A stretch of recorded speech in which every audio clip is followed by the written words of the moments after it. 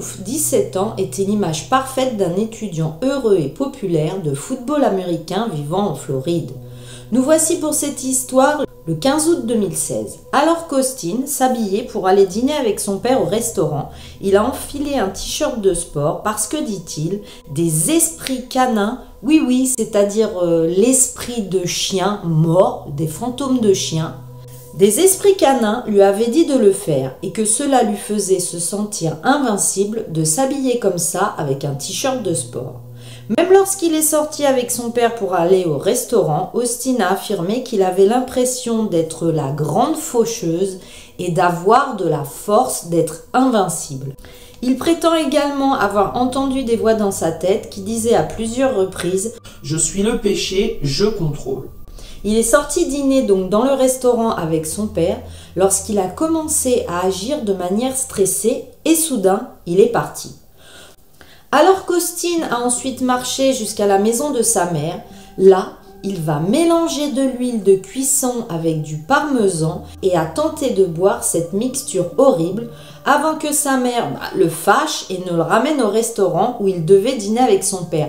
Parce que les valeurs dans cette famille sont très importantes, il a fait la promesse de dîner avec son père, donc sa mère bah, le ramène au restaurant où il doit dîner avec son père. Mais Austin est contrarié et une altercation survient avec son père. Des images de sécurité du restaurant ont montré qu'Austin Arouf quitte calmement le restaurant. 45 minutes plus tard, la nuit est chaude en ce mois d'août à Tequesta en Floride. Michel et John Stevens sont assis dans leur garage en train de boire tranquillement une bière et de profiter de la chaleur qui redescend avec la nuit tombante. Mais qui sont Michel et John? Michel et John avaient tous les deux été mariés auparavant.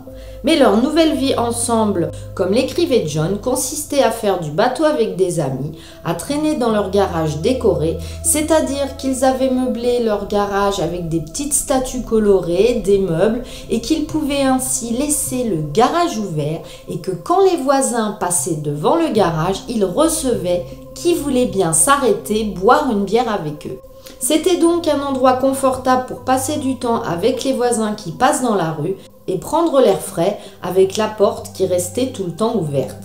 Ils prenaient leur temps aussi à aimer leurs enfants adultes alors qu'ils commençaient à se lancer dans le monde. Ils voulaient enfin profiter de la vie ensemble. Michel et John s'écrivaient régulièrement des petits mots d'amour qu'ils se laissaient dans la maison et ils tombaient bah, tout d'un coup dessus et étaient ravis de lire les mots d'amour de l'autre. Quand soudain, Austin Harouf a marché au hasard vers la maison de Michel et John Stevens car c'est important que vous le sachiez. Il se dirige totalement au hasard vers leur maison. En fait, lui, le Austin, il est dans la rue et comme il les voit bah, à l'extérieur devant leur garage, il décide de marcher vers eux. Il se déshabille tout d'un coup. Il est totalement nu. Il va entrer dans le garage ouvert, donc celui de Michel et John, assis et hébétés de la scène. Austin va se saisir des outils de John et il va violemment les attaquer dans une frénésie totalement folle. Il a saisi un couteau et un tire-bouchon.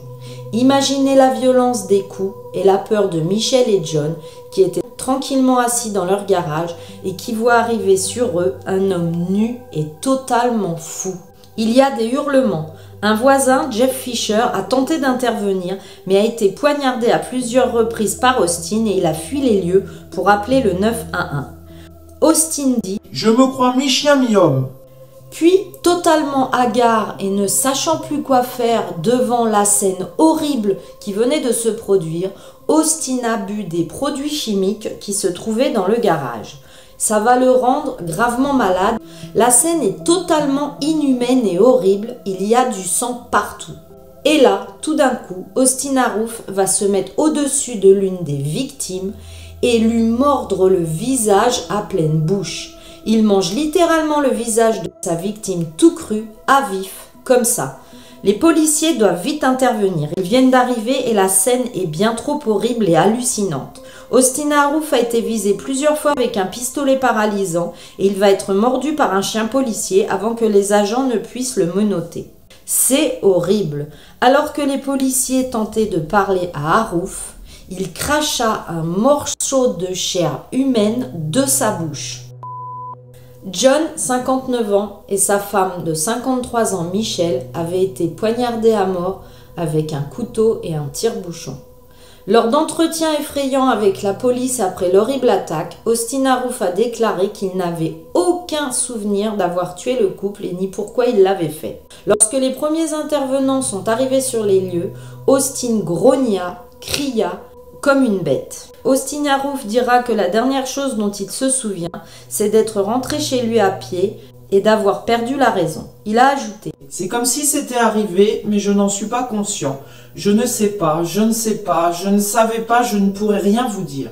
À l'époque, les détectives pensaient qu'il était sous l'influence d'une drogue lorsque les meurtres violents ont été perpétrés. Mais non, aucune trace de substance illégale n'a été trouvée dans son système. Un rapport psychologique rédigé par le docteur Gregory Landrum a été engagé par l'État pour enquêter sur l'état mental de Austin Arouf au moment des meurtres. Il rapporte qu'il était légalement et totalement fou au moment des meurtres. Le docteur Landrum, dans son rapport, a déclaré Il est raisonnable de conclure que M. Harouf souffrait d'un état mental décompensé associé à un trouble émergent de l'humeur et ou de la pensée résultant d'un épisode psychotique très aigu. Austin, qui était un étudiant de 19 ans, avec de bonnes notes, un comportement doux et un penchant pour l'entraînement au football, n'avait aucun casier judiciaire et n'avait lors fait aucune violence ni avec ses amis ni dans sa famille. Il aurait pu être votre fils, votre frère, votre voisin, l'ami de n'importe qui et d'ailleurs c'était le cas. Il avait l'esprit donc sportif comme je vous disais, il s'entraînait énormément à la musculation et d'ailleurs dans son lycée il était pris en exemple comme le BG du lycée. Toutes les filles étaient folles de lui et les garçons voulaient lui ressembler. Puis Austin a commencé à délirer mentalement des semaines et des jours avant les moments qui ont précédé l'attaque de John et Michel. Il est devenu paranoïaque. Les choses se sont passées rapidement. Austin a eu des hallucinations et des délires si graves qu'au moment de l'infraction, il était incapable de faire des choix rationnels et volontaires. Une violence impensable s'est produite, dans ce cas non pas par choix intentionnel ou avec un motif identifiable, mais parce qu'Austin souffre d'une maladie mentale, diront les docteurs. Le rapport poursuit en disant Il est recommandé que si la Cour conclut que M. Harouf répond aux critères de l'aliénation mentale légale au moment de l'infraction, il devrait être tenu compte de son placement volontaire dans un hôpital public psychiatrique sécurisé en tant que malade mental. Et à cause de la maladie, il est manifestement dangereux pour lui-même et pour les autres. Le juge du Sherwood Boer a accepté le plaidoyer de Harouf. Cependant, le jour où le procès devait commencer, il a déclaré que les procureurs et la défense avaient convenu que Austin Harouf n'avait pas formulé d'intention mentale normale dans l'attaque contre le couple dans leur garage. Les médecins ont déterminé qu'il souffrait d'une psychose lors d'un épisode maniaque.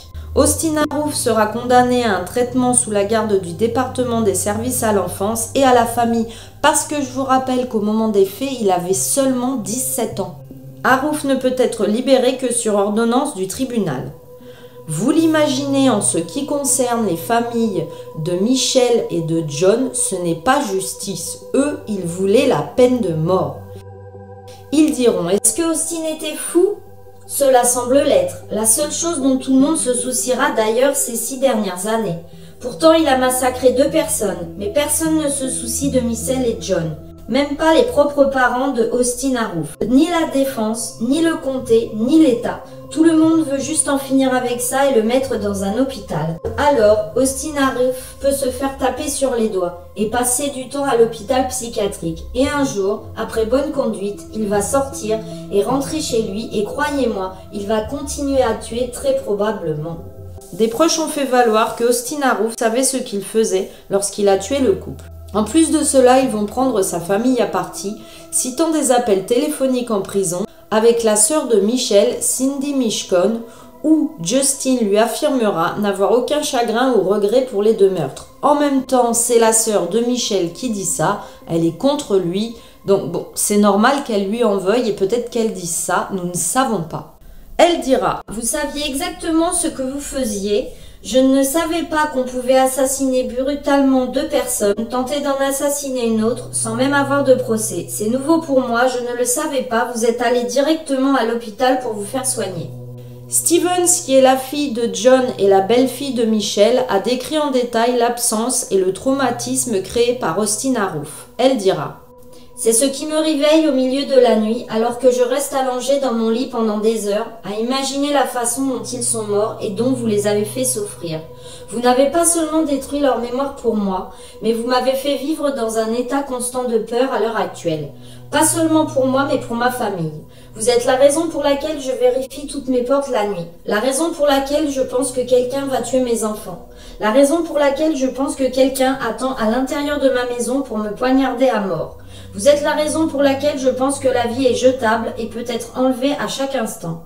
Vous êtes la raison pour laquelle je n'ai plus de mère et de seconde mère. Pourquoi mes deux beaux garçons n'auront jamais de grands-parents? Je me sens si mal pour eux qu'ils ne connaîtront jamais l'amour de leur grand-père et de leur grand-mère Michel qu'ils auraient pu leur donner. Puis, le procureur Brandon White voudra exprimer sa sympathie pour les familles. Il dira que même s'il n'était pas satisfait du résultat, il est à noter que les deux experts, les docteurs, l'un de l'État et l'autre de la Défense, avaient déterminé que Austin Arouf était fou et que dans ce cas, il devait aller dans un hôpital psychiatrique et non être exécuté à mort ou non plus aller en prison avec des tueurs dits normaux. Il dira Nous ne créons pas les faits et nous ne créons pas les lois. Dans une déclaration, l'avocate de Austin Arouf dira que les actions de Austin ce jour-là étaient complètement hors de propos et découlaient d'une maladie mentale et l'a décrit comme extrêmement plein de remords pour la douleur qu'il a causée aux familles. Elle a dit qu'il était sincèrement ouvert au traitement qu'il doit recevoir. Arouf, qui était un joueur de football talentueux et qui semblait normal et adoré de ses camarades, a tué un soir deux innocentes personnes. Il est actuellement traité pour schizophrénie car depuis l'incident, Austin Arouf a déclaré qu'il ne se souvenait de rien de ce soir-là, mais croyait que Dieu et les démons lui parlaient alors qu'il les attaquait.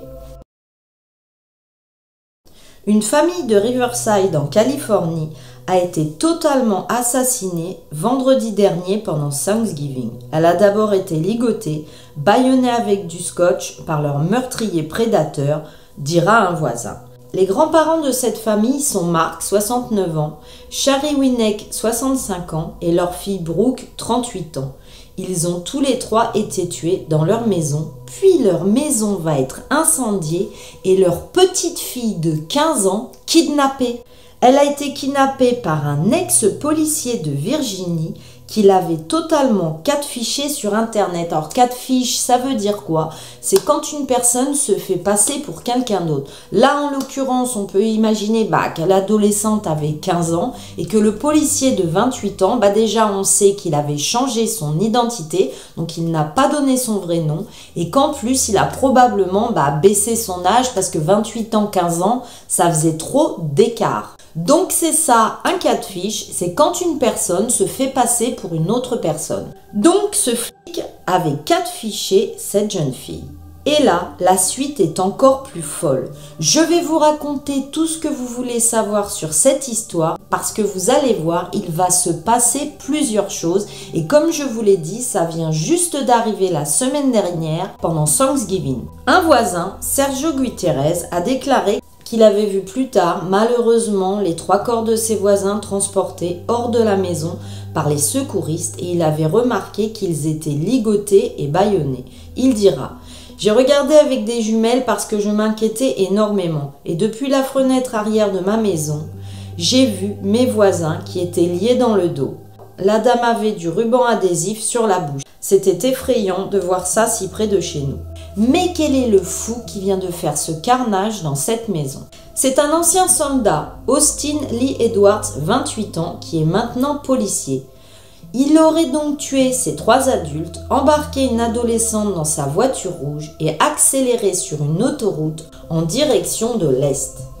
Guy-Thérèse le voisin a déclaré que quelques semaines plus tôt, il avait repéré cette voiture, hein, une Kia Saul rouge, garée dans la rue près de la maison. Il pense que ce prédateur surveillait peut-être ses victimes depuis un moment et c'est totalement effrayant, je trouve, de savoir ça après coup, que le voisin avait vu la voiture et que donc ce cinglé était là depuis des semaines peut-être à les observer.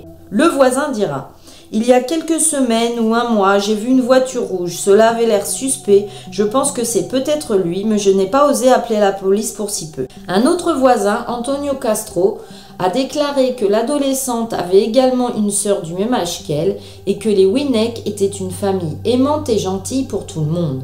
Les médias sociaux de l'adolescente kidnappée disent qu'elle était une danseuse passionnée et membre active des réunions et fêtes de son lycée. Et oui, parce que vous comprendrez que cette jeune fille qui n'a que 15 ans, eh bien pour l'instant, son identité est tenue secrète et je trouve ça normal, donc on n'a ni son nom, ni sa photo, c'est pour ça que je ne vous en mettrai pas. Le bureau du shérif du comté de Washington a publié lundi une déclaration décrivant Edwards comme un homme méchant, violent et le shérif présentera ses condoléances à la famille des survivantes. Le bureau du shérif a aussi déclaré qu'Edwards avait terminé sa formation à l'académie de police en janvier de cette année et avait travaillé comme soldat dans l'État de Virginie auparavant. Ils l'ont embauché comme patrouilleur le 16 novembre dernier, donc c'est vraiment quelques jours avant qu'il commette l'irréparable. Il est choquant et triste pour toute la communauté des forces de l'ordre qu'une personne aussi perverse et méchante puisse infiltrer les forces de l'ordre tout en cachant sa véritable identité de prédateur informatique et de meurtrier, dira le shérif. Nos pensées et nos prières vont à la famille Wickett, à leurs amis, aux officiers et à tous ceux qui ont été touchés par ce crime odieux, dira-t-il aussi. Un GoFundMe pour la famille a collecté plus de 31 000 dollars ce lundi, dédié au soutien des deux adolescentes survivantes. Parlons des victimes. Mark Winnet était un père, un grand-père, un oncle, un frère, un voisin et un entraîneur aimant à l'école secondaire d'Arlington.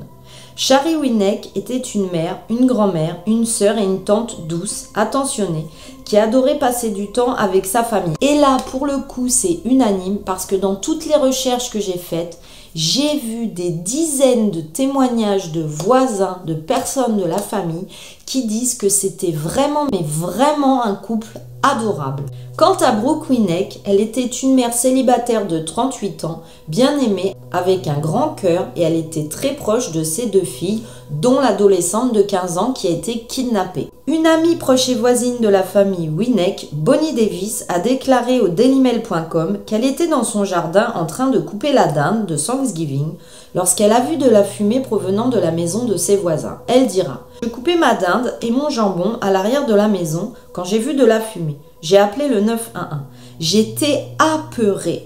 J'ai vu les flammes sortir par le devant des fenêtres et les portes. Bonnie Davis a également déclaré qu'elle n'avait pas entendu de coup de feu, suggérant bah, que le kidnappeur n'avait peut-être pas utilisé d'armes à ce moment-là. En tout cas, elle, elle n'a rien entendu. Cette femme de 59 ans a déclaré que les Winneck étaient devenus comme une famille lorsqu'elle a déménagé il y a 22 ans dans cette voie sans issue. Ils étaient ma famille, dira-t-elle. Quand nous avons déménagé ici avec mon fils, ils nous ont accueillis à bras ouverts. Chaque quartier a besoin d'une famille comme eux. Ils sont une famille foncièrement américaine, aimante, attentionnée et solitaire. Elle dira même qu'à la mort subite de son mari, bah, elle s'est retrouvée toute seule avec son fils et le grand-père, il venait, mais toutes les semaines, lui tondre sa pelouse gratuitement depuis 8 ans sans jamais rien lui demander. Elle dira qu'il avait le cœur sur la main. Elle aura également des mots féroces pour le kidnappeur et meurtrier. Elle dira Ce fils de qui a fait ça n'a aucune idée de ce qu'il a retiré de ce monde. Ce salaud est venu ici, il leur a fait ça inutilement. Il n'y avait aucune raison à cela, aucune. Je n'arriverai jamais à comprendre son geste. Lundi après-midi, elle a tenu à lire une déclaration aux journalistes en mémoire de la famille parce que vraiment, vous le voyez là, elle tenait énormément à ses voisins. Elle dira je veux juste que tout le monde sache qu'ils étaient une famille très aimée dans la communauté. La famille Winiek m'a dit qu'elle tenait à remercier tout le monde pour son soutien et son amour et sa patience, car elle vit en ce moment une période horrible. Marc, Charlie et Brooke aimaient les gens et ne méritaient vraiment pas cette tragédie. Je vous mets une photo. Sur cette photo, vous voyez Madison Kay qui est à gauche. Elle était l'une des étudiantes de softball de Mark Winnet. Elle a rendu un hommage au grand-père décédé en disant que depuis qu'elle avait quitté l'école, il lui envoyait à chaque jour de fête un SMS pour prendre de ses nouvelles. Il ne lâchait jamais ses anciens élèves. Les journalistes disent Nous traitons toujours les nouvelles informations fournies par les autorités et nous parlerons plus en détail lors d'une conférence de presse en collaboration avec le département de police de Riverside la semaine prochaine. Donc bah, moi je vous tiens au courant s'il y a d'autres détails mais vous allez voir que déjà aujourd'hui l'affaire est close, je vais tout vous dire, on continue. Comment cela s'est-il passé? D'après les autorités, elles disent qu'Edward a rencontré la jeune fille en ligne et a obtenu des informations personnelles sur elle en la trompant. Il a pris une fausse identité, il a caché son âge et a commencé à instaurer comme une sorte de liaison romantique. En fait, bah, c'est comme je vous ai dit au début, il a fait un catfish mentant sur lui et sur tout pour ne pas qu'elle se méfie. Tout d'un coup, il a décidé de la rencontrer en personne et il a fait plus de 4000 km pour se rendre à sa maison. Il travaillait à l'époque avec le bureau du shérif du comté de Washington, qu'il a qualifié de personne diabolique et méchante. Le shérif dira Il a tué une grand-mère, un grand-père et une mère pour avoir sa main sur une adolescente, la kidnapper et dans son esprit de fou, faire d'elle tout ce qu'il voulait. Pendant ce temps, à ce jour, les autorités continuent d'enquêter sur la mort de ses grands-parents et de la mère, car on ne sait pas tout à fait s'ils ont été tués avant ou pendant l'incendie de la maison, c'est-à-dire bah, est-ce que ce fou bah, les a tués et a mis le feu à la maison ou est-ce que malheureusement comme ils étaient ligotés et bâillonnés, ce sont les flammes qui auraient eu raison d'eux, on ne sait pas encore. La police de Riverside a déclaré qu'elle avait été appelée ce jour-là pour la première fois juste avant 11h du matin le vendredi pour vérifier le bien-être d'une jeune fille qui semblait bouleversée en montant dans une Kia Soul rouge avec un inconnu selon un voisin. Il s'agissait d'Edward. Alors que les agents intervenaient sur les lieux pour vérifier, la police pendant ce temps-là a commencé à recevoir des appels concernant un incendie à quelques maisons de là. Le service d'incendie de Riverside a découvert malheureusement trois adultes allongés dans l'entrée principale et les a emmenés tant bien que mal à l'extérieur où le personnel de secours a, déterminé qu'ils étaient victimes d'homicide. La cause de l'incendie fait l'objet bah, bien sûr d'une enquête mais semblait avoir été allumée par ce fou a déclaré la police et les autorités ont rapidement découvert que la fille décrite dans le contrôle initial des policiers alertés avait vécu dans cette maison avec sa mère et ses grands-parents. À ce moment-là, les policiers vont recevoir une description très précise du véhicule d'Edward et d'autres agents à proximité. Tous les policiers sont au taquet du taquet. Il faut retrouver cette jeune fille de 15 ans qui a été kidnappée. En quelques heures, la police a pu retrouver la Kia d'Edward alors qu'il conduisait l'adolescente à Kelson, une zone du comté de San Bernardino. Une folle course-poursuite va commencer entre Edward et les policiers, mais c'est la réalité et c'est ce qui est horrible, mais pourtant on dirait un film typiquement américain. Donc la course-poursuite va commencer et pendant la poursuite, Edward a tiré sur les policiers. La volée de coups de feu a frappé le véhicule du SWAT à plusieurs reprises. Edward a perdu le contrôle de son véhicule et la poursuite a pris fin lorsqu'il a quitté la route. La victime, l'adolescente, est sortie du véhicule en courant. Elle a été secourue immédiatement par des adjoints du shérif. Bon, Edward, lui, il va aussi sortir du véhicule, mais il va pointer son arme sur l'hélicoptère du shérif et les adjoints bah, vont lui tirer dessus. Il n'a pas eu le temps de riposter et il sera décédé sur les lieux. Maintenant, les amis et les membres de la famille se sont tournés vers les médias sociaux pour se souvenir des Winneck et vont leur rendre hommage. Ils les ont décrits comme des incontournables de la communauté. Ils étaient toujours là pour aider les autres, déclarant tous les habitants du quartier. Ils veulent juste que tout le monde sache à quel point ils étaient aimants, adorables et qu'ils ne méritaient vraiment pas cela. Les voisins ajouteront qu'ils ont du mal à manger, qu'ils ne dorment plus, qu'ils se sentent en insécurité dans leur quartier et qu'ils repensent tout le temps, tout le temps à leurs voisins décédés et qu'ils ne comprennent pas ce qui s'est passé. Voilà, cette histoire est finie parce qu'on en est là à l'heure actuelle, mais comme je vous l'ai dit, bien sûr, je vous tiens au courant si on en sait un petit peu plus, mais à part les détails sur l'incendie et à savoir si malheureusement les trois victimes étaient mortes avant pendant, je ne vois pas trop quel autre détail on pourrait avoir. S'il y en a beaucoup, je referai une vidéo bien sûr. S'il y a peu de détails, je vous les, je épinglerai sous cette vidéo. Vers 15h03, les agents du 3e district et les pompiers du comté de Montgomery ont répondu direct à un appel. C'est à une station-service Shell du New Hampshire Avenue pour le rapport d'une fusillade qui venait de s'y produire. Les policiers ont déclaré qu'un homme, Torrey Moore, était entré dans le magasin Shell vers 15h ce jeudi 8 décembre 2022. Il a pris une bouteille de thé glacé et s'est approché du comptoir un employé y travaille, il s'appelle monsieur Wondimu, il a 61 ans. En effet, ce monsieur est dans sa journée tranquille et il voit donc ce Toré s'approcher avec sa bouteille de thé glacé. Monsieur Wondimu a donc 61 ans et comme je vous l'ai dit, il est heureux dans son travail car il le fait sérieusement. Cet emploi, il veut qu'il se passe toujours très bien dans la station-service parce que pour lui, son emploi est une fierté pour subvenir aux besoins de sa famille et montrer l'exemple d'un travail de dur labeur. Malheureusement, l'autre homme a une attitude totalement bizarre, stressée, étrange. Sur la base des images de surveillance et des témoignages, les enquêteurs pensent qu'une dispute a commencé entre Moore et l'employé M. Wondimu et s'est rapidement d'ailleurs transformé en une altercation physique. Et oui, car je vous l'ai dit, cet employé aime beaucoup son emploi, il ne veut pas qu'il y ait de problème et en plus il a du caractère, il ne se laisse pas faire, il a énormément de valeurs dans sa vie, diront sa famille, respect, travail et donc bah, vous avez compris, il veut se faire respecter. Sur la vidéo, la police avoue que l'homme, Moore, est en train de lancer des marchandises sur l'employé monsieur Wondimu qui a tenté de se protéger de derrière le comptoir avec une barre en métal. Je vous l'avais dit, ce client est bizarre et vous allez le voir, il est même dangereux, car malheureusement il va sortir une arme de sous son gilet et a tiré à plusieurs reprises sur monsieur Wondimu. Le client Moore a donc tiré plusieurs fois à bout portant et aura même atteint le comptoir je vous l'avais dit, ce client est très bizarre et malheureusement, il va sortir de son gilet une arme et tirer plusieurs fois sur l'employé, monsieur Wondimu.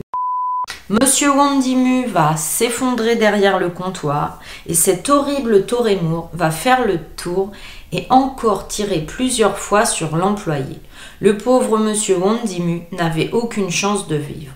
La police dira avoir un différent sujet d'un thé glacé dans une station-service et faire monter ce différent au point qu'un individu sortirait une arme et assassinerait brutalement quelqu'un en plein jour, c'est très stupide et effrayant, troublant selon moi, dira le policier.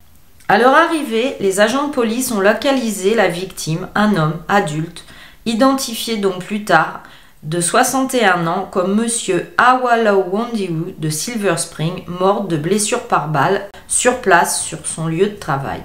Les détectives d'homicide du MCPD ont suivi Moore dans la rue jusqu'à ses appartements. Il habitait juste en face de la station-service.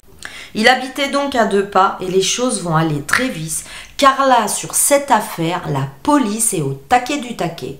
Un mandat de perquisition a été demandé et obtenu pour la résidence de Torremo.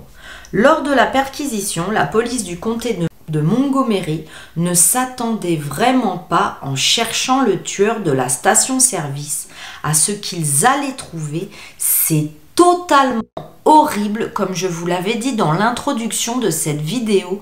C'est dégueulasse. Ils sont littéralement en état de choc car les policiers ont trouvé un corps à l'intérieur de l'appartement à un stade avancé de décomposition. Le tueur, Moore, a déclaré au détective qu'il avait eu une relation avec la femme située à l'intérieur de l'appartement et malheureusement morte, et il a également déclaré que la victime était enceinte de 8 mois au moment de sa mort. Mais quelle horreur, mais quel affreux personnage encore. Et ce qui est encore plus horrible, c'est que le tueur vivait depuis un mois avec le cadavre en décomposition dans son appartement. Le corps de la victime a été transporté au bureau du médecin légiste en chef pour une autopsie. Son nom et le stade de sa grossesse seront divulgués après l'achèvement de l'autopsie, puisque je vous le dis, tout ça a eu lieu il y a seulement une semaine. Monsieur Torremour était donc à l'intérieur de son appartement. Il a été arrêté et transporté à l'unité centrale de traitement du comté de Montgomery, où il est accusé de meurtre au premier degré, de possession d'une arme à feu, de crime.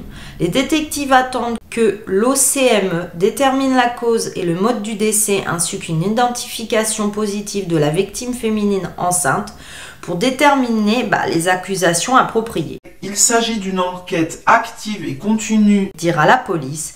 Nous n'avons eu aucun rapport sur des personnes disparues de cet endroit qui correspondent à la description de cette femme enceinte dans l'appartement.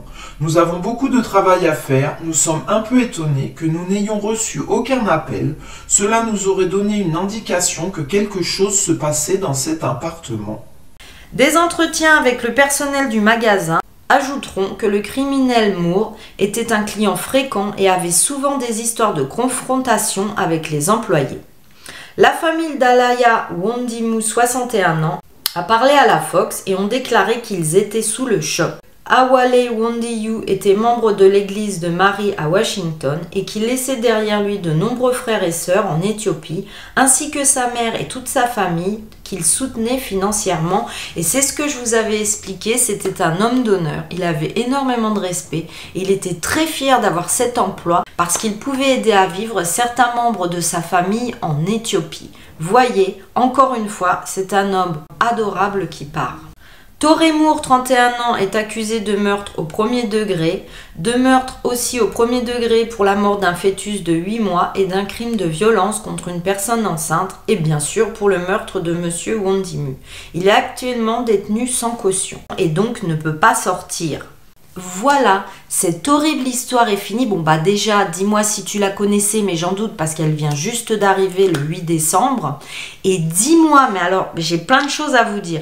Déjà, bah dis-moi si tu ne trouves pas ça, mais complètement dingue. Et là, je le dis encore, dégueulasse d'imaginer ce tauré qui vit avec le corps de cette pauvre femme enceinte dans son appartement, mais je ne comprends pas, ça dépasse l'entendement. Et c'est vrai, j'ai vraiment le chic pour vous raconter à chaque fois des histoires de plus en plus horribles. Et ça me fait penser à une histoire que je vous avais racontée d'un tueur en série qui vivait avec euh, tous les cadavres des femmes qu'il avait tuées dans son appartement. Je vous mets le lien ici si vous voulez le voir. Je voulais aussi vous dire que je trouve ça complètement dingue et affolant de se dire qu'on peut mener sa vie tranquillement, alors là en l'occurrence dans une station-service, faire son travail pouvoir envoyer de l'argent à sa famille en Éthiopie et du jour au lendemain, d'une seconde à l'autre, être tué. Je voulais vous faire euh, bah, comme une demande, mes zigotos, vous savez que j'adore ma communauté, que je vous adore. Prenez soin de vous, Prenez soin de ceux que vous aimez, profitez-en parce que la vie est très courte. Profitez de chaque seconde, émerveillez-vous d'un arc-en-ciel, de la neige qui vient de tomber. Profitez de la vie, elle est précieuse. Bon bah assez de blabla. Pour me faire plaisir, mets-moi un emoji essence ou station service ou un S. Et si tu ne les trouves pas, mets-moi-en un autre pour mon référencement. Je voulais encore vous remercier pour tout votre soutien, pour vos pouces en l'air, pour vos commentaires et pour ceux qui viennent de s'abonner sur ma chaîne. Merci beaucoup. Petit à petit, on monte. Je vais bientôt passer à 6000 abonnés. Vous savez, je vous l'ai peut-être pas dit, mais moi, mon rêve, mon goal, c'est d'avoir 10 000 abonnés. Donc, aidez-moi, abonnez-vous ceux qui ne l'ont pas encore fait. Je voulais aussi remercier Caro, Caro du journal True Crime m'a parlé encore de cette histoire. Allez la voir sur son Instagram. C'est déjà grâce à elle que j'ai eu plusieurs histoires à vous raconter. Merci Caro. Je voulais vous dire, si jamais vous êtes dans les rayons d'une station-service, mais pensez à regarder derrière vous, prenez bien bien soin de vous mes zigotos. Prenez bien bien soin de vous mes zigotos. À la prochaine fois. Bye bye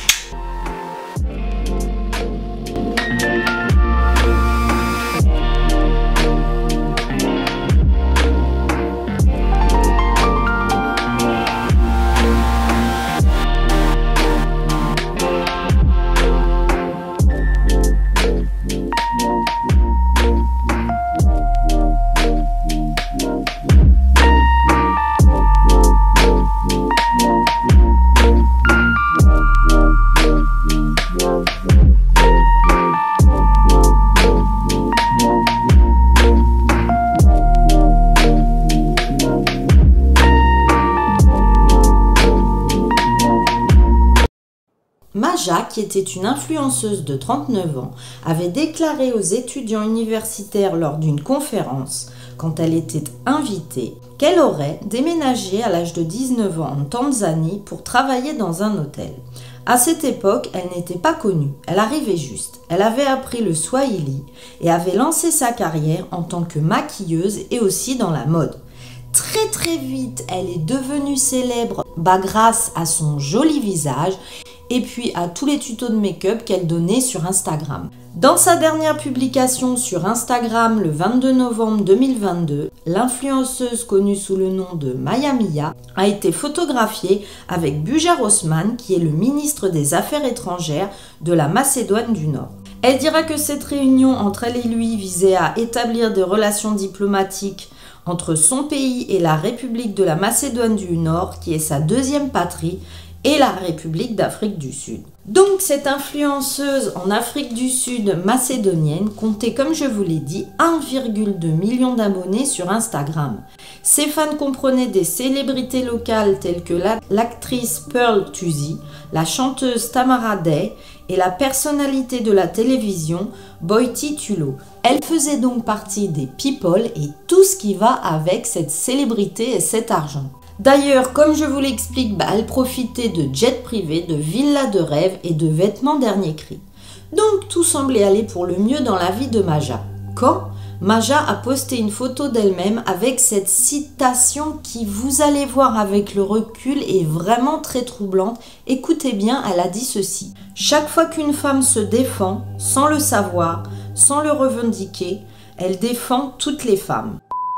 Et là, malheureusement, dans sa villa, le 911 est composé ce matin du 2 décembre 2022. La porte-parole de la police, Mavela Massondo, a déclaré À notre arrivée à l'adresse indiquée, nous avons trouvé une femme dans la chambre avec une blessure par balle à la tête. Il y avait une arme à feu à côté d'elle. Malheureusement, Maja sera certifiée décédée par les ambulanciers. Philippe Monsado, son petit ami, était là dans la villa avec elle. Il a dit qu'il ne possédait aucune arme et il a ajouté La police ne peut pas commenter maintenant cette affaire car cela pourrait compromettre l'enquête. La police a confirmé avoir ouvert une enquête sur la mort de cette influenceuse, mais cela ne signifie pas que son petit ami n'est pas suspect. Mais alors, Maja, 39 ans, a donc été retrouvée avec une blessure par balle à la tête dans sa luxueuse maison qu'elle partageait donc avec son petit ami Philips le 2 décembre 2022. Mais nous voulons le savoir, qui est ce Philips? Philips est un coordinateur de la société de cigarettes Carnilix d'Adriano Mazzotti et il a aidé le dirigeant Julius Malena à payer une énorme facture fiscale d'un demi-million en 2015. Il l'a aidé donc à échapper à bien des problèmes et on commence à se rendre compte que son petit ami Philips traîne en quelque sorte avec la mafia de là-bas. Il traîne donc dans un milieu peu recommandable et serait tout le temps accompagné de deux gardes du corps. Alors quand déjà tu es obligé de sortir avec deux gardes du corps, c'est mauvais signe dans tes activités professionnelles. Kyle Phillips a déclaré qu'au moment du drame, il se brossait les dents dans la salle de bain lorsqu'il a entendu le coup de feu provenant de leur chambre. Donc lui, il a rien à voir dans cette affaire. Le petit ami Phillips a déclaré aux médias locaux qu'il embaucherait son propre médecin pour effectuer une autopsie. La porte-parole dira que la police, le lieutenant-colonel Mavela Massondo a déclaré qu'une enquête avait été ouverte à la suite du décès de Maja. La police dira à notre arrivée à l'adresse indiquée, la police a trouvé une femme dans la chambre avec une blessure par balle à la tête. Il y avait une arme à feu à côté d'elle. La femme a été déclarée morte par les ambulanciers. C'est ce que je vous disais juste avant bah, dans cette histoire. Les parents de Janeska, mais que deviennent-ils?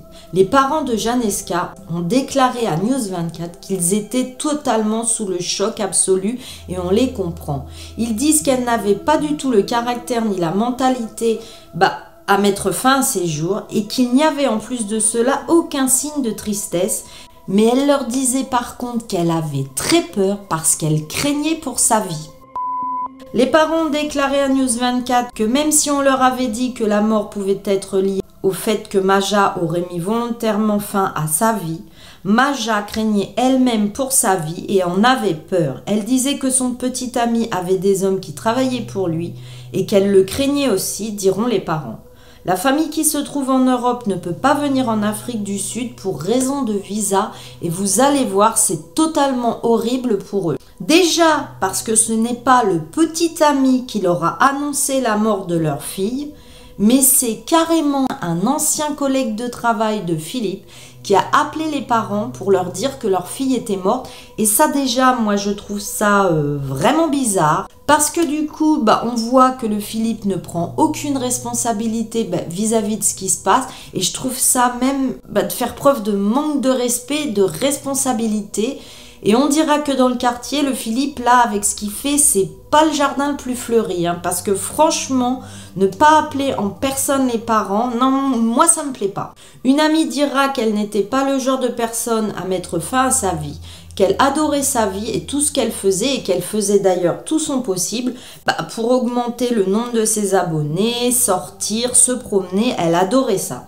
Sa famille dira Nos téléphones n'ont pas cessé de sonner, tout cela est nouveau pour nous. Nous préférons rester anonymes pour protéger notre sécurité.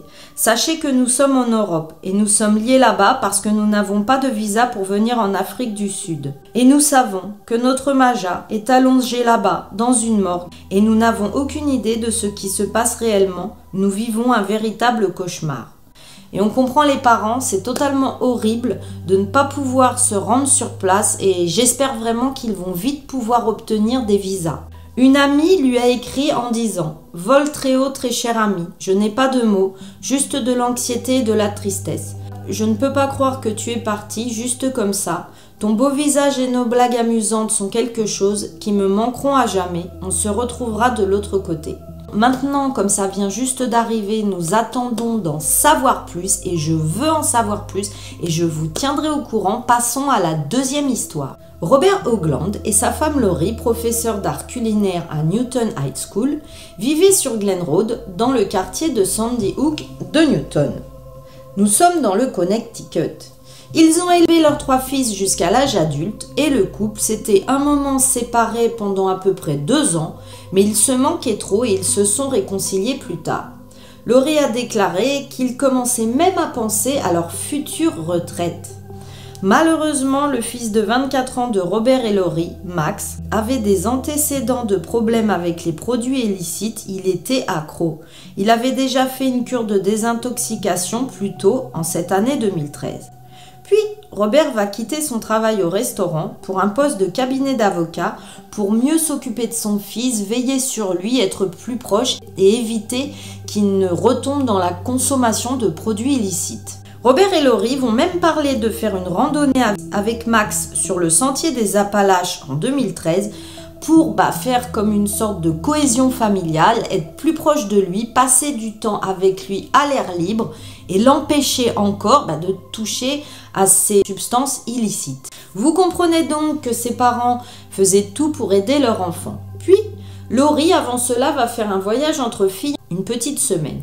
Et dans la semaine précédant le retour de Laurie, deux des ordinateurs portables de la famille vont être volés. Robert en est venu à croire que son fils Max les avait emmenés pour les vendre afin d'obtenir des produits illicites. Il va envoyer un email à sa femme Laurie, s'excuser bah, d'avoir laissé cela se produire et il promet d'être plus vigilant. La police apprendra plus tard que Robert s'est rendu dans un bâtiment industriel abandonné à Bridgeport pour affronter certains des hommes comme des dealers de produits illicites et aussi pour confronter Max à ce vol, dont Max rejettera la faute bah, sur les vendeurs de produits illicites. On peut dire que Robert il a pas peur parce que alors moi aller dans un entrepôt abandonné pour voir des vendeurs de produits illicites pas contents qu'on récupéré les ordinateurs, je vous avoue que je n'aurais pas eu le courage. Donc on saura que Robert s'est rendu dans ce bâtiment abandonné et il a défendu son fils. Puis le 25 juillet 2013, 600 dollars ont été retirés des comptes bancaires de la famille. Robert et Laurie, donc le mari et la femme, vont brièvement s'entretenir par téléphone dans la soirée du 27 juillet, puisque je vous le rappelle, Laurie est en vacances. Robert confirmera son intention de venir chercher son épouse à son retour de Turquie à l'aéroport international John Fitzgerald Kennedy, donc de New York, dans deux jours. Tôt le matin, il est sorti avec la Golf Volkswagen de sa femme pour acheter des bagels pour le petit déjeuner dans une boulangerie du coin. Puis il s'est arrêté à une station mobile sur Churchill Road pour faire le plein.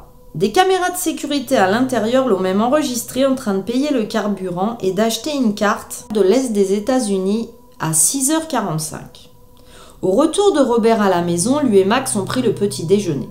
Après le petit déjeuner, son fils déclara que son père s'est occupé de quelques factures et qu'il a joué au Scrabble en ligne pendant un moment. Vers 10 ou 11 heures, Robert est sorti tondre la pelouse. Pendant ce temps, lui, le fils, il est sorti avec la Volkswagen, disant à son père qu'il s'attendait à être de retour quelques heures plus tard. Un voisin déclarera même à la police qu'il a vu les deux hommes parler sur la pelouse. C'est-à-dire que le voisin, bah, il déclarera bien qu'il a vu père et fils discuter sur la pelouse à cette heure-là. Laurie arrive à l'aéroport. Elle est toute à sa joie de retrouver sa petite famille.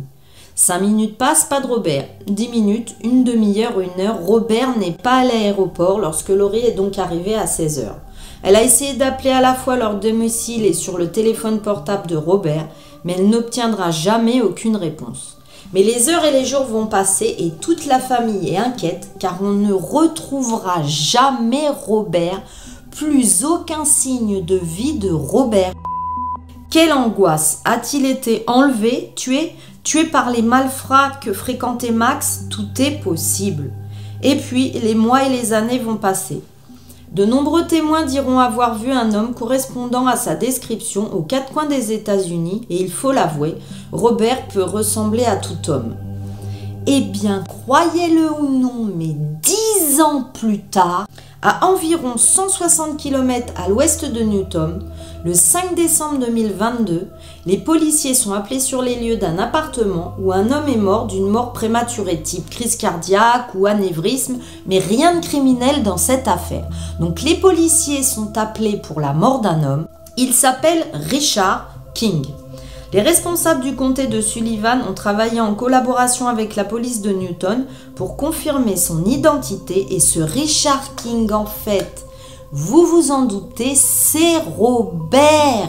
Il n'avait pas été tué, il vivait là-bas. Il utilisait donc le pseudonyme de Richard King depuis novembre 2013. C'est totalement fou de se dire que le 28 juillet 2013, il est sorti de sa maison sans son téléphone portable, son portefeuille, son passeport et qu'il n'est jamais revenu. L'homme de 50 ans de l'époque a laissé derrière lui sa femme Laurie, ses trois fils dans la vingtaine, sans regret, sans remords, sans jamais pendant dix ans contacter sa famille, c'est totalement dingue. Aujourd'hui, nous voici en 1989. Amanda Mandy Stavik est l'enfant chéri parfaite de ses parents. Elle est étudiante de première année à la Central Washington University. Quand je vous raconte cette histoire, elle est juste dans son premier semestre d'université, après avoir obtenu son diplôme de l'école.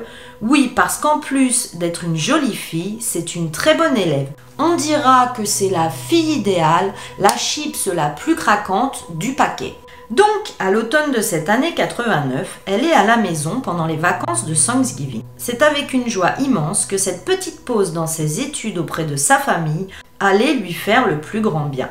Oui, parce que la cuisine rapide, sandwich et café de l'université, ça dépanne, mais bon, c'est pas le top du top. La cuisine de maman, sa chambre de jeune fille et passer les fêtes ensemble, ça elle adore et sa famille aussi. Pour vous parler plus d'elle, pour tous ceux qui la connaissaient, elle est l'élève vedette, elle est extrêmement sportive. Elle jouait au softball, au basketball, elle faisait de l'équitation et elle courait même sur piste. Elle donnait tout à tous les niveaux, études, sport, sociabilisation, comme si réussir chez elle était son moteur chaque jour pour se lever. D'ailleurs, toutes ses amies prenaient modèle sur elle en lui imaginant un destin magique et merveilleux. Et malheureusement, vous le savez, on est dans une DPAE et ça va basculer dans l'horreur. Et oui, personne n'imaginait malheureusement l'ampleur de la tragédie qui allait lui arriver lors de sa courte pause de vacances à la maison pendant Thanksgiving. Revenons donc à cette période justement de Thanksgiving. Mandy est chez ses parents et elle a déballé sa valise dans sa chambre et profite de la chaleur du foyer. Enfin Thanksgiving arrive et c'est un merveilleux repas qui s'annonce. Dinde, légumes, tarte de pécan, au chaud avec l'amour des siens. La soirée se termine et hop, au dodo pour la suite des vacances idéales. Nous sommes le lendemain de Thanksgiving. Comme Mandy prend soin de son corps et qu'elle est très sportive, elle décide d'aller faire son jogging. Elle sort donc faire son jogging et c'est sur un itinéraire habituel de quand elle vivait encore chez ses parents. Cela va lui rappeler des souvenirs et elle en a fait des kilomètres sur ce chemin. Sa mère qui lui tient habituellement compagnie, elle, en faisant du vélo, ne pourra pas venir ce jour-là bah, parce que sa sœur et ses frères sont là et qu'elle veut profiter de ses autres enfants et en plus, euh, soyons honnêtes, elle a beaucoup de cuisine à faire pour tout ce petit monde. Et ça, ce n'est pas grave, Mandy court souvent seule et le temps passe vite. Et en plus, elle va être accompagnée de son chat Kira, un vieux berger allemand qui est resté chez ses parents et elle est ravie de courir avec lui. Donc, on fait un peu ici d'une pierre deux coups. Elle est avec son chien et, et puis le chien va sortir et faire de l'exercice. Mais cela fait deux heures que Mandy est partie et elle n'est toujours pas rentrée chez ses parents. Déjà deux heures que Mandy est partie et elle n'est pas rentrée. Cela commence à semer l'inquiétude dans l'esprit de la famille. Malheureusement, son chien va rentrer tout seul quelques heures plus tard. Et d'ailleurs, cela me brise totalement le cœur, mais on en parlera plus tard à la fin de la vidéo. Les parents vont d'abord contacter son petit ami Rick Zender et ses amis, mais personne ne l'a vu. Bon bah alors là tout de suite la famille va appeler la police. Apparemment elle est allée faire du jogging vers 14h30 portant un pantalon de survêtement bleu et un haut de couleur claire. Elle portait également des chaussures rayées bleues.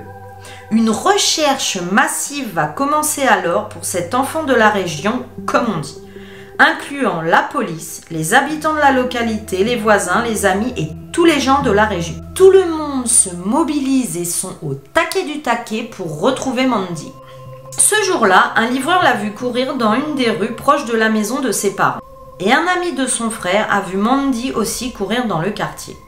Un témoin a vu une camionnette roulant près d'elle avec deux hommes dans la trentaine et un autre témoin dira qu'il a vu Mandy avec un homme qui marchait derrière elle.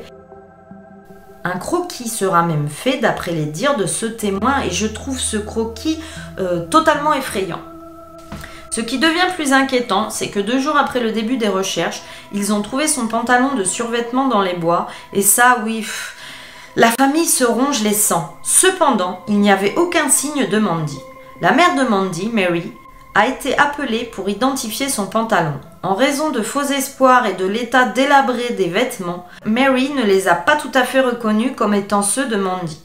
L'affaire va faire exploser une tempête médiatique car il était inhabituel pour le paisible comté de Whatcom d'être témoin de quelque chose comme ça. Une enfant du pays avait été peut-être enlevée.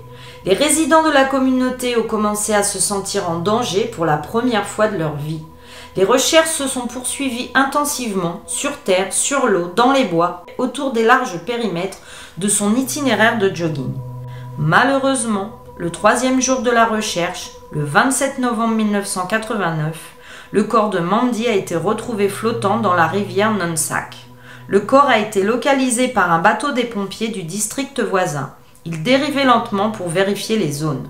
Son corps était coincé sur des débris de rivière, incapable de flotter plus loin, pris par la vase. Le corps de Mandy a été récupéré par le sergent Ron Peterson, qui avait récemment suivi une formation pour laquelle il était au courant des preuves ADN. Afin de ne pas altérer ses preuves, il a dû entrer dans l'eau et soulever son corps pour le mettre dans un sac mortuaire.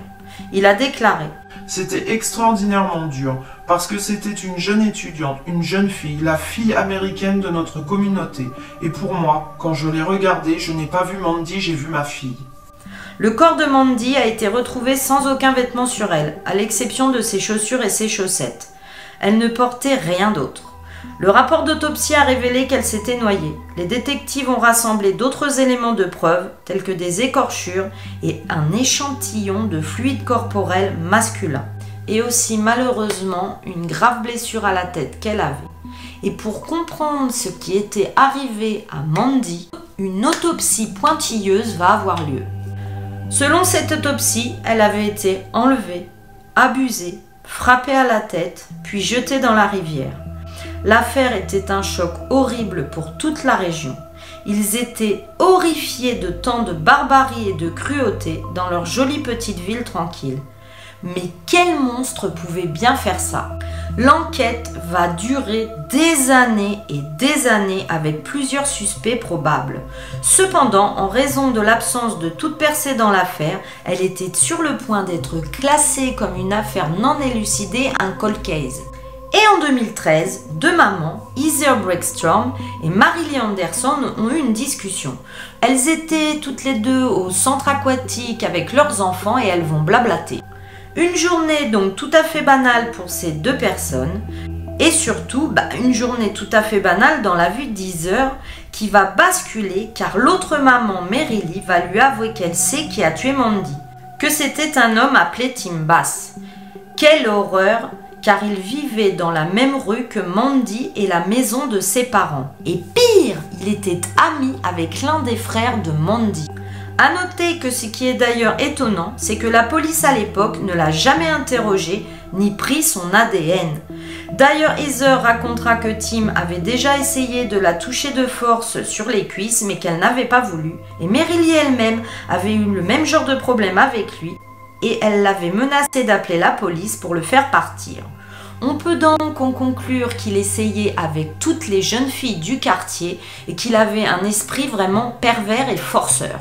Marily avait eu très peur, mais quand elle avait discuté des années plus tard avec Heather, elle avait réussi à se décider à parler. Tim habitait à quelques pas de la maison familiale de Mandy et était, comme je vous l'ai dit, ami avec son frère. De plus, il avait été à la même école que Mandy, il la connaissait. Le loup rôdait dans les parages et il avait 22 ans à l'époque quand Mandy a été tué. Six semaines après le meurtre de Mandy, il a épousé une jeune fille, Gina Malone, en précipitation et ils ont quitté la région.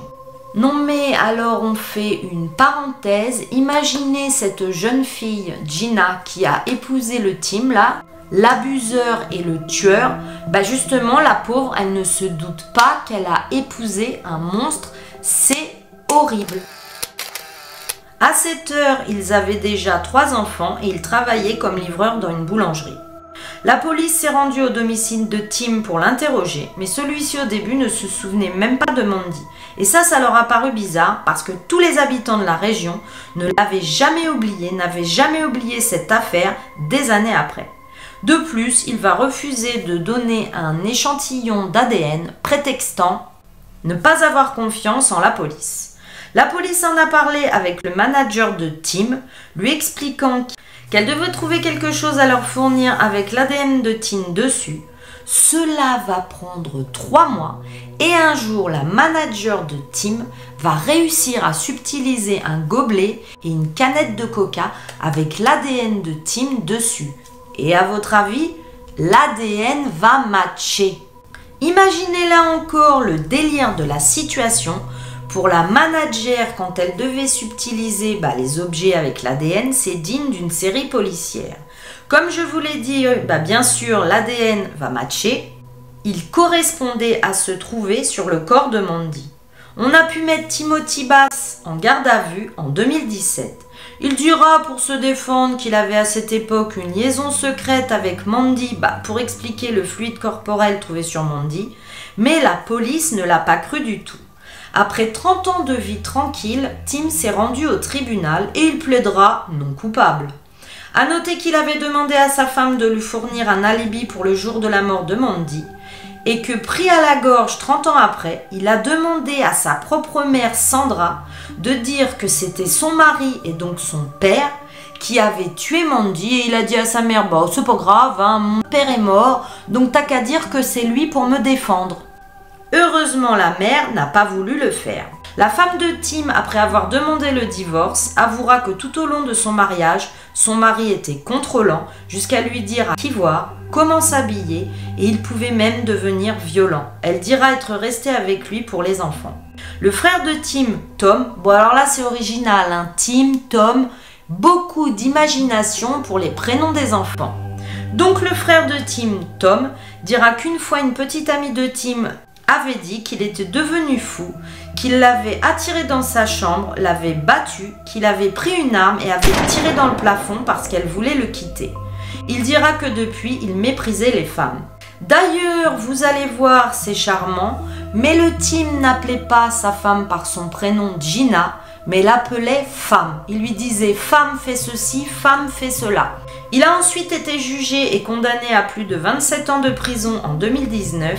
Il n'a pas eu perpétuité car il n'a pas été prouvé que ce meurtre avait été fait avec préméditation.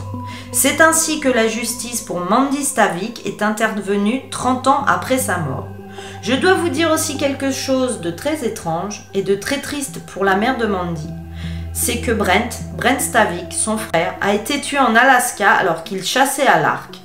Accident ou meurtre, on ne le sait pas car l'enquête n'a jamais abouti et c'est resté bah, en accident, mais la mère n'en est pas convaincue et je trouve ça très très bizarre.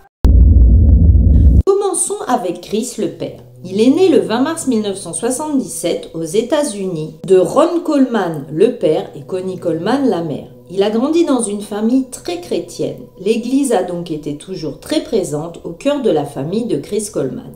Ses parents, Connie et Ron, sont copasteurs de la Grace Church à Chester. Lui, après avoir obtenu son diplôme d'études secondaires, il s'est inscrit chez les Marines. En mai 1999, alors qu'il assistait à un séminaire de formation à la base aérienne Lockland à San Antonio, il va rencontrer sa future épouse, Sherry. Ils sont sortis ensemble pendant quelques mois avant d'échanger leurs vœux de mariage. Plus tard, il a été embauché par Joyce Meyer dans le cadre de son équipe de sécurité.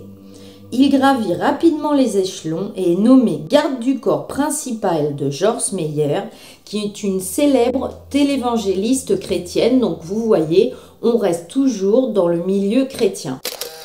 D'ailleurs, cette fameuse Joss Meyer, sa patronne, est une vieille amie des parents les Coleman et elle connaissait Chris depuis qu'il était petit garçon. Même si son mariage avec Chéri était plein de hauts et de bas, bah lui, il était jamais à la maison en raison de la nature de son travail qui était garde du corps de Joyce Meyer. Il la suivait partout, donc bah H24, 24 heures sur 24, et il n'était pas chez lui puisqu'il était avec sa patronne en train de la protéger. Donc, bah, comme je viens de vous le dire, il passait la plupart de son temps à voyager avec Joyce Meyer. Et le couple a eu de la chance car il va avoir deux adorables fils. Ils ont accueilli leur premier enfant, Garrett Coleman, le 20 avril 1998. Moins de deux ans plus tard, la famille a eu la chance d'avoir un deuxième bébé, Gavin Coleman, né en 2000. Cette famille donc de quatre personnes vivait dans un immeuble de deux étages à Columbia dans l'Illinois et pour tout le monde, il semblait extrêmement heureux. Pourtant, Chris va recevoir des emails effrayants et menaçants qui disaient Dites à Joyce d'arrêter de prêcher, votre patronne ou la famille de Chris mourra, je les tuerai tous pendant qu'ils dorment. Mais quelle horreur de recevoir des emails comme ça mais l'inquiétude va grandir quand une de ces menaces va être déposée dans sa boîte aux lettres à l'extérieur de la maison Coleman, tout le monde a commencé à s'inquiéter parce que c'est une chose de recevoir des emails, mais c'en est une autre d'avoir des lettres de menaces chez soi, à son adresse, dans sa boîte aux lettres. La mère de Chris Coney dit que Sherry avait très peur car ces lettres donc avaient été livrées en plus quand son mari voyageait avec Joss Meyer à Hawaï. À son retour, le mari va déposer plainte auprès de la police. Mais qui peut en vouloir à cette famille et pourquoi? Heureusement, leur voisin d'en face, M. Barlow, est un détective de police. Et lui, il va retourner sa caméra vers la maison des Coleman. Mais malheureusement, nous sommes dans une DPAE et vous vous en doutez, cette histoire va très mal finir. Nous sommes le matin. Chris va se réveiller très tôt. Il va au gymnase pour sa routine d'entraînement. Nous sommes le 5 mai 2009. Il est dans sa salle de sport. Et là, il va commencer à s'inquiéter. En effet, il a envoyé plusieurs SMS à sa femme, elle ne répond pas. Il a téléphoné, elle ne répond pas. À 6h43, il a appelé le fameux détective, son voisin, pour lui demander de vérifier Chéri et les enfants car personne ne répond au téléphone. Après avoir reçu l'appel de Chris, le détective va foncer Chez la voisine, ça ne répond pas, il va donc appeler ses collègues policiers. Les policiers vont se déplacer jusqu'à la maison des Coleman. Ils vont sonner, frapper à la porte, mais aucune réponse. Les agents décident d'entrer par la fenêtre. Et la vision d'épouvante. Ils vont voir des inscriptions de peinture rouge aérosol sur les murs. Ces inscriptions sont terrifiantes. Mais le pire est à venir car la scène qui suit est intolérable pour les policiers. Chéri et ses enfants sont tous morts, tous les trois sur leur lit étranglés. Sherry Coleman, la mère, avait trois marques de ligature défensive qui indiquaient qu'elle s'était débattue, défendue et battue durement. Elle avait aussi un œil au beurre noir. Puis Chris Coleman est arrivé sur les lieux, mais il a été empêché d'entrer dans la maison. Après avoir été informé de la mort de sa femme et de ses enfants, bon, il versera quelques larmes, mais qui, au dire des policiers, sonnaient fausses. Il n'a jamais demandé de détails sur le meurtre. La police a également remarqué qu'il essayait de couvrir des égratignures sur son bras en frappant son bras sur la civière de l'ambulance, énervé par ce qui venait de se passer. À noter que Chris serait arrivé ce matin-là, cinq minutes avant la police, et serait rentré dans la maison. Immédiatement, il est devenu le principal suspect des meurtres de la famille Coleman. Il va être arrêté chez ses parents. Son père criera qu'il ne peut pas avoir fait quelque chose dans cette histoire et les voisins seront choqués de voir le père et le fils, bah, le père crier et le fils être emmené par les policiers. Chris Coleman va être interrogé. Amené au poste, il dira que le soir il s'est endormi dans les bras de sa femme et qu'elle était bien vivante et que quand le lendemain il est parti à la gym, elle était vivante. Il dira aussi aux policiers bah, qu'il n'avait que sa femme dans sa vie et qu'il n'avait pas de liaison. Sauf que pendant ce temps, Tara, une jeune femme, est interrogée par la police et elle va tout raconter. Le policier commence avec cette question. Depuis combien de temps êtes-vous en couple avec Chris? Et Tara répondra. Depuis fin novembre, début décembre. Où avez-vous été en vacances et en week-end ensemble? Euh, Phoenix et Hawaï, Maui. Qu'est-ce qu'il dit à sa femme quand il part Il dit juste qu'il va travailler. Donc sa femme chérie n'est pas au courant de votre liaison Si, je pense qu'elle s'en doutait. D'ailleurs, pour moi, pour me rassurer, il prenait toujours des photos avant d'aller dormir pour me montrer qu'il dormait tout seul et qu'il ne couchait pas avec elle. Vous voyez maintenant, à nous il a dit tout le contraire. Il nous a dit que c'était un mariage tout rose, tout parfait. Ah non, c'est faux, ils ne s'embrassent plus. Vous y croyez beaucoup à cet amour. Vous êtes même allé visiter des sites sur internet de mariage et vous avez regardé des bagues. J'ai regardé des trucs, mais vous savez, avec son travail, ce n'est pas facile. Il ne peut vivre avec une femme que s'il est marié. Quant à lui, Christ a insisté sur le fait que sa femme et ses enfants étaient bien vivants lorsqu'il est parti pour le gymnase. Mais les rapports médicaux indiquaient que les trois étaient morts à 5h30 du matin, à peu près au même moment où Chris aurait quitté la maison. Puis tout va se précipiter car toutes les preuves, une à une, accusent Chris. Les images de vidéosurveillance de la maison du voisin ont montré que personne d'autre n'était entré ou sorti de la maison après son départ au gymnase. Il n'y avait aucun autre ADN sur les corps à part le sien. Un relevé de crédit a révélé que Chris avait acheté de la peinture aérosol rouge, la même utilisée dans la maison. Les emails menaçants remontent jusqu'à un compte que Chris avait créé six mois avant le drame. Les trois sont morts entre 3 et 5h30 du matin alors que Chris était encore à la maison. Les gros mots pulvérisés sur les murs et les couvertures correspondaient à l'écriture de Chris. Bon là, on a affaire à un très bon connard qui n'a pas inventé l'eau chaude ni le fil à nouer le beurre. Je suis horrifié. Le motif du meurtre dit trio était la liaison de Chris avec une femme connue donc sous le nom de Tara. Allez, lui aussi, il voulait le beurre, l'argent du beurre et la crémière. Lors de l'interrogatoire, la police a découvert donc cette fameuse liaison. Et comme il voyageait tout le temps, bah, son travail lui permettait de mener cette double vie. Il la vivait depuis 2008 avec Tara Lins, barman et serveuse. Ils s'étaient rencontrés par l'intermédiaire de Chéri, puisque figurez-vous, Tara était l'amie d'enfance de Chéri, la femme de Chris. Tara et lui avaient donc une liaison. Tara et lui s'envoyaient des selfies, des vidéos sexy et s'écrivaient tout le temps. Ils passent des vacances ensemble et des week-ends romantiques avec l'excuse du travail de Chris. Et comble du comble, Chris avait donné à Tara une bague de promesse, lui promettant donc un futur mariage. Euh, j'ai une question à vous poser. Tous les Chris, là, Chris Watt et ce Chris Coleman, ils sont tous comme ça? Et comme il était hors de question qu'il divorce de Chéri puisque sa patronne, Joss Meyer, avait clairement déclaré que le divorce des employés entraînerait un licenciement et que Tara, elle, elle lui a donné un ultimatum, soit il quitte sa femme, soit ils n'étaient plus ensemble. Chris a promis à Tara que les papiers du divorce étaient prêts et que sa femme serait signifiée le lendemain à l'approche de la date limite que lui avait fixée Tara. Et au début du 5 mai 2009, les meurtres au domicile de Chris Coleman se sont déroulés, conduisant à son arrestation et à être le principal suspect. Il purge actuellement sa peine à l'établissement correctionnel de Dodge Wapun dans le Wisconsin. Le procès très médiatisé a commencé en avril 2011. Là enfin, il va quand même admettre avoir une liaison avec Tara. Cependant, il va plaider non coupable du meurtre de sa femme et de ses fils.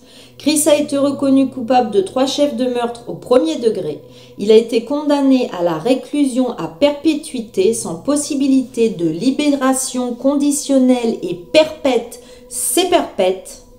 En 2014, Chris a fait appel du verdict, mais sa condamnation a été confirmée.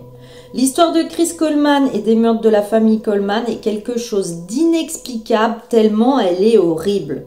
Cela peut être décrit comme un enchevêtrement de croyances, d'obéissance à sa patronne, de liaison d'adultère, de fausses promesses et d'horreur qui pousse un homme au pied du mur à éliminer toute sa famille et même ses deux fils. La famille de Christopher Coleman a organisé des funérailles pour les victimes le 9 mai à Chester, mais la famille de Sherry, vous vous en doutez, n'a pas voulu et a fait dans une morgue à Eastdale dans l'Illinois, une banlieue de Chicago, pour une visite séparée de l'autre famille le 11 mai. Bien sûr, bah, Christopher Coleman n'était pas invité.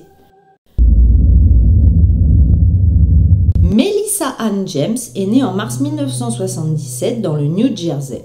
Elle a grandi en Floride, elle est professeure de danse classique, hip-hop et jazz.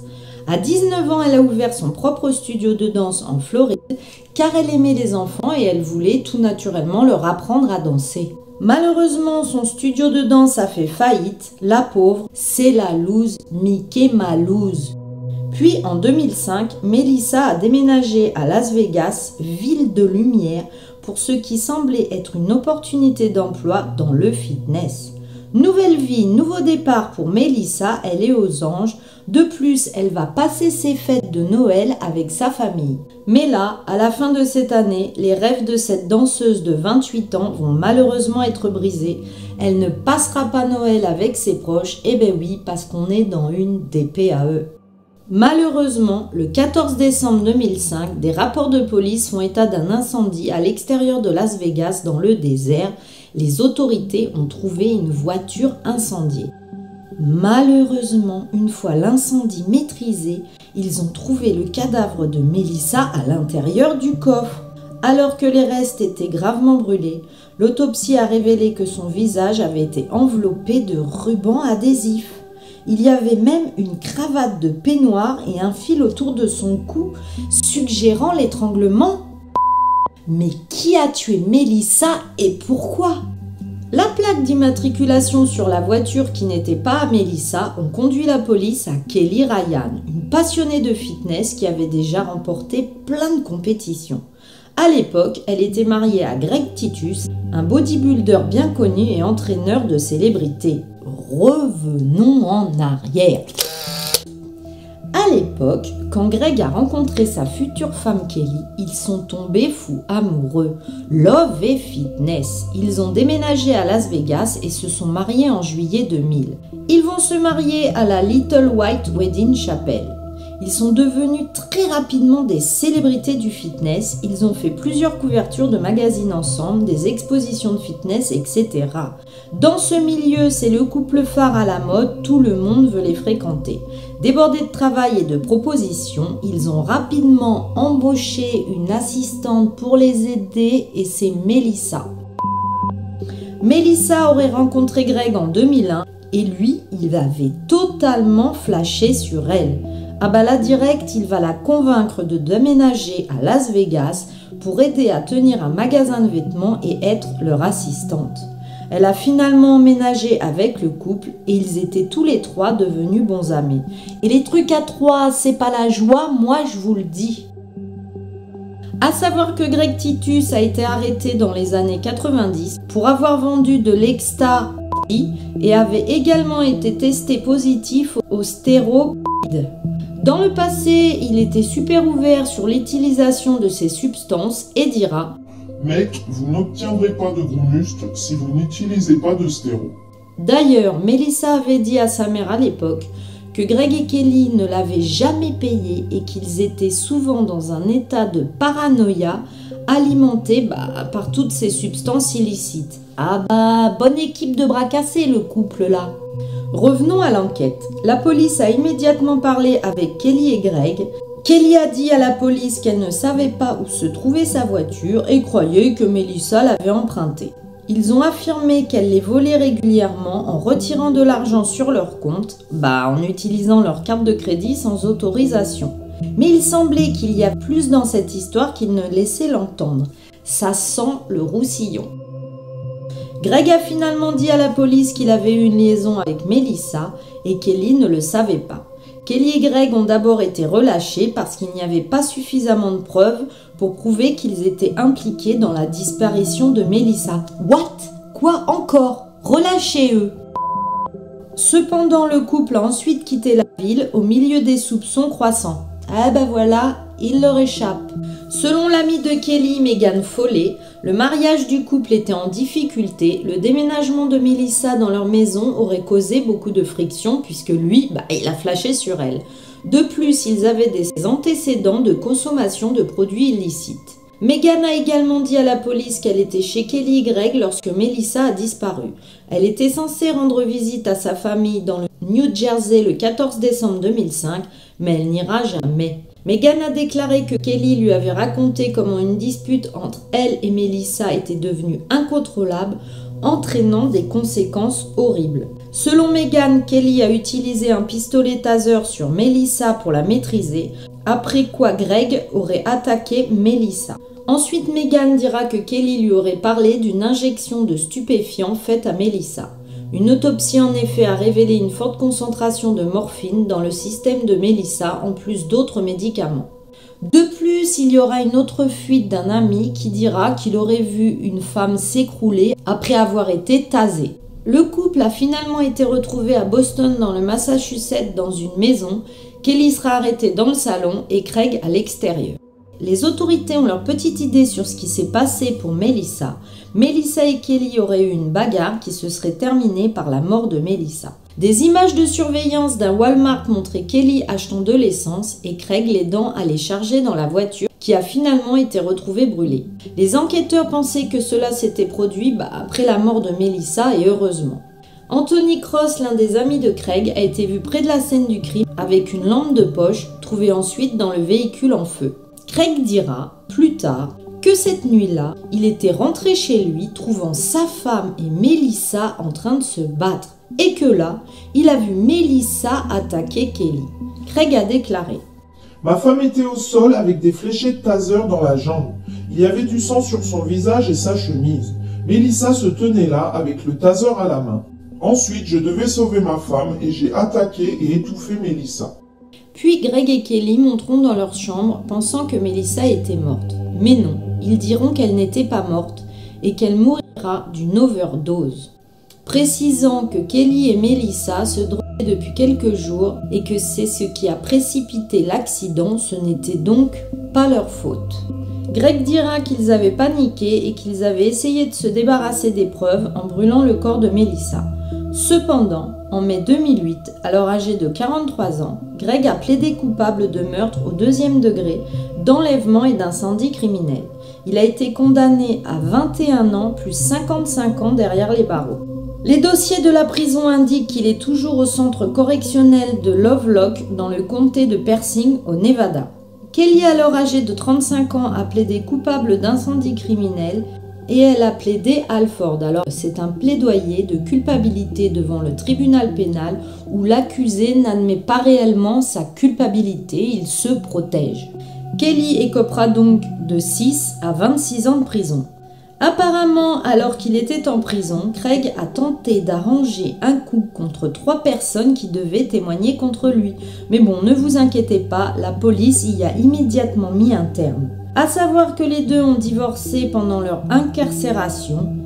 Et là, accrochez-vous, Kelly a été libérée sur parole en octobre 2017 après avoir passé seulement 9 ans en prison, mais c'est beaucoup trop peu. Depuis lors, Kelly a gardé un profil bas et il semble qu'elle vit toujours à Las Vegas. Leslie Baccinelli a grandi dans le hameau endormi de Moscou. Alors, euh, ce Moscou-là est en Pennsylvanie, aux États-Unis. Oui, oui, il y a une ville aux États-Unis qui s'appelle Moscou.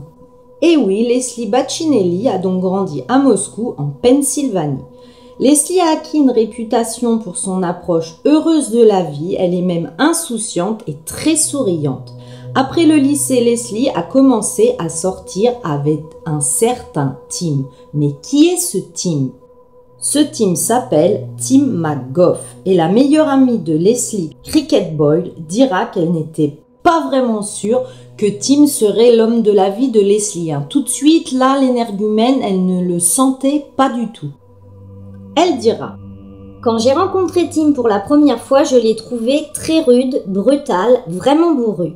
J'avais l'impression qu'il ne voulait pas nous connaître et qu'il voulait juste être avec Leslie. J'ai donc demandé à Leslie Es-tu sûre d'être avec lui? Elle me répondra Eh bien, nous sommes juste un nouveau couple, je ne peux pas le savoir.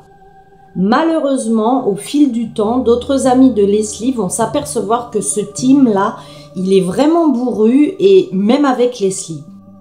Une amie dira J'ai remarqué qu'elle n'était même plus autorisée à sortir avec nous, elle a commencé à être isolée de tous. Il la voulait pour lui tout seul, on se rendait tous compte que ce n'était pas une relation de couple normale. Il semblait qu'il y avait en plus beaucoup de disputes entre eux, car il était contrôleur, il la punissait même, c'est vraiment le terme que j'utiliserais, il la punissait comme une enfant.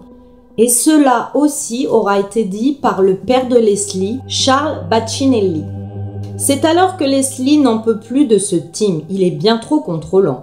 Et alors qu'elle allait le quitter, Mère Nature a lancé une bombe. Elle va tomber enceinte d'un petit garçon qu'ils appelleront Colin. Et oui, et donc Leslie, bah, comme elle est enceinte de Tim, elle va rester avec lui et ne le quittera pas. Tout le monde dira que la grossesse était inattendue et qu'en plus aucun des deux n'avait l'argent nécessaire pour fonder un foyer, élever un enfant, mais pourtant ils resteront ensemble. C'est alors que Charles Baccinelli, le père de Leslie, dira que lui et sa femme ont beaucoup discuté et ont décidé de les accueillir dans leur maison. Malheureusement, le team, le père de l'enfant et le petit ami de Leslie va se mettre déprimé et à boire de plus en plus alors que vous l'avez bien compris, il vit pourtant chez ses beaux-parents mais il ne s'en cache pas et il ramène de plus en plus de packs de bière et les vide en une journée. Le père de Leslie dira qu'il travaillait de moins en moins, qu'il était tout le temps collé au réfrigérateur rempli de bière de haut en bas. Il passait la plupart de son temps dans l'arrière-salle au niveau inférieur de la maison à regarder la télévision, à boire, mais le père de Leslie a essayé d'en parler avec lui, mais comme je vous l'ai dit, Tim est un homme très bourru, et lui, Charles, le père de Leslie, est un homme très prévenant et il n'ose pas trop se mêler des affaires du couple. Leslie se confiera même à sa famille et à ses amis en disant que la forte consommation de son compagnon avait transformé son compagnon en monstre il était passé de petit ami contrôlant, manipulateur et jaloux à un père et compagnon violent et fou. Alors là, euh, je vous le dis clairement, dans le chandelier, lui le team, c'est pas l'ampoule qui brille le plus.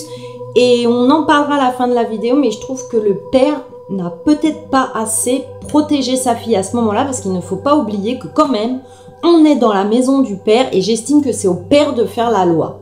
On en parlera plus tard. La mère de Leslie, Debra Baccinelli, dira Il l'a étranglée à un moment donné, l'a poussée pendant qu'elle était enceinte et l'a fait tomber au sol. Elle arrivera à un point où elle pensait ne plus vouloir vivre comme ça et nous étions tout à fait d'accord avec elle. Mais Leslie allait savoir pourquoi aimait toujours Tim. Et au lieu de mettre fin à sa relation, mais Leslie va vouloir un deuxième enfant. Et pourtant, dans un couple, on le sait, un enfant ne peut pas sauver un couple et bien souvent même, cela empire la situation. Donc Leslie va attendre un deuxième enfant et sa famille dira À ce moment-là, c'était des cris de Tim dans cette maison, aussi bien envers Leslie que vers Colin l'enfant. Vous vous rendiez compte que l'arrivée de ce petit Colin n'avait rien changé. Elle ne voulait plus de cette vie et de cette situation pour elle et ses enfants, elle était en train d'ouvrir les yeux.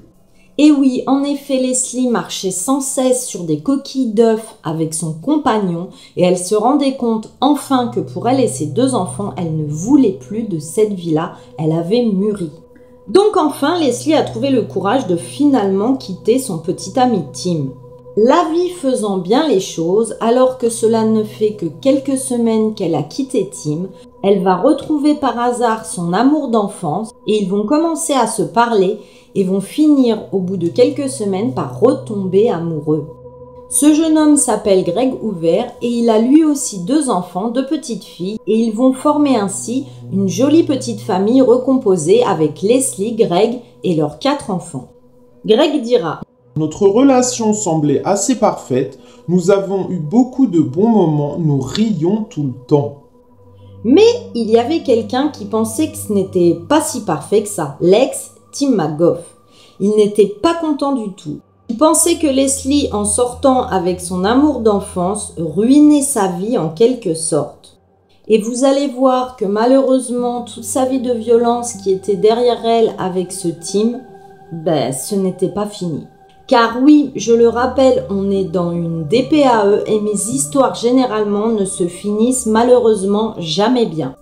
Donc, après ce qu'elle a dit être 13 ans de violence émotionnelle et physique, comme je vous l'ai dit, bah, Leslie pensait avoir retrouvé le bonheur grâce à cette relation avec Greg Hoover. Mais pendant ce temps-là, plus loin, Tim McGough, l'ex bouillonnait à propos de la relation entre Leslie et Greg. Et c'est malheureusement pour toute victime de violence le risque le plus élevé qu'elle encourt quand elle quitte cette personne violente. Ce sont vraiment des statistiques établies. Beaucoup de femmes ou d'hommes meurent en quittant leur conjoint car l'autre conjoint à ce moment-là va péter un plomb et ne supporte pas la séparation et tue l'autre. Mais ça, Leslie, elle ne le savait pas. Tout le monde pensera qu'elle n'avait pas réalisé à quel point la haine qu'il avait pour elle était importante, diront ses proches. Cette haine a atteint son point d'ébullition un week-end lorsque Tim devait rendre visite à ses fils. Car les garçons ne voulaient pas voir leur père. En effet, ils préféraient jouer à la maison avec les enfants de Greg, deux petites filles. En ce début d'année 2015, ce soir-là, eux, Leslie et Greg ont laissé les enfants avec leurs grands-parents.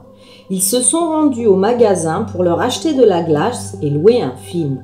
Une super soirée en perspective en famille se préparait. Leslie a enfilé une écharpe épaisse pour se protéger du froid hivernal.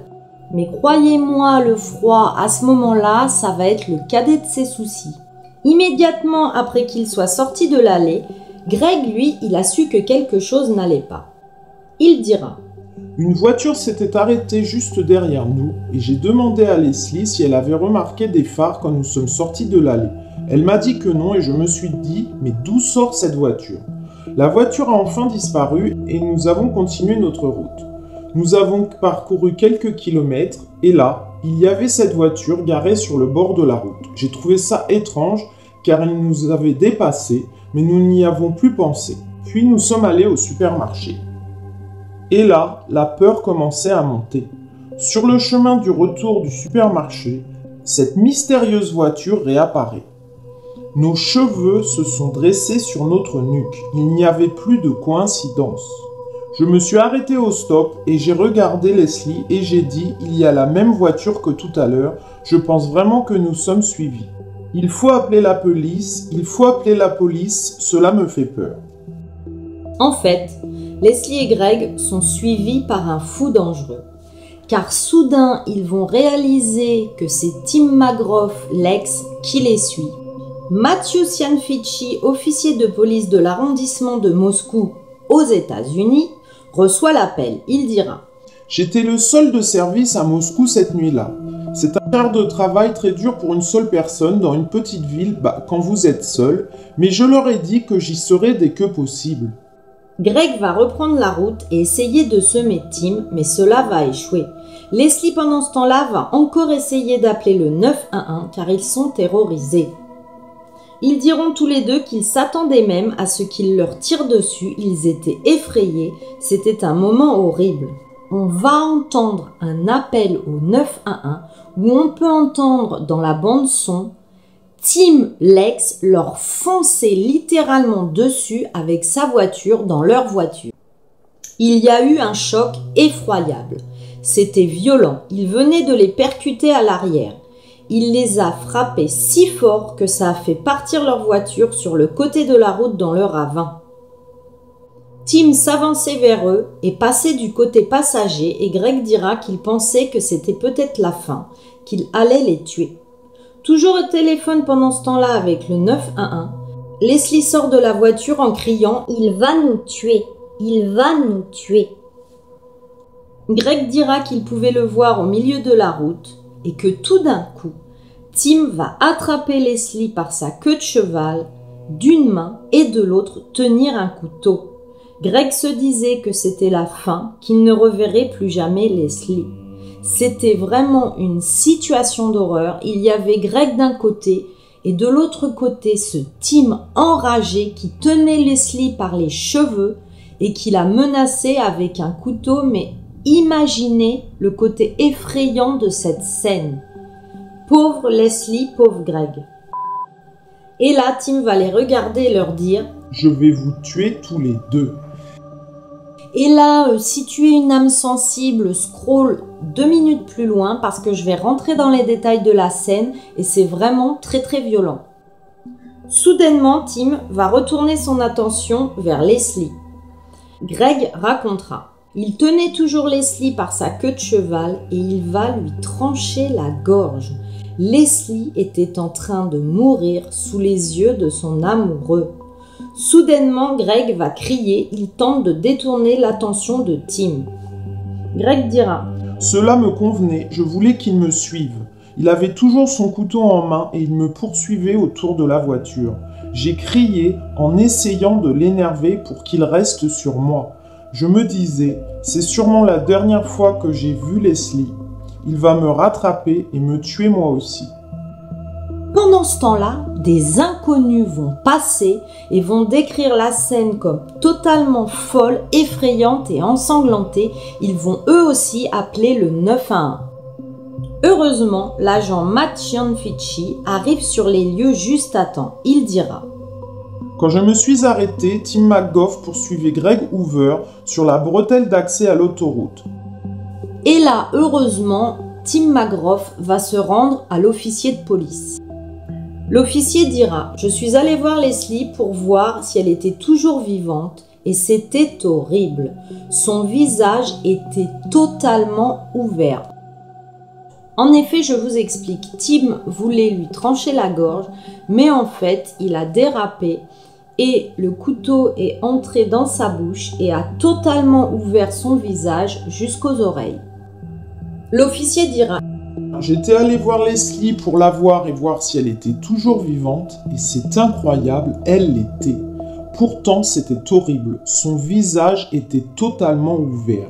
Elle avait une coupure depuis sa lèvre dans sa bouche jusqu'à son oreille. Elle saignait, saignait énormément. L'attaque brutale au couteau était sauvage, mais malgré un coup de couteau profond et violent, c'est incroyable, Leslie avait survécu. Leslie racontera son point de vue à elle sur la scène horrible. Si je me souviens bien, il nous est rentré dedans. Il nous a entrés dans le garde-corps. L'airbag a explosé au visage de Greg et il a été assommé brièvement et j'ai pensé qu'il était mort. J'ai juste pensé, je vois mon amour mourir. Alors j'ai crié Hoover, Hoover, Hoover. Et soudain j'ai vu Tim, debout au milieu de la route, avec un couteau, avec juste cet horrible regard diabolique et aucune émotion. Il a juste dit Je vais vous tuer tous les deux. Et là, il m'a attrapé, il a mis le couteau dans ma bouche et l'a tranché de la lèvre à la joue. Heureusement, Leslie, bah, vous en doutez, va être transportée immédiatement aux urgences, avec donc bah, sa profonde entaille sur le visage. Qu'est-ce qui a sauvé la vie de Leslie à votre avis? Rappelez-vous, quand Leslie a quitté la maison, je vous ai dit qu'elle avait mis une écharpe bah, pour se protéger du froid. Eh bien, c'est incroyable, mais c'est l'épaisseur du textile qui va dévier la lame et qui va sauver la vie de Leslie. Sans cette écharpe, ce serait une affaire de meurtre au lieu d'une affaire de tentative de meurtre, a déclaré Jean Ricardo. Il s'avérera que la voiture de Tim McGough avait été volée bien plus tôt dans la journée. En regardant à l'intérieur de la voiture, les policiers ont fait une découverte troublante. Outre le couteau qu'il avait sur lui, ils ont trouvé un 22 chargé, trois bouteilles d'essence de 2 litres, des bouteilles de soda dans un sac à dos, et ils ont dit qu'il y avait environ 70 balles dans sa poche et un briquet bic. Les policiers pensent qu'il était prêt à faire de gros dégâts et le procureur du comté Lackawanna, Shane Scanlon, dira que si les policiers ne l'avaient pas arrêté, ils pensent qu'il voulait se rendre chez les grands-parents. Notre spéculation était eh bien, il avait des bouteilles d'essence, il avait trois façons d'entrer et de sortir dans la maison des grands-parents, donc notre spéculation était qu'il allait peut-être incendier cette maison, et alors qu'il sortirait en courant, il leur tirerait dessus. En tous les cas, nous étions sûrs que quelque chose de dangereux se préparait pour les grands-parents dans leur maison. Et nous en avons l'habitude, mais le team va plaider non coupable. Il refusera même un accord de plaidoyer de 10 ans et prendra la parole à la barre pour sa propre défense lors du procès. C'était surprenant, diront les témoins, de le voir témoigner aussi à l'aise et de se défendre surtout. Il dira même que le couteau c'était un accident et que le couteau s'est ouvert tout seul. Heureusement, le jury a vu clair et a bien vu que ce n'était pas un accident avec la façon dont Leslie avait pu subir toutes ces blessures. Il savait vraiment que son histoire ne tenait pas et ce fut un plaisir pour le jury de le contre-interroger à ce sujet. Après moins de trois heures de délibération, et c'est peu, croyez-moi, Tim McGough a été reconnu coupable de 15 chefs d'accusation, y compris de tentatives de meurtre. Au lieu des 10 ans qui lui avaient été offerts au préalable dans l'accord de plaidoyer, il écope d'un minimum de 21 ans derrière les barreaux. Au moins pendant 21 ans, ils auront la paix, a déclaré l'ami de Leslie. Pour Leslie et Greg, les cicatrices physiques ont cicatrisé, mais les cicatrices émotionnelles, c'est une autre histoire. Même les enfants de Leslie avaient des blessures émotionnelles. En effet, le petit enfant de 6 ans dira à sa mère Maman, je suis désolée. Si j'étais allée chez papa ce soir-là, rien de tout cela ne serait arrivé. Leslie se disait Comment voulez-vous que j'explique à mon enfant que peu importe ce qui serait arrivé cette nuit-là, son père aurait fini par le faire? De son côté, Greg Hoover a fait un geste courageux et romantique tenter de prendre le contrôle de cette tragédie, dira-t-il. Une semaine seulement après l'attaque, une fois que Leslie était sortie de l'hôpital, il va la ramener sur le lieu effroyable du drame, se mettre à genoux et lui demander sa main. On en parlera après le récit de l'histoire parce que je trouve ça un peu euh, bah, contre-romantique et gore, mais on en parlera après. Donc, le fiancé amène sa fiancée sur le lieu du drame et va lui demander sa main et elle acceptera. Leslie et Greg sont donc amoureux et fiancés. Leslie dira d'ailleurs que son cœur s'est serré quand elle a vu où elle était, elle a commencé à pleurer et elle s'est dit Je ne veux vraiment pas être ici.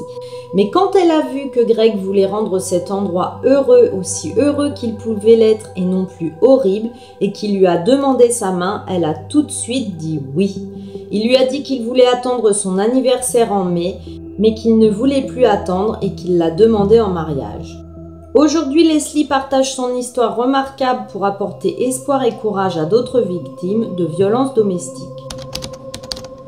Heureusement, le plus jeune enfant de Leslie Thomas n'avait qu'un an au moment du drame et ne se rappelle de rien. Leslie dit ne pas être sûre de ce qu'elle dira bah, à son jeune fils le moment venu pour qu'il comprenne ce qui s'est passé. En attendant, ils vivent tous ensemble et heureux. Rachel Wade est née le 27 février 1990. Rachel était une personne malheureuse jusqu'à ses 15 ans. Adolescente, elle se disputait tout le temps avec ses parents et si Rachel n'obtenait pas ce qu'elle voulait, elle fuguait. Elle avait énormément de caractère, elle était colérique et capricieuse. Bon, la dernière fois qu'elle s'est enfuie, elle devait avoir à peu près 17 ans et c'est là qu'elle va rencontrer Josh. À savoir que pendant leur relation, Rachel et Josh bon, bah, étaient ensemble et Josh l'a trompée fréquemment. Passons maintenant à la troisième personne, Sarah Ludeman. Elle est née le 7 décembre 1990. Elle est belle, adorable, et lui, Josh, il va laisser sa petite amie Rachel pour sortir avec cette Sarah.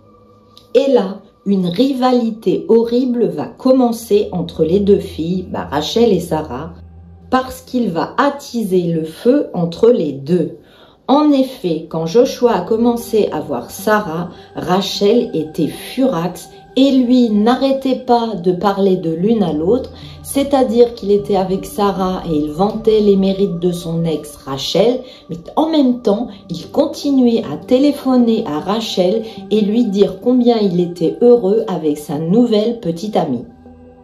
Les parents de Sarah, donc sa nouvelle petite amie, eux n'aimaient pas du tout Joshua et ont remarqué de nombreux changements chez leur fille à cause du contrôle permanent de Joshua sur Sarah. Il était violent verbalement, il la commandait et comme je vous l'ai dit, la comparait tout le temps à Rachel.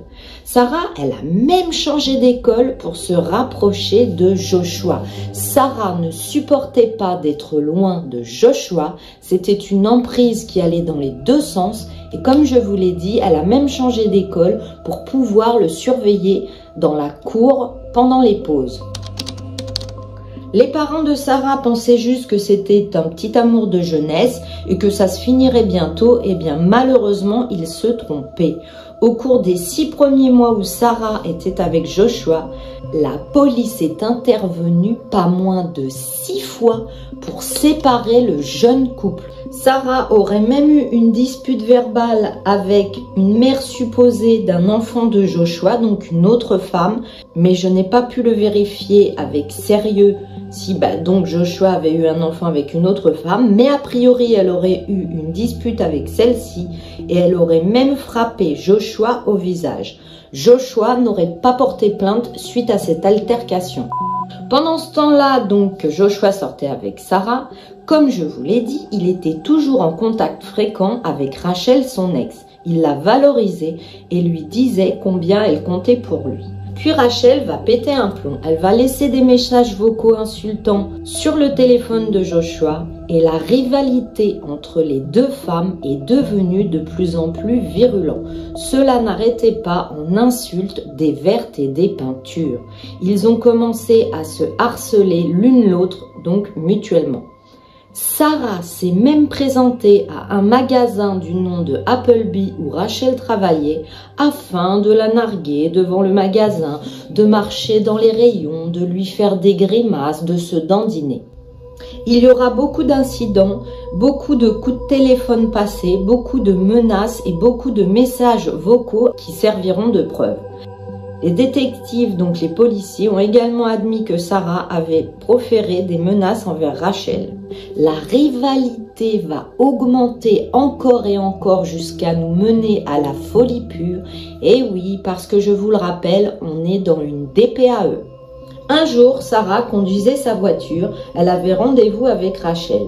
Rachel l'attendait. Elle est descendue de voiture. Tout de suite, Sarah s'est jetée sur elle et lui a tiré les cheveux. La tête de Rachel brinque dans les deux sens de gauche à droite et vers le bas. Rachel a agité les bras, elle avait un couteau dans la main. Sarah, malheureusement, sera poignardée plusieurs fois. Que s'est-il passé? A priori, le soir du 14 avril 2009, les autorités disent que Rachel était seule dans son appartement, elle attendait Joshua. Lui, Joshua, pendant ce temps-là, il regardait des films avec Sarah. Alors que Rachel promenait son chien dehors, elle a entendu un klaxon de voiture et elle a déclaré que Sarah lui aurait crié Tiens-toi loin de mon homme. Rachel a dit qu'elle avait eu très peur et qu'elle a décidé d'appeler son ex-petite amie pour tout lui raconter. Son ex-petite amie va lui dire de venir chez lui pour être plus en sécurité. Elle a pris son sac à main. Elle a ouvert elle-même un tiroir de cuisine et a sorti un couteau steak. C'est-à-dire que là, là, au niveau de l'histoire, elles ont chacune un couteau. Toujours ce même soir à 23h, Rachel s'est approchée de la maison de Joshua. Lui et Sarah étaient à l'intérieur tranquillement en train de jouer à des jeux vidéo. Rachel a envoyé à Joshua un SMS disant Maintenant je sais pourquoi tu ne me parles pas, c'est parce que tu l'as eu. Sous-entendu, bah, Sarah, sa nouvelle petite amie. Joshua a répondu C'est vrai, je ne t'aime plus, rentre chez toi. Rachel a répondu Non, j'attendrai que elle rentre chez elle. Des témoins ont déclaré plus tard qu'ils avaient déjà entendu Rachel menacer Sarah en messages vocaux sur le téléphone. Elle disait des choses comme Je vais te poignarder, toi et ton petit ami mexicain. Juste avant minuit, la sœur de Joshua, et quelle bonne idée, va demander à Sarah de se rendre au McDonald's. Et puis Sarah, elle y va. Alors qu'elle conduisait, Rachel l'a appelée et a crié je vais te tuer, toi et ton petit ami. Rachel a témoigné que Sarah a appuyé sur ses freins et qu'elle a failli lui rentrer dedans. Sarah est sortie en trompe de sa voiture, les poings en l'air. Rachel a dit qu'elle avait eu peur et qu'elle l'avait poignardé à l'épaule et à la poitrine en auto-défense. Malheureusement, le couteau va aussi atteindre le cœur de Sarah.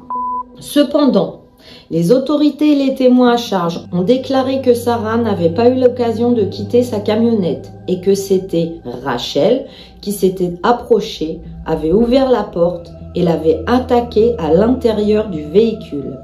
Sarah est toujours vivante. Elle serre sa poitrine pour faire un point de contention. Elle appelle Joshua pour tout lui raconter. Lui, Joshua, il est totalement en panique, il ne sait pas quoi faire. Il voit que Sarah l'a appelée, elle est vivante. Il ne pense pas à quel point les blessures sont graves. Joshua va directement courir chez le père de Sarah pour tout lui raconter. Ils se sont tous les deux rendus sur les lieux immédiatement après le coup de fil. Des témoins vont dire que Rachel a jeté le couteau dans le jardin d'un voisin en disant calmement J'ai fini. La police est arrivée et a commencé à interroger Rachel et les témoins. Elle s'est mise à pleurer quand on lui a dit que Sarah, malheureusement, était morte. Elle n'avait que 18 ans lorsqu'elle est décédée. Quelques heures plus tard, Rachel a été arrêtée et accusée de meurtre au deuxième degré. Elle a été condamnée à la prison du comté de Pinellas avec une caution d'un demi-million de dollars. Elle y restera donc pendant tout le procès. Le jury n'a mis que trois heures et croyez-moi, ce n'est pas beaucoup pour la déclarer coupable du meurtre au deuxième degré. Le 3 septembre 2010, Rachel a été condamnée à 27 ans de prison d'État. Le juge a déclaré qu'il croyait que Rachel Wade avait l'intention de tuer Sarah quand elle s'est rendue vers elle. Rachel Wade soutient qu'elle a agi en état de légitime défense et fait actuellement appel de son jugement. Elle est actuellement à l'annexe de l'établissement correctionnel de Lowell. Cette affaire a été présentée dans plein d'émissions. Deadline NBC en 2011, Deadly Woman aussi en 2011, Facing Evil et sur I un divertissement si on peut dire ça comme ça qui se nomme Quand les filles tuent. Charlie Ludeman, le père de Sarah, a déposé une plainte civile contre Rachel et le 17 février 2012, Rachel Wade a perdu son appel selon les dossiers en ligne et heureusement j'ai envie de vous dire il faut que celle-là elle reste en prison. Angie Barlow était une belle jeune fille de 23 ans qui habitait près d'Indianapolis. Elle est entourée de ses parents et de ses trois sœurs. Et ce qu'Angie voulait faire, son rêve, c'était de devenir danseuse professionnelle. Elle rêvait sur les ballerines, elle rêvait sur toutes les danseuses professionnelles. Malheureusement, elle n'avait pas le niveau, elle n'avait pas fait d'école de danse assez haut placée et elle va devenir danseuse privée exotique.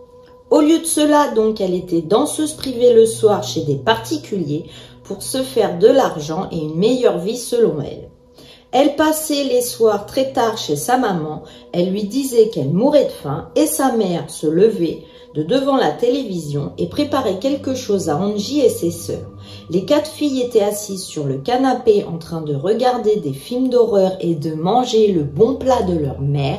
Wendy, la plus âgée des trois sœurs, aimait caresser la tête d'Angie et elles essayaient donc toutes les trois d'organiser un maximum de soirées pyjama, comme elles le disaient, où leur maman leur préparait des bons plats, où elles étaient ensemble toutes les quatre devant des films à avoir peur.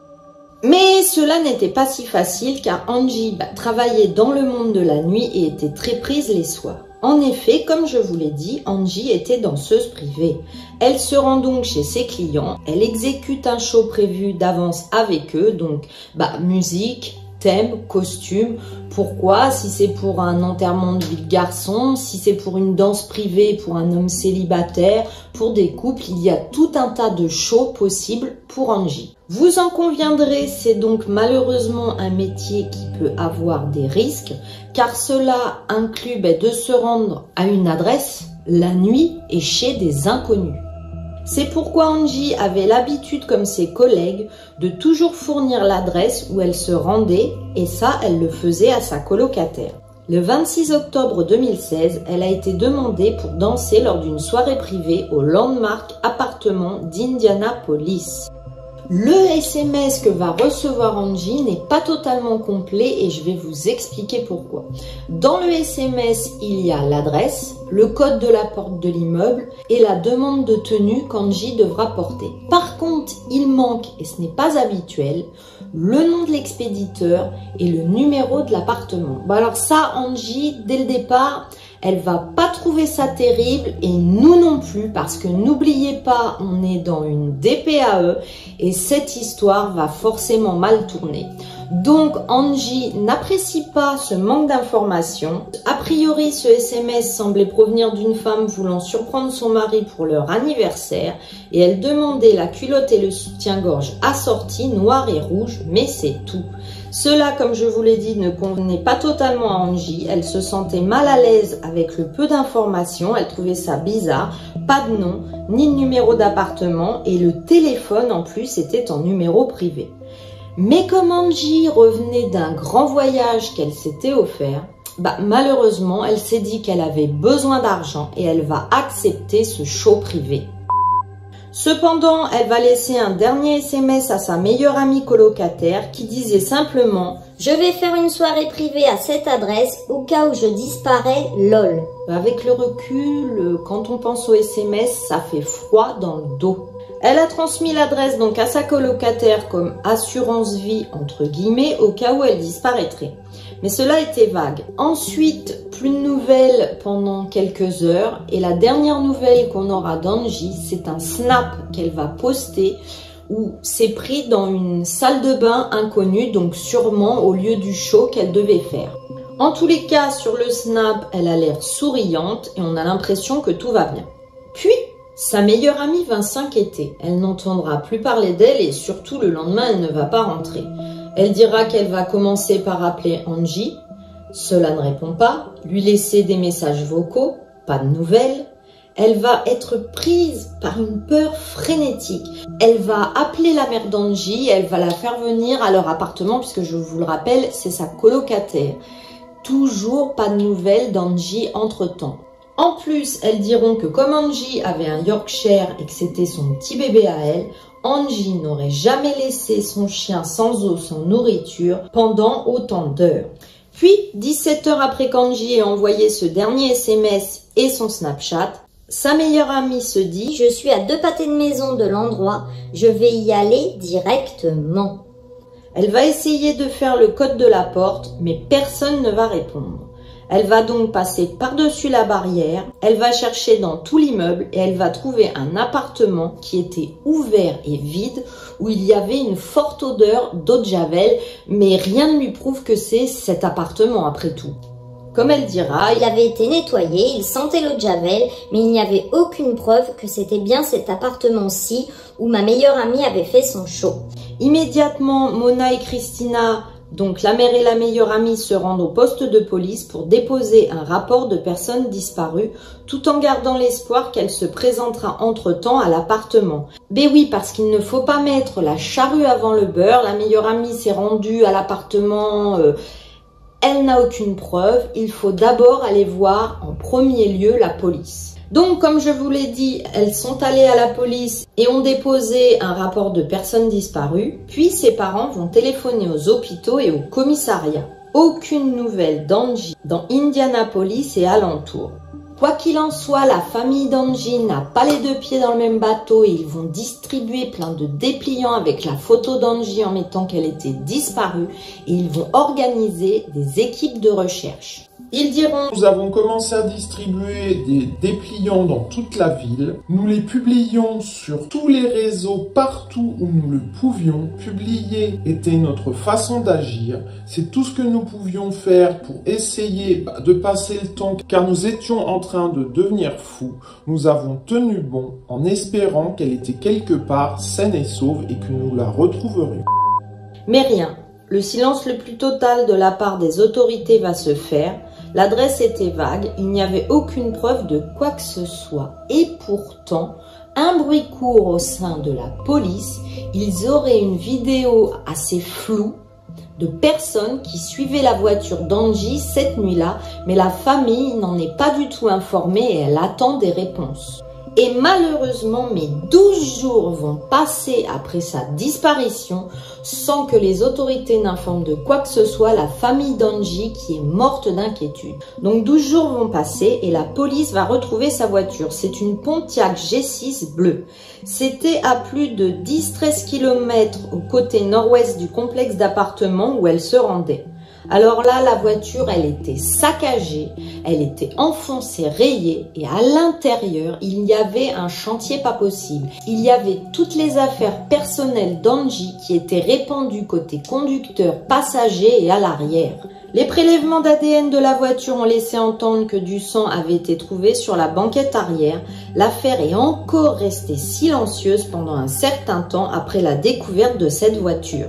La plus notable est survenue en mai 2017 lorsqu'un appel a laissé entendre que quelqu'un était dans une maison de l'avenue E Street et qu'il était lié à la disparition d'Angie.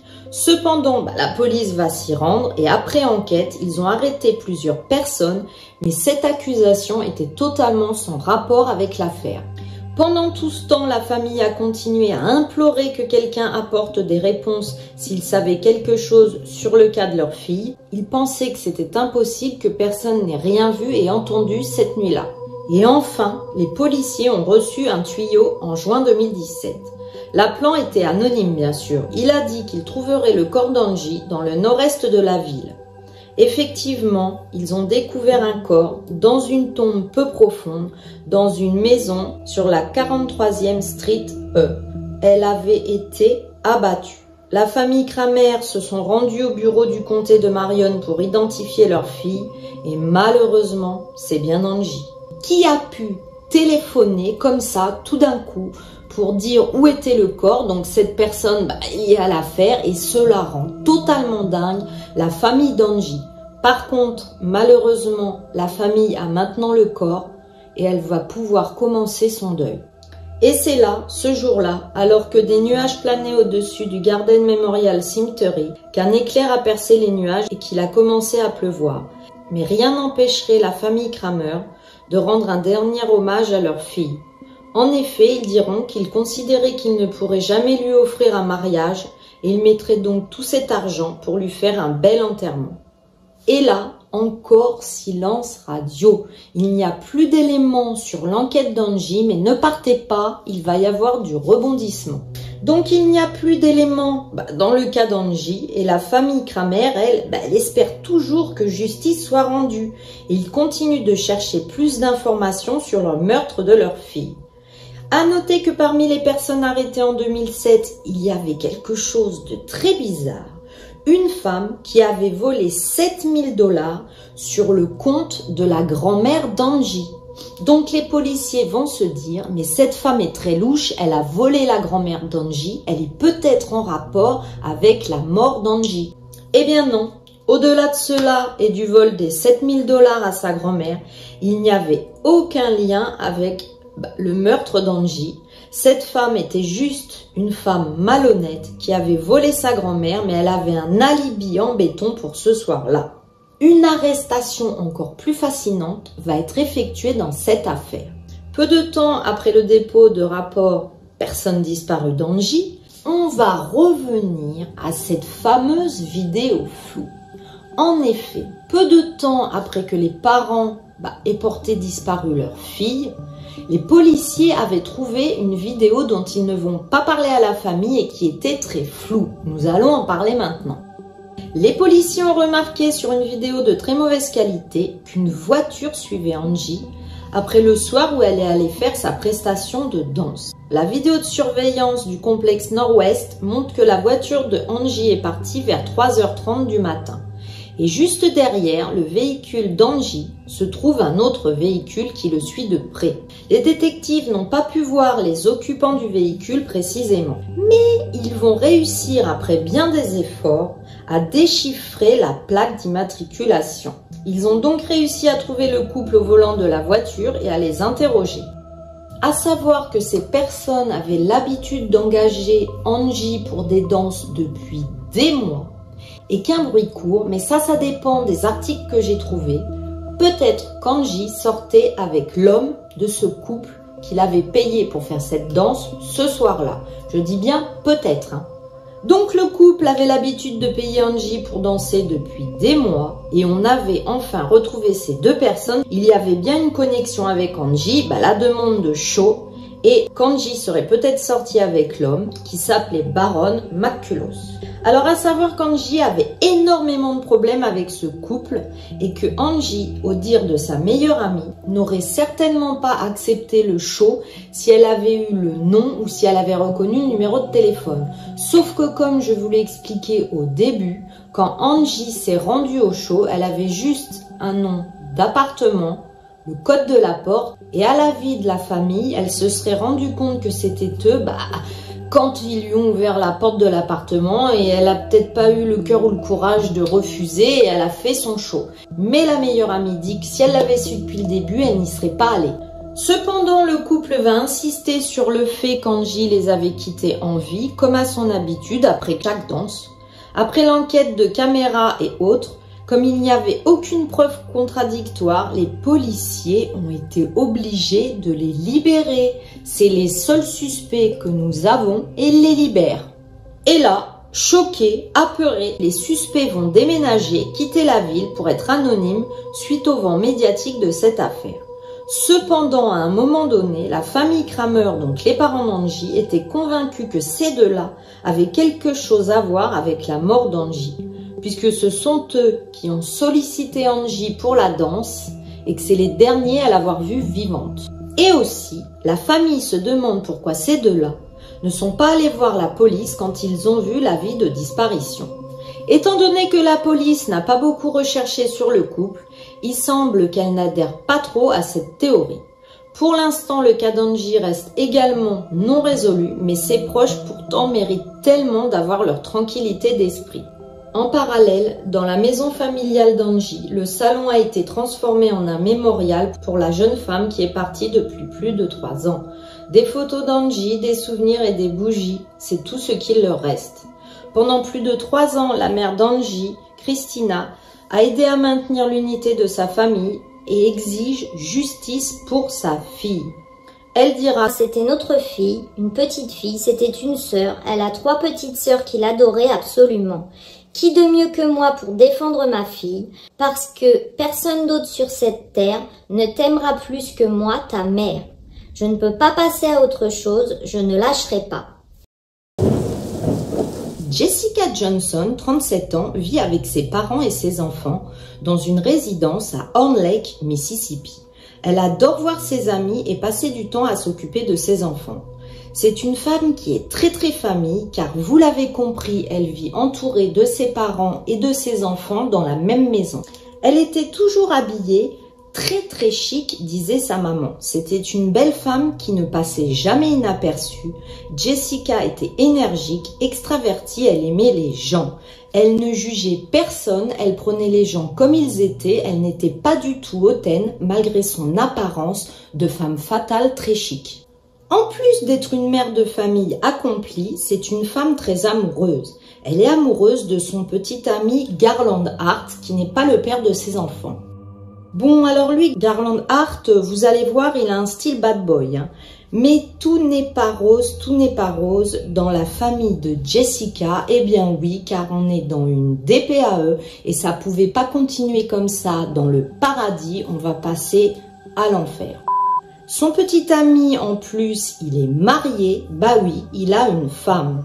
Il promet bien sûr de la quitter car il dit que cela ne va plus entre eux. Et pendant ce temps-là, Jessica est malheureuse, elle l'attend, elle voudrait son petit ami que pour elle. Bien que la plupart de ses proches n'aiment pas du tout l'homme de sa vie, Jessica ne pouvait pas se résoudre à rompre. Puis Jessica, le 31 mai 2017, va dire à sa famille qu'elle allait rester avec son petit ami et elle a même parlé à sa mère le 1er juin par téléphone pour l'informer qu'elle reviendrait bientôt. Jessica aurait été vue à la maison de son petit ami vers 18h la veille au soir. Il y a ensuite une période d'à peu près 16 heures pendant laquelle on n'a plus de nouvelles de Jessica. En effet, plus personne n'a entendu parler de Jessica après cette soirée, à l'exception d'un SMS que son fils aurait reçu, qu'elle lui aurait écrit, mais ça, ça dépend des articles. Il y en a qui disent que le lendemain, le fils a reçu un SMS et d'autres n'en parlent pas. Donc, premier signe d'alarme, sa mère ne pouvait plus joindre Jessica. Tristement, Jessica a disparu des radars avant que malheureusement, et c'est une situation tellement horrible et étrange, je n'ai jamais vu ça dans toutes les histoires que je vous ai racontées. Accrochez-vous, âme sensible, s'abstenir, hein, passer deux minutes plus loin. Avant que malheureusement, un facteur qui faisait sa tournée ne trouve son corps le 2 juin. Il est positionné sur les genoux contre une boîte aux lettres et son cou est rattaché par deux lacets de chaussures. Son sac à main est ouvert, il reposait sur le sol entre les jambes de Jessica, et à savoir, son corps était partiellement caché par les hautes herbes, ce qui détaille très gore. Plein de gens sont passés dans la rue bah, devant Jessica décédée sans la voir jusqu'à ce que le facteur la découvre. Mais imaginez l'horreur du facteur qui est tranquille dans sa tournée qui va découvrir le corps de Jessica. Vraiment, je le répète, c'est une situation qu'on n'a jamais vue dans mes enquêtes et qui est vraiment bizarre. La police a été immédiatement informée, ils sont arrivés pour trouver, comme je vous l'ai dit, Jessica à genoux, appuyée contre la boîte aux lettres. Des lacets donc ont été attachés autour de son cou, qui s'enroulaient encore et encore autour du poteau et de la boîte aux lettres. À noter qu'il y avait sur les vêtements de Jessica des éclaboussures de sang. Les policiers disent avoir découvert plus tard une paire de chaussures sans lacets dans la maison où son corps a été trouvé de la boîte aux lettres. Et donc la police a également trouvé son sac à main moitié ouvert sur le sol, comme je vous l'ai dit, entre ses jambes.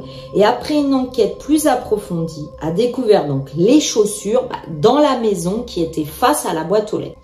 Lors d'un examen médical, le coroner a trouvé de nombreuses marques sur la main de Jessica, des égratignures, ainsi qu'une empreinte de cou de pied sur son corps qui laissait entendre que la victime avant sa mort avait été battue. Cependant, la cause du décès a été déterminée comme étant une asphyxie due à l'étranglement par ligature avec les lacets, et là encore une fois, cela me rend dingue au vu bah, de cette scène de crime. La police va conclure que Jessica a mis fin à ses jours. Donc la police a vite bouclé l'enquête. Hein. On va pas chercher midi à 16 heures. Elle a dit, elle a mis fin à ses jours, elle a mis fin à ses jours. Reprenons l'histoire. Il y a un autre élément de preuve essentiel que personne n'a pu examiner non plus, le téléphone portable de Jessica, et ça aussi ça m'énerve. La mère dira qu'elle savait que dans le téléphone, il pouvait contenir beaucoup de réponses à certaines questions, mais le téléphone était verrouillé. Là aussi, la police ne s'y est pas intéressée et ne vérifiera jamais le téléphone. Il était impossible pour sa famille de considérer qu'elle était morte en mettant fin à ses jours. La nuit avant que Jessica ne soit retrouvée morte, le propriétaire de la maison, de la boîte aux lettres, qui n'était pas son petit ami, mais un ami de son petit ami, où ils avaient tous décidé de faire la fête. Donc le propriétaire de la maison à la boîte aux lettres a déclaré qu'il y avait donc plusieurs personnes chez lui, dont Jessica et son petit ami. À un moment donné, Jessica se serait disputée avec son petit ami. L'homme à la maison, à la boîte aux lettres, a demandé de ne pas révéler son identité car il aurait reçu des menaces de mort de la part de plusieurs personnes. Et là, deux versions s'opposent, celle de la famille et celle des personnes présentes à la soirée ce soir-là. Une des colocataires et ceux présents à cette soirée ont dit que Jessica était dans l'allée, qu'elle aurait retiré ses lacets de chaussures et qu'elle menaçait de mettre fin à ses jours. Et son petit ami aurait haussé les épaules et dit Sors d'ici avec ça, je ne veux plus t'entendre. Et il lui aurait fermé la porte au nez. Lui, le petit ami, dira plus tard que dans la nuit, Jessica aurait envoyé un SMS au propriétaire de la maison de la boîte aux lettres. Celui-ci dira même qu'il a reçu ce SMS qui disait qu'elle ne voulait plus ressentir de douleur ou quoi que ce soit d'autre. Le propriétaire de la maison de la boîte aux lettres dira aussi que c'était difficile de croire qu'elle s'était assise là-bas à 18 heures et que pendant toute la nuit, des personnes seraient passées devant elle sans savoir qu'il y avait quelqu'un de mort. Il disait que c'était une situation d'horreur d'imaginer Jessica dans l'herbe avec tous ces gens qui passent devant. Mais il y aura une autre version, celle de la famille. La famille dira dans une émission de télé qu'il soupçonne que Jessica ait été tuée, donc que c'est un meurtre. Il rejette vraiment le fait qu'elle ait pu mettre fin à ses jours, mentionnant bah, déjà que Jessica ne choisirait pas bah, de mettre fin à ses jours attachée à une boîte aux lettres au vu de tous, et de plus, ils ont exprimé leurs inquiétudes au sujet du petit ami de Jessica, affirmant que le petit ami avait des antécédents de violence domestique physique et mentale. Grâce à leur enquête, la police a découvert que Jessica, son petit ami ainsi que les autres étaient bien tous présents dans la maison, à la boîte aux lettres, à l'extérieur de laquelle, malheureusement, le corps avait été découvert. Ils vont tous être interrogés. Les autorités ont même rencontré le petit ami de Jessica, qui a affirmé que Jessica et lui avaient eu une dispute cette nuit-là. Jessica à l'extérieur aurait demandé à son petit ami de sortir, mais il aurait refusé de quitter la maison à la boîte aux lettres. Le propriétaire de la maison a affirmé que Jessica était contrariée, que son petit ami refuse de sortir et de s'occuper d'elle. Cependant, dans l'émission télé, lui, le petit ami, va affirmer qu'il était la dernière personne à avoir reçu un texto de Jessica, alors qu'auparavant, il avait dit que le propriétaire en avait reçu un aussi et que Jessica aurait dit dans ce texto qu'elle voulait se libérer de la douleur. Et pourtant, la police ne va jamais considérer son petit ami comme une personne d'intérêt dans cette affaire. Étonnamment, dans l'émission télé, ils vont dire que l'autopsie n'a jamais été pratiquée sur le corps de Jessica. De plus, ni les taches de sang sur les chaussures et ses vêtements, ni l'empreinte de pas devant la boîte aux lettres et sur son corps ne vont être testées. Jessica a été retrouvée avec du Xanax et de la méthamphétamine dans son système qui n'auront pas causé sa mort mais qui vont bah, du coup faire penser à la police que c'était une personne droguée et la famille dira que c'est peut-être à cause de ça qu'ils se sont moins intéressés au sort de Jessica. À l'heure actuelle, la mort de Jessica n'est toujours pas résolue fermement, bien que sa famille soit déterminée à parvenir à une conclusion dans l'affaire et entamer sa propre procédure de recherche, ils ont engagé un détective. La mère de Jessica décrira plus tard le corps de sa fille comme étant exposé à la vue de tous et répétant qu'elle n'aurait pas pu faire cela pour mettre fin à ses jours, qu'il y avait différentes méthodes et qu'on le sait, souvent les femmes préfèrent utiliser des somnifères ou des médicaments à haute dose, mais pas finir de cette façon. La mère de Jessica dira que sa fille était venue la voir peu de temps avant sa mort et lui avait dit Maman, s'il m'arrive quelque chose, c'est lui, faisant référence à son petit ami. Sachant que son petit ami avait donc, comme je vous l'avais dit, des antécédents, il avait également un mandat pour voie de fait domestique dans une affaire distincte au moment de la mort de Jessica. Le petit ami dira qu'il avait donné son ADN, qu'il avait été interrogé par les enquêteurs. Il a décrit sa relation avec Jessica comme volatile, peu sérieuse. Il a même dit qu'ils étaient toxiques et mauvais l'un pour l'autre, mais qu'il ne l'avait jamais tapé. Il a refusé une interview devant une autre caméra et il subit actuellement un mandat dans le comté de Shelby pour voie de fait domestique et lésions donc corporelles, comme je vous l'avais dit. L'affaire de Jessica Johnson a fait un certain nombre d'émissions télé, de podcasts et de blogs, mais il semble souvent y avoir plus de questions que de réponses, bah, un peu comme dans ma vidéo où on ne sait pas avec certitude si Jessica a mis fin à ses jours ou si elle a été tuée. Et c'est bien là le problème pour la famille de Jessica. La police a également confirmé que l'enquête est toujours active, donc ils ne l'ont pas refermée. Et on espère que ses proches bah, recevront la fermeture de l'enquête qu'ils méritent, à savoir est-ce que Jessica a voulu en finir avec la vie ou est-ce qu'elle a été tuée? Alison June Baden-Clay, née Dicky le 1er juillet 1968 en Australie, ça change. Pour une fois, on n'est pas aux États-Unis. Donc Alison est née en Australie et elle a accompli beaucoup de choses dans la vie. Elle est diplômée universitaire et parle six langues. Elle était chaleureuse, talentueuse et donc intelligente. A few moments later. Et donc intelligente. Sa passion était le ballet. Elle illuminait la scène lorsqu'elle dansait. Elle est très performante au niveau de la danse et elle obtiendra plusieurs prix, mais elle a aussi obtenu le prix de Miss Brisbane en 1993. Le 23 août 1997, Alison a épousé Gérard Robert Baden-Clay. Parlons de ce Gérard. Gérard Robert Baden-Clay, lui, est né à Bournemouth, en Angleterre, Royaume-Uni, le 9 septembre 1970. En 71, la famille de Gérard avait émigré de la Zambie vers la Rhodésie, où ils ont changé leur nom de famille en Baden-Clay pour associer leur famille à leur grand-père, donc le père de son père, Lord Baden-Clay. Qui est ce Lord Baden-Clay Eh bien, figurez-vous que c'est celui qui est fondateur des scouts et donc son grand-père est de renommée internationale. En 1980, la famille Baden-Clay a émigré en Australie et lui, Gérard, après avoir quitté l'école, il a suivi une formation en comptabilité, puis il a travaillé pour Flight Center à Brisbane où justement Alison était au collège et c'est là qu'ils vont se rencontrer. Bon, le collège là-bas, c'est pas comme notre collège à nous, hein, ça équivaut au lycée. Le 23 août 1997, Alison et Gérard se marient. Grand mariage romantique, beaucoup d'invités, Alison est heureuse. Quelques années plus tard, pourtant, le couple va avoir des divergences au niveau de leurs finances.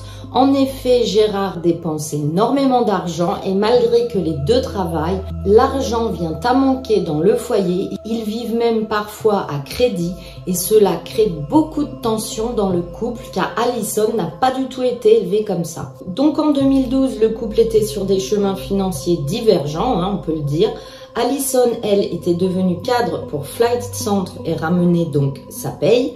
Mais Gérard, lui, qui dirigeait une franchise immobilière haut de gamme depuis 2004, avait bien du mal à faire suivre les rentrées d'argent. Sa franchise immobilière n'était pas du tout un succès et il s'acharnait, il s'acharnait à réinjecter de l'argent de leur compte personnel dans sa franchise et c'est ce qui causera beaucoup de disputes. Le couple vivait dans une maison louée à Brookfield, Queensland, et là, la famille a commencé à voir des signes inquiétants. Et oui, parce que je vous le rappelle, on est dans une DPAE et le joli conte de fées romantique ne pouvait pas continuer comme ça. La famille d'Allison a commencé à voir des signes inquiétants de contrôle de la part de Gérard sur Allison.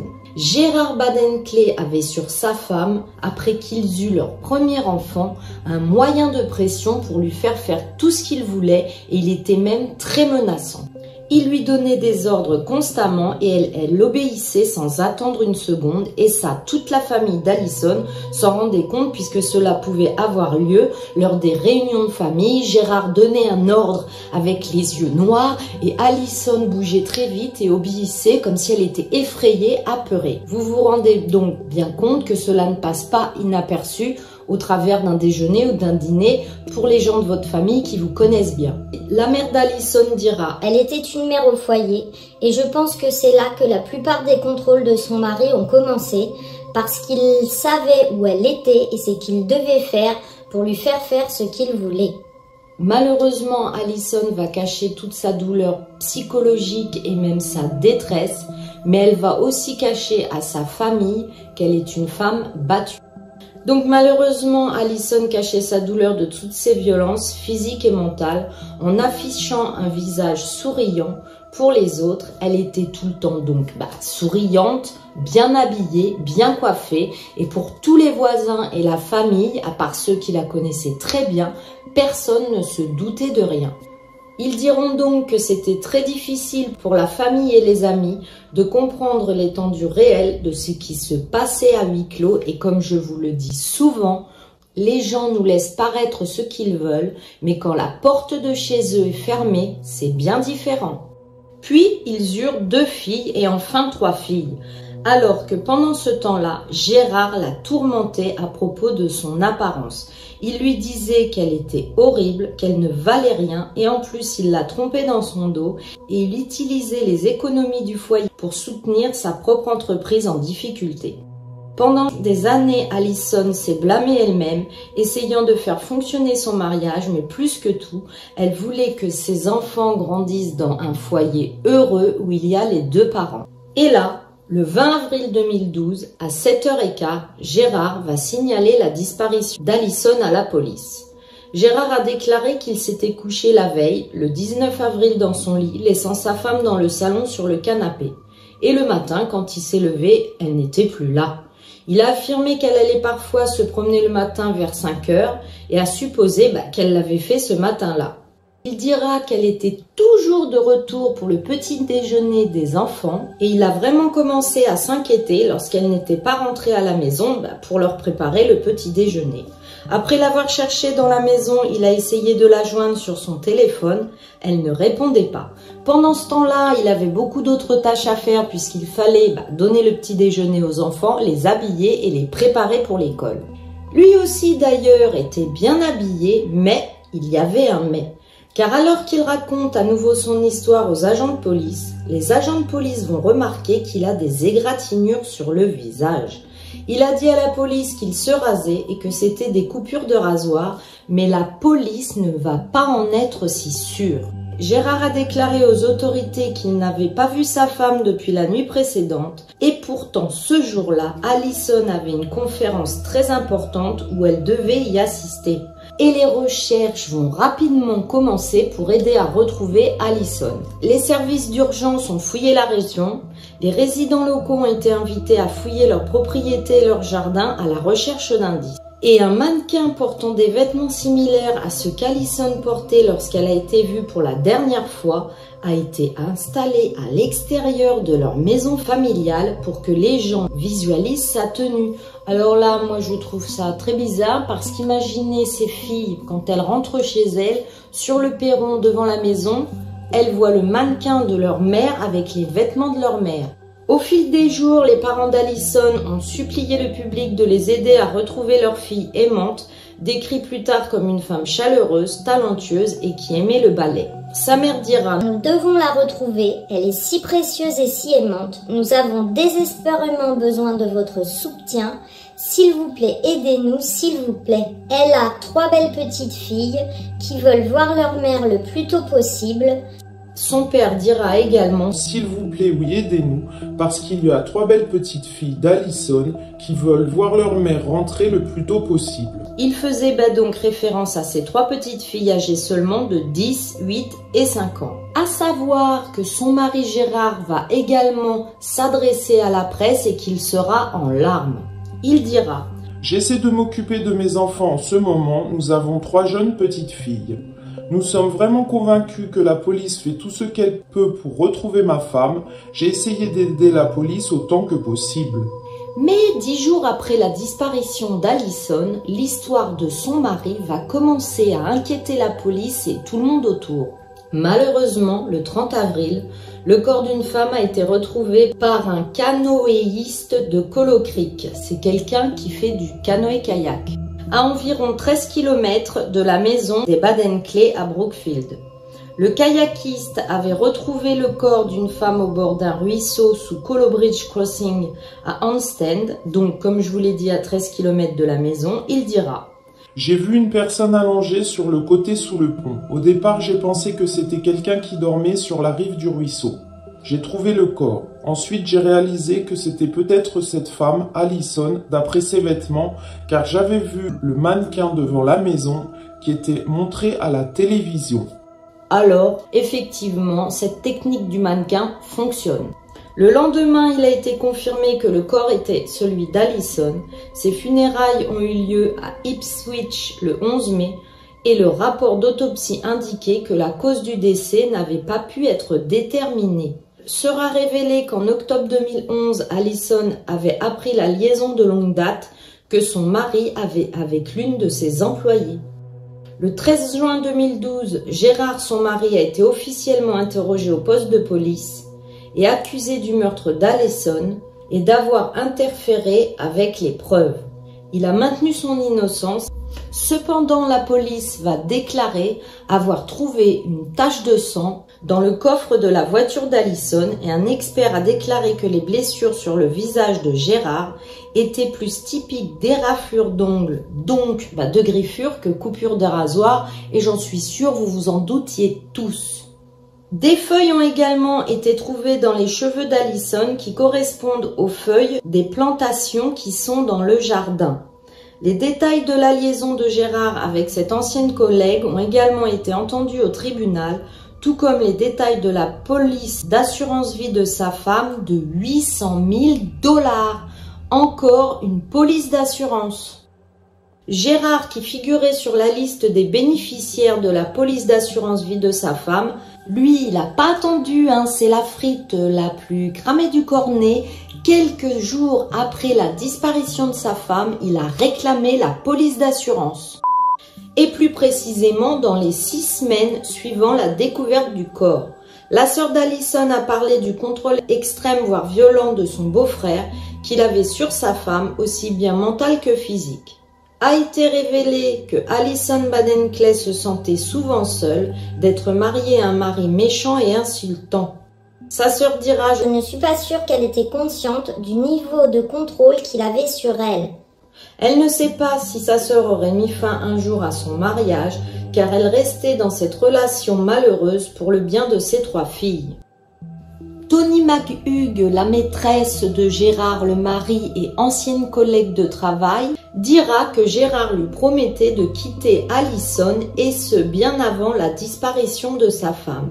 Tony McHugh témoignera plus tard que Gérard lui avait dit qu'il n'aimait plus sa femme et qu'ils avaient une relation asexuée, c'est-à-dire sans rapport intime, et qu'il s'inquiétait même pour la santé mentale d'Allison.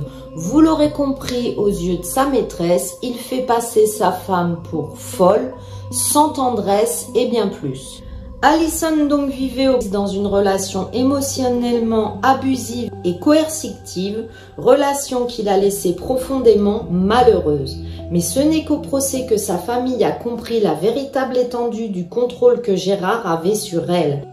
Un homme qui écoutait même ses conversations via le babyphone, qui contrôlait leurs finances et qui allait dans son propre téléphone portable, donc celui d'Alison, et supprimait les numéros pour pas qu'elle n'ait d'amis et qu'elle appelle sa famille.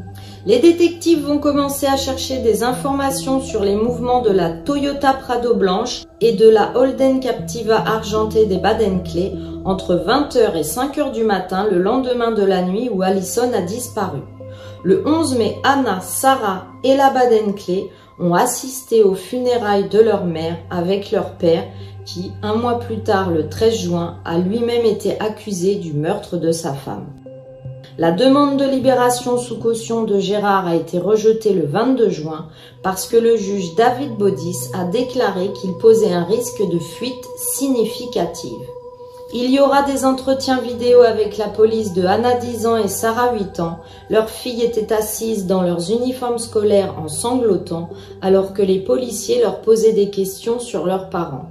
À un moment donné, la petite fille Sarah va s'effondrer en sanglotant parce qu'un détective lui a demandé si ses parents étaient bons amis et qu'elle s'est effondrée en répondant Ils ne sont jamais tristes. Le procès a débuté devant la Cour suprême de Brisbane le 10 juin 2014. Sera dit pour l'accusation Vous l'avez transporté à Colo Creek. Vous l'avez jeté sous le pont sans ménagement, soucieux de vite partir retrouver vos enfants. Tout cela a été fait à 1h48 du matin peut-être, c'est-à-dire lorsque vous remettez votre téléphone sur son chargeur. Vous avez commencé à couvrir vos traces alors, posez des jouets à l'arrière de la voiture où vous aviez posé le corps, vous rasez, vous coupez juste les bords inférieurs pour aider à déguiser les griffures, pour donner une certaine légitimité à l'affirmation qu'il s'agissait en fait de coupures de rasage. Et vous étiez heureux que la police fouille votre maison parce que vous saviez qu'il n'avait rien à trouver. Allison n'était pas là. Gérard a plaidé non coupable des accusations. Le 15 juillet, il a été reconnu coupable du meurtre d'Allison. Il a été condamné à une peine d'emprisonnement à perpétuité avec une période de non-libération conditionnelle de 15 ans. Le 7 août 2015, Gérard a fait appel de sa condamnation devant la Cour d'appel du Queensland. Le 8 décembre, sa condamnation a été rétrogradée en homicide involontaire.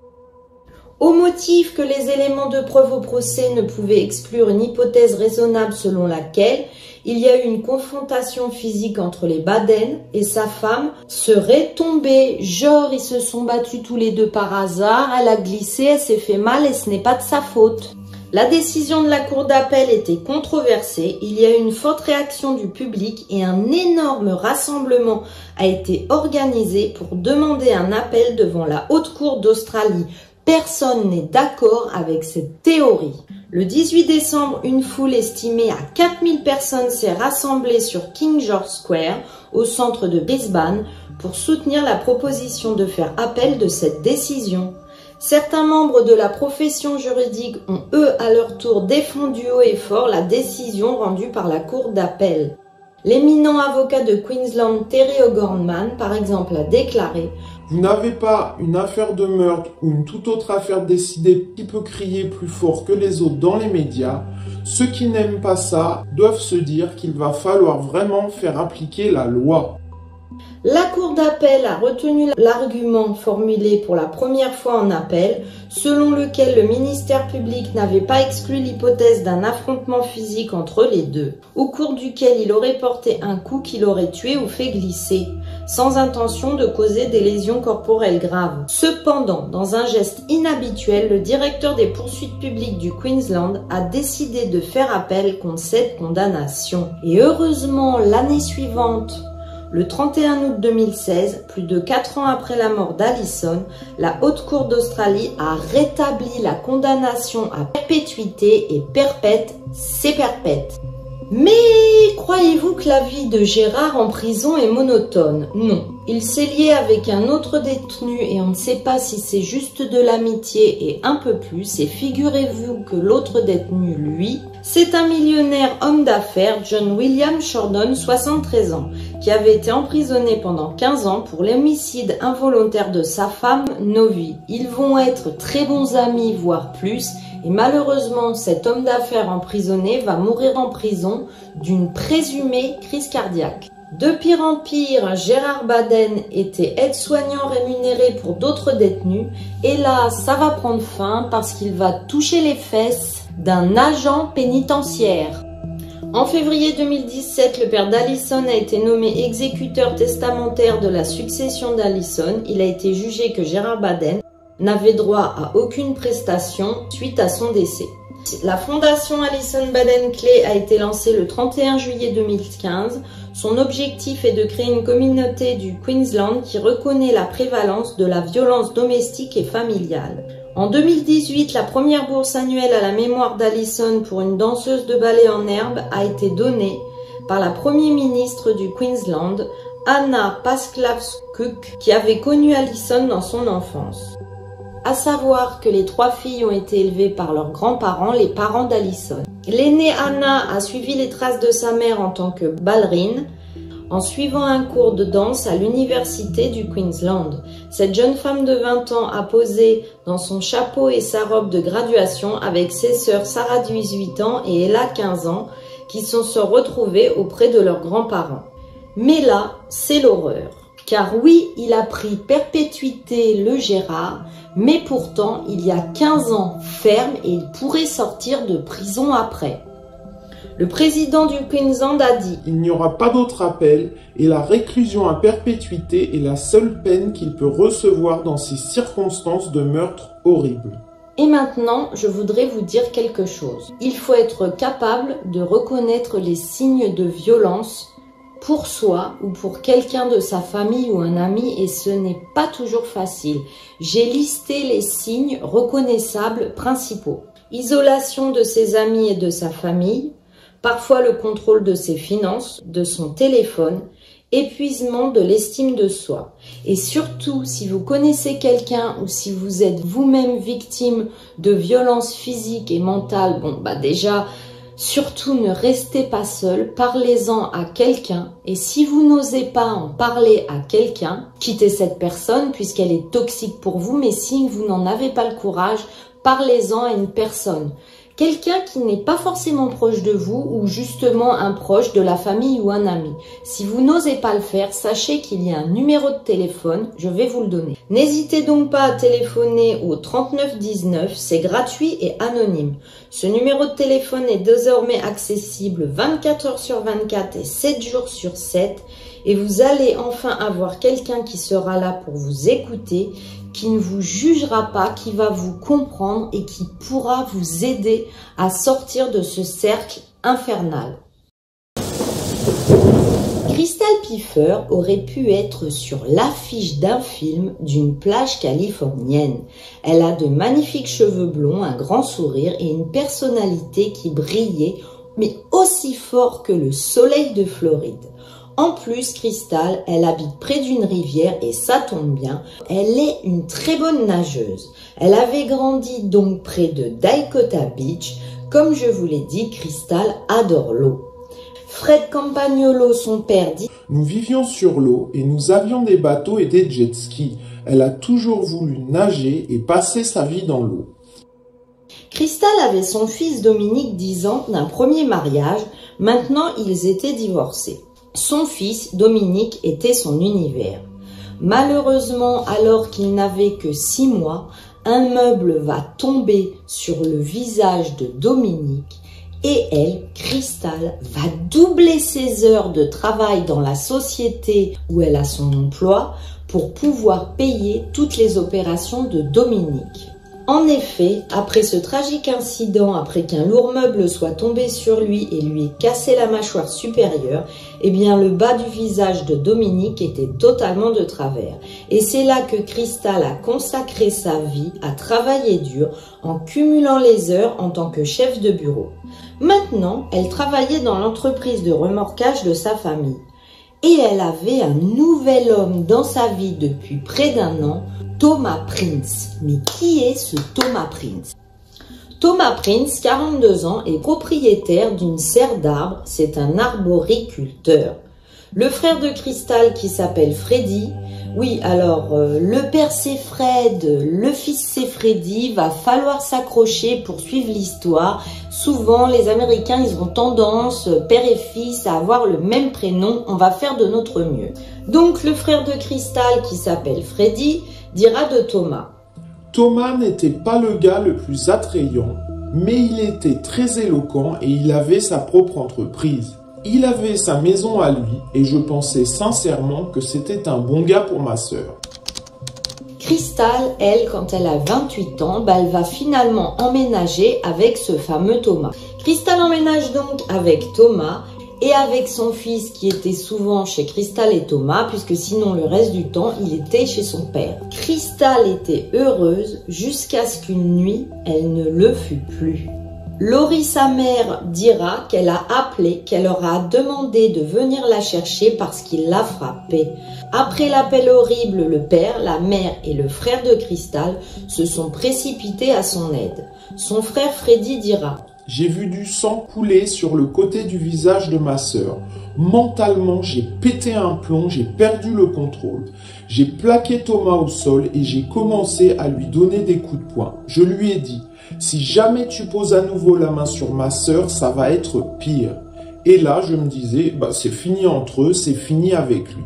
Ils vont tous penser qu'après cet incident horrible, c'était fini du couple Thomas Cristal Eh bien malheureusement non, Cristal va retourner avec lui. Huit mois vont passer après donc cet horrible incident et malheureusement, comme je vous l'ai dit, Crystal est restée avec lui après ce qu'il lui avait fait et là, ça sent vraiment le roussillon parce que voir un homme qui a battu comme ça Crystal, ce n'est pas de bon augure. Et oui, car on est dans une DPAE. Et puis, beaucoup de gens vont parler entre eux de la violence domestique entre Crystal et son compagnon.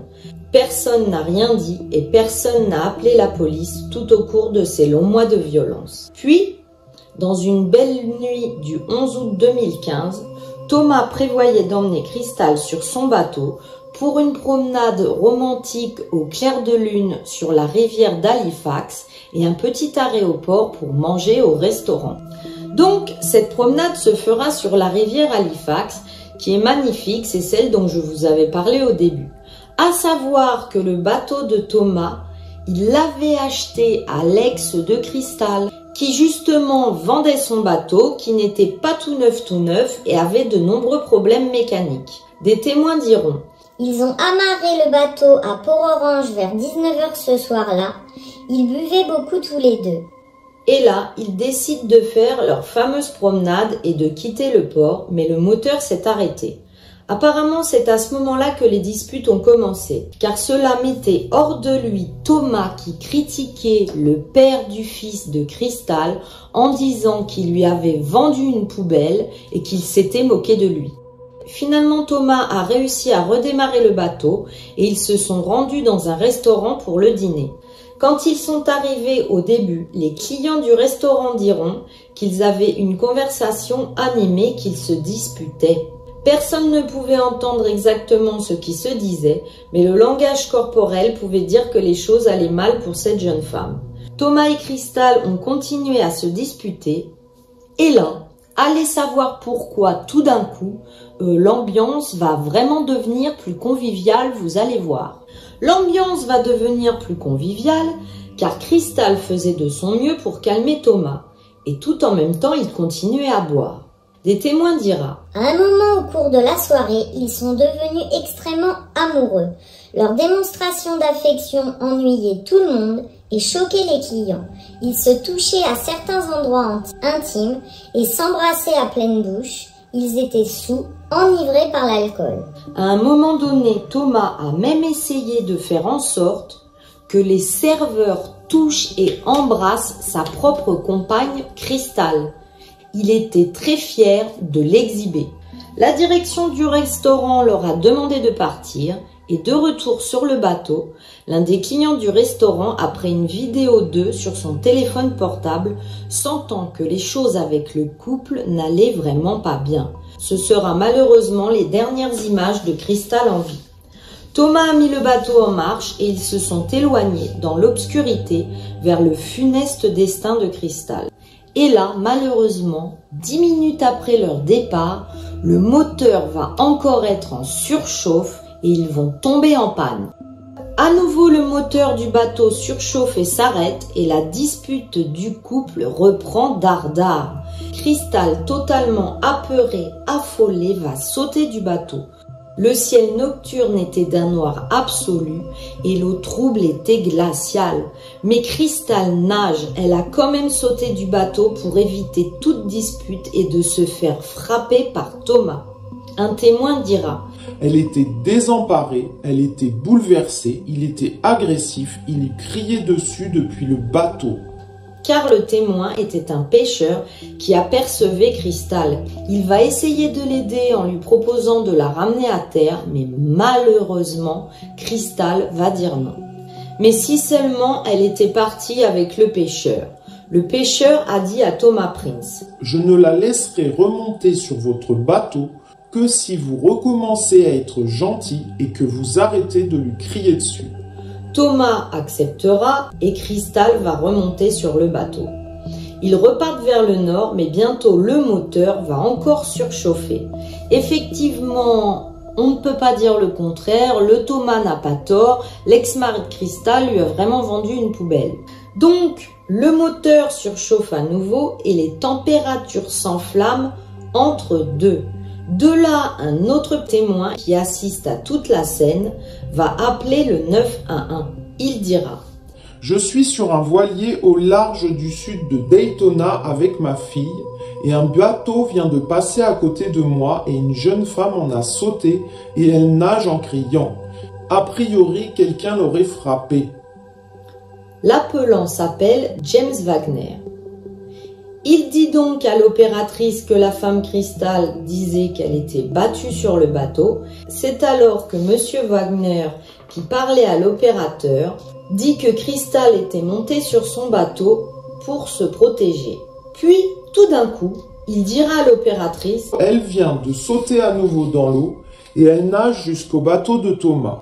Elle aurait dit à monsieur Wagner Je dois retourner sur le bateau, sinon cela va mal finir. Il vous tuera, vous et votre fille.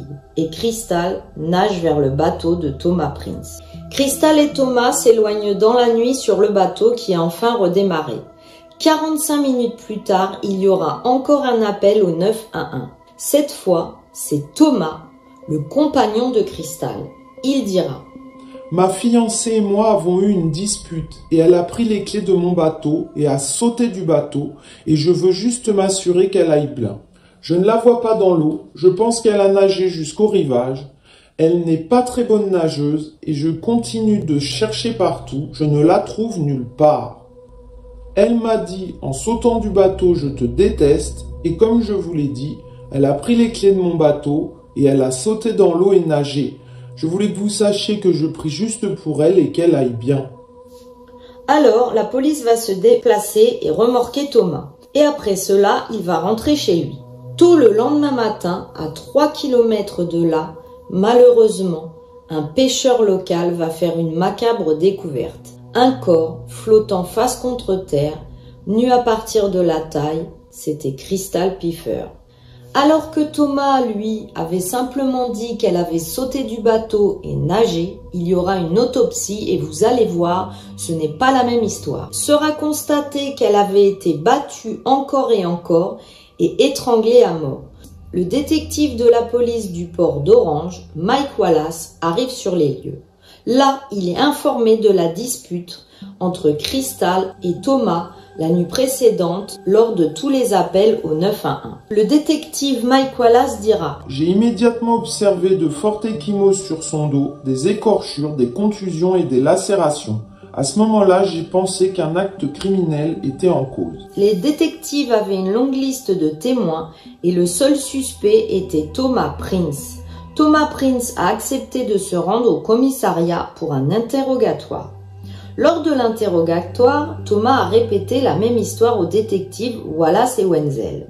Le bateau était en panne, c'est ce qui a poussé le couple à se disputer toute la nuit, et finalement, comme ça, Crystal a sauté par-dessus bord et est parti en nageant. Les détectives ont pris des photos des marques et des griffures sur le corps de Thomas. C'est alors qu'ils veulent annoncer à Thomas Prince qu'ils ont retrouvé Crystal et qu'elle est décédée et voir sa réaction. Tout de suite, Thomas Prince va se justifier. Il va dire que rien de physique ne s'était passé entre eux, qu'ils ne s'étaient pas battus, mais les policiers ne le croient pas et même ils pensent totalement le contraire. Alors, les détectives vont montrer à Thomas les photos des blessures de Cristal. Le médecin légiste a déterminé plus tard que Cristal était morte d'asphyxie et détail horrible, la police pense que Thomas l'a étranglée avec son bikini maillot de bain de cristal, c'est-à-dire que c'est pour cela qu'elle avait le bas totalement dénudé, il lui avait retiré son bas de maillot de bain pour l'étrangler avec. Et là, c'est incroyable, la police va juger qu'elle n'a pas suffisamment de preuves pour détenir Thomas Prince et il va sortir libre du commissariat. Et là, je ne comprends vraiment pas pourquoi, parce qu'il y a des témoins qui les ont vus se disputer sur le bateau, sur le restaurant, encore sur le bateau qui ont vu Cristal sauter du bateau. Il y a les parents qui peuvent témoigner que des mois avant, il avait battu Cristal. Ils ont en plus tous les appels au 911 et ils ont le témoignage de Thomas Prince qui dit qu'il ne l'a pas battue alors qu'on a bien vu qu'elle avait été étranglée. Eh bien non, ils vont le relâcher. Puis, plus de deux mois après que Crystal ait été retrouvé assassiné, Thomas Prince a enfin été arrêté et inculpé après qu'un grand jury l'ait accusé de meurtre au premier degré. Huit mois plus tard, l'affaire est passée en jugement. La défense de Thomas Prince sera que Crystal s'est juste noyée quand elle nageait. Le médecin légiste était convaincu, lui, qu'il ne s'agissait pas d'une simple noyade, car il n'y avait pas d'eau dans ses poumons, ni dans son estomac. Et ça, vous le savez, c'est totalement impossible, parce que quand quelqu'un se noie, c'est obligatoire, les poumons se remplissent d'eau et c'est ce qui va créer bah, le manque d'air, l'asphyxie et la mort de la personne. Le dossier de l'accusation comprenait des photos des blessures de Thomas, des griffures, ainsi que d'autres preuves matérielles solides. La défense dira Nous avons trouvé du sang sur certains vêtements et serviettes de bain. Nous avons également vérifié le bateau qui était garé dans le jardin de Thomas Prince. De nombreuses zones sur le bateau avaient des traces de sang et même des poignées de cheveux de cristal. L'accusation avait un témoin clé, l'ex-mari de Crystal qui avait vendu le bateau à Thomas Prince et il dira Sachant sa très bonne connaissance de la navigation, il disait qu'il n'avait pas réussi à rattraper Crystal quand elle avait sauté du bateau. C'est totalement faux, il savait extrêmement bien naviguer et il aurait pu la retrouver. Son plan de l'appel au 911 est totalement incompatible avec son histoire qu'il a racontée à la police. De plus, Thomas Prince a dit à l'opérateur du 911 que Crystal avait pris les clés du bateau et avait sauté. Et là, vous allez voir, on pouvait entendre sur la bande son de l'appel au 911 que Thomas essayait de démarrer le bateau et on entendait le bruit du moteur. Ah bah vous ne pouvez pas essayer de démarrer un bateau si vous n'avez pas les clés. Donc c'est encore un mensonge. Le procès aura duré trois jours, puis après seulement quelques heures de délibération, le jury est revenu avec son verdict, coupable de meurtre au premier degré, ce qui est rare quand c'est aussi rapide. Thomas Prince a été condamné à perpétuité sans possibilité de libération et perpète, c'est perpète. Thomas Prince dira J'ai été accusé d'un crime que je n'ai pas commis. Je n'ai pas fait ce qu'ils disent que j'ai fait. Je suis désolé pour ce que la famille traverse. Beaucoup vont saluer Crystal, la victime, comme une héroïne, choisissant de sauver la vie de la fille de Monsieur Wagner cette nuit-là, en quittant son bateau et en repartant vers le bateau de Thomas. Robert Curley, dit Bobby, est un jeune homme adorable qui aime jouer au baseball dans sa jeunesse.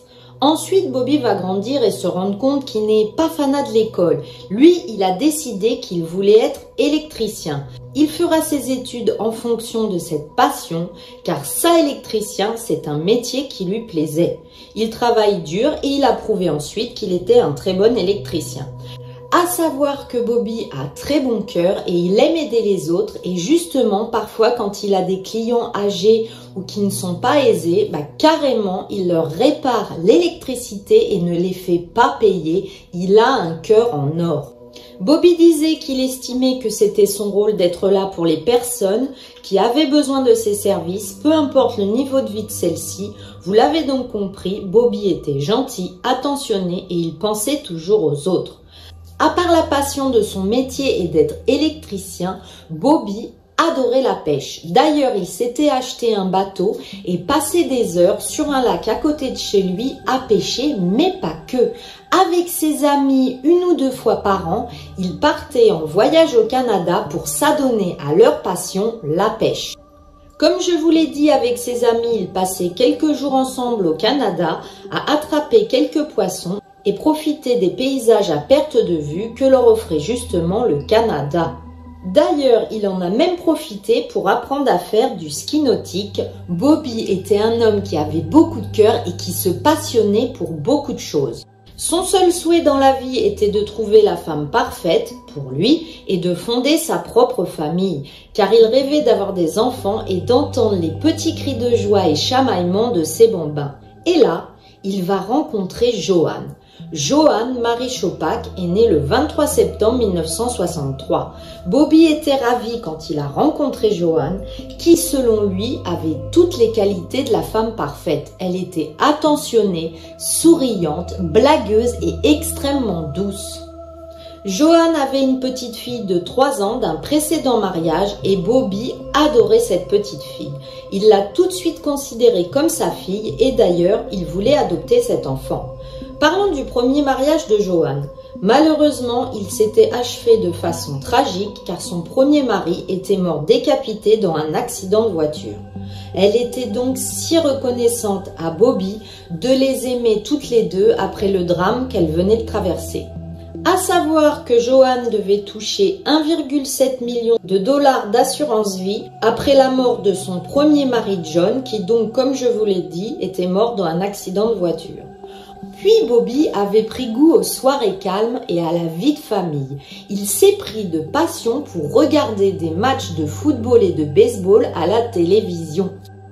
Mais il avait bien d'autres passions que les matchs de football à la télévision et la pêche. Car vous l'avez compris, Bobby c'était un homme gentil et passionné qui ne faisait jamais les choses à moitié il était fier d'avoir des origines irlandaises et d'ailleurs il avait toujours voulu visiter l'Irlande, c'était un de ses rêves.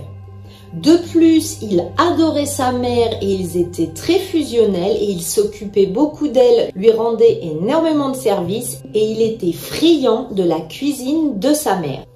Si je vous parle de tout cela, c'est pour que vous compreniez que Bobby était donc un père de famille qui s'occupait de sa famille, de ses clients, de sa mère dont il adorait la cuisine. Il traitait tout le monde avec beaucoup de respect et sa famille avec beaucoup d'amour.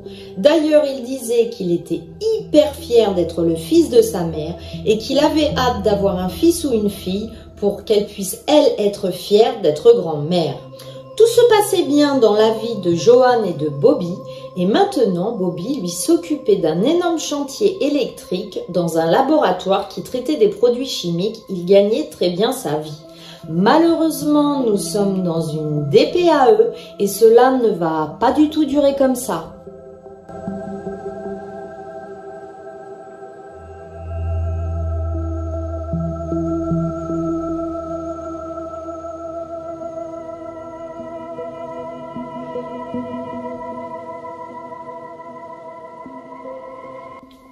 Seulement deux mois après leur mariage, Bobby était de plus en plus fatigué et justement, bah, comme je vous l'ai dit, il aimait de plus en plus se reposer devant les matchs à la télévision. Alors elle, Joanne, elle était tout à son service. Elle était inquiète et elle redoublait d'efforts pour s'occuper de lui et lui cuisiner de bons petits plats puisqu'il était hyper gourmand.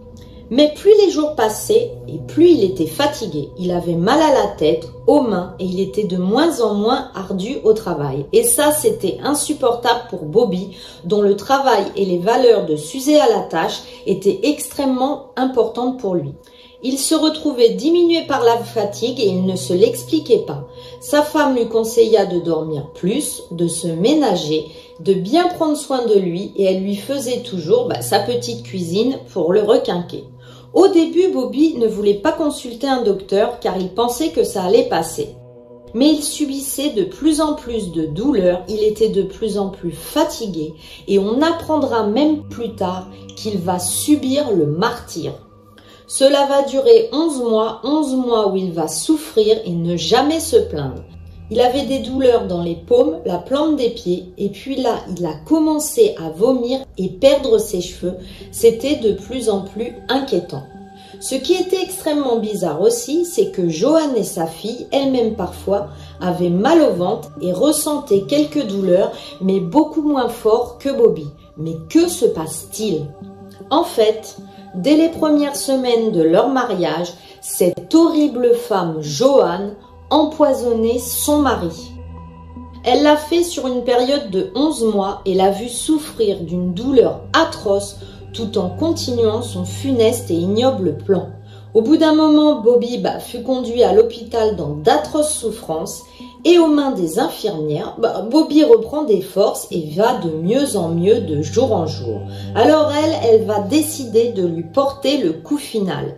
Elle va venir à l'hôpital avec du thé, et là on n'est pas sur du goût patient. Elle vient donc avec du thé et une pizza pour les lui faire absorber en tant qu'épouse très dévouée. Vous vous en doutez, la pizza et le thé sont empoisonnés, car en effet, la pizza et le thé qu'elle a apporté à l'hôpital sont blindés de poison, une dose massive de thallium, un élément chimique présent dans la morora et les insecticides.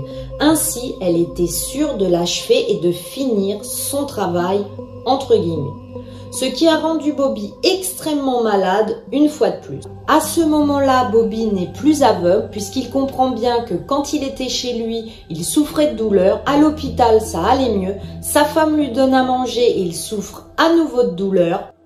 Il avait compris que Johan essayait de le tuer.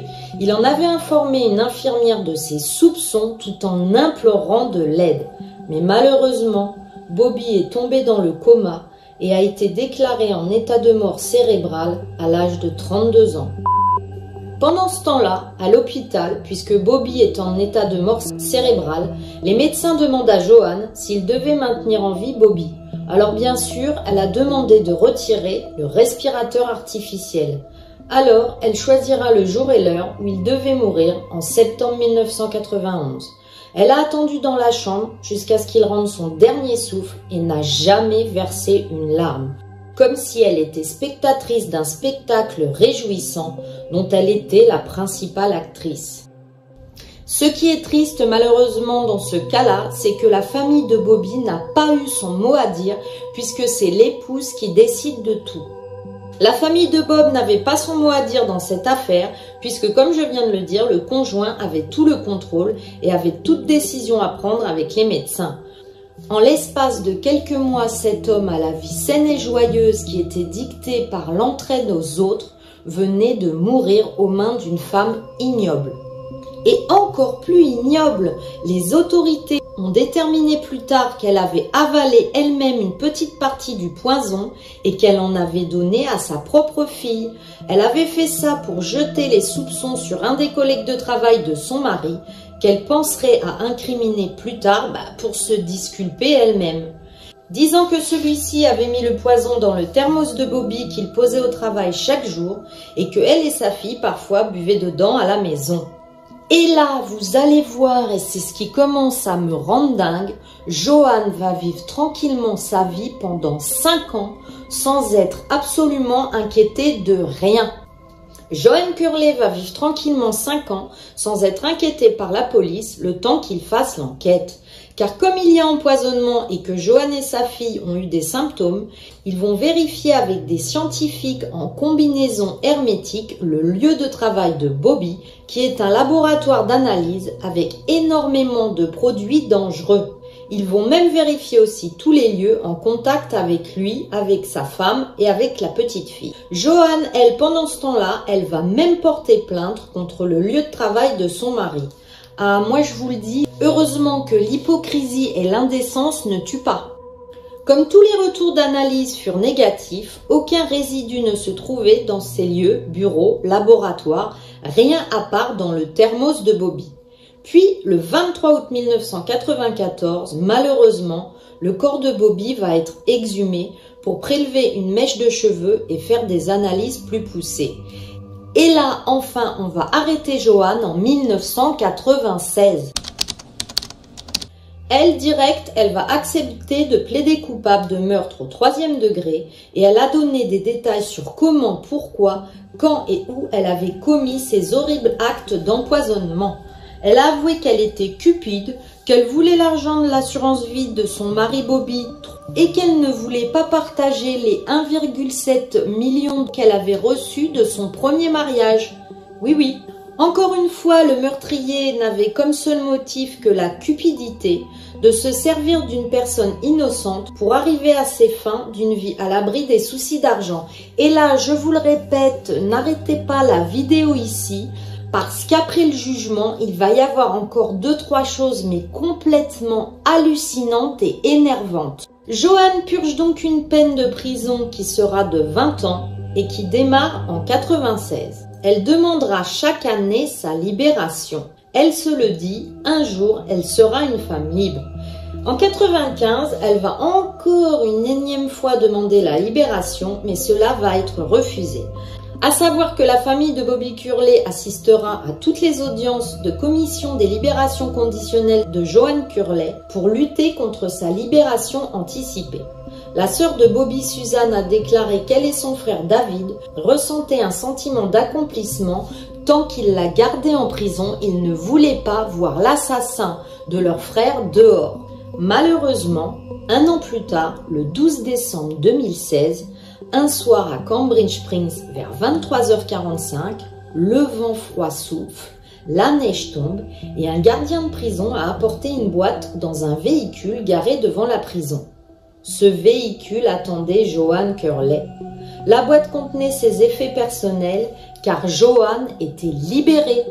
Les minutes passent et juste après minuit, Joanne Curley est escortée par quatre agents correctionnels. Elle est sortie de la prison et s'est dirigée vers le camion qui l'attendait. Au même moment, un journaliste du Times Leader va la héler et lui demander si elle avait quelque chose à dire maintenant qu'elle était une femme libre. Joanne Curley n'a rien dit et elle entra dans le camion. Les gardiens de la prison ont interdit aux journalistes du Times de s'approcher une nouvelle fois du véhicule. À savoir que maintenant, en tant que femme libre de 53 ans, elle n'est pas tenue de signaler aux autorités où elle se trouve. Les frères et sœurs de Bobby ont déclaré qu'ils n'avaient aucune idée de l'endroit où Joanne Curley avait l'intention de vivre. Ah bah moi je vous le dis, ils vont vite le savoir les pauvres frères et sœurs. Car là, Accrochez-vous, cela me sidère et croyez-moi, au fil des enquêtes, j'en ai vu des choses, mais là, c'est totalement dingue.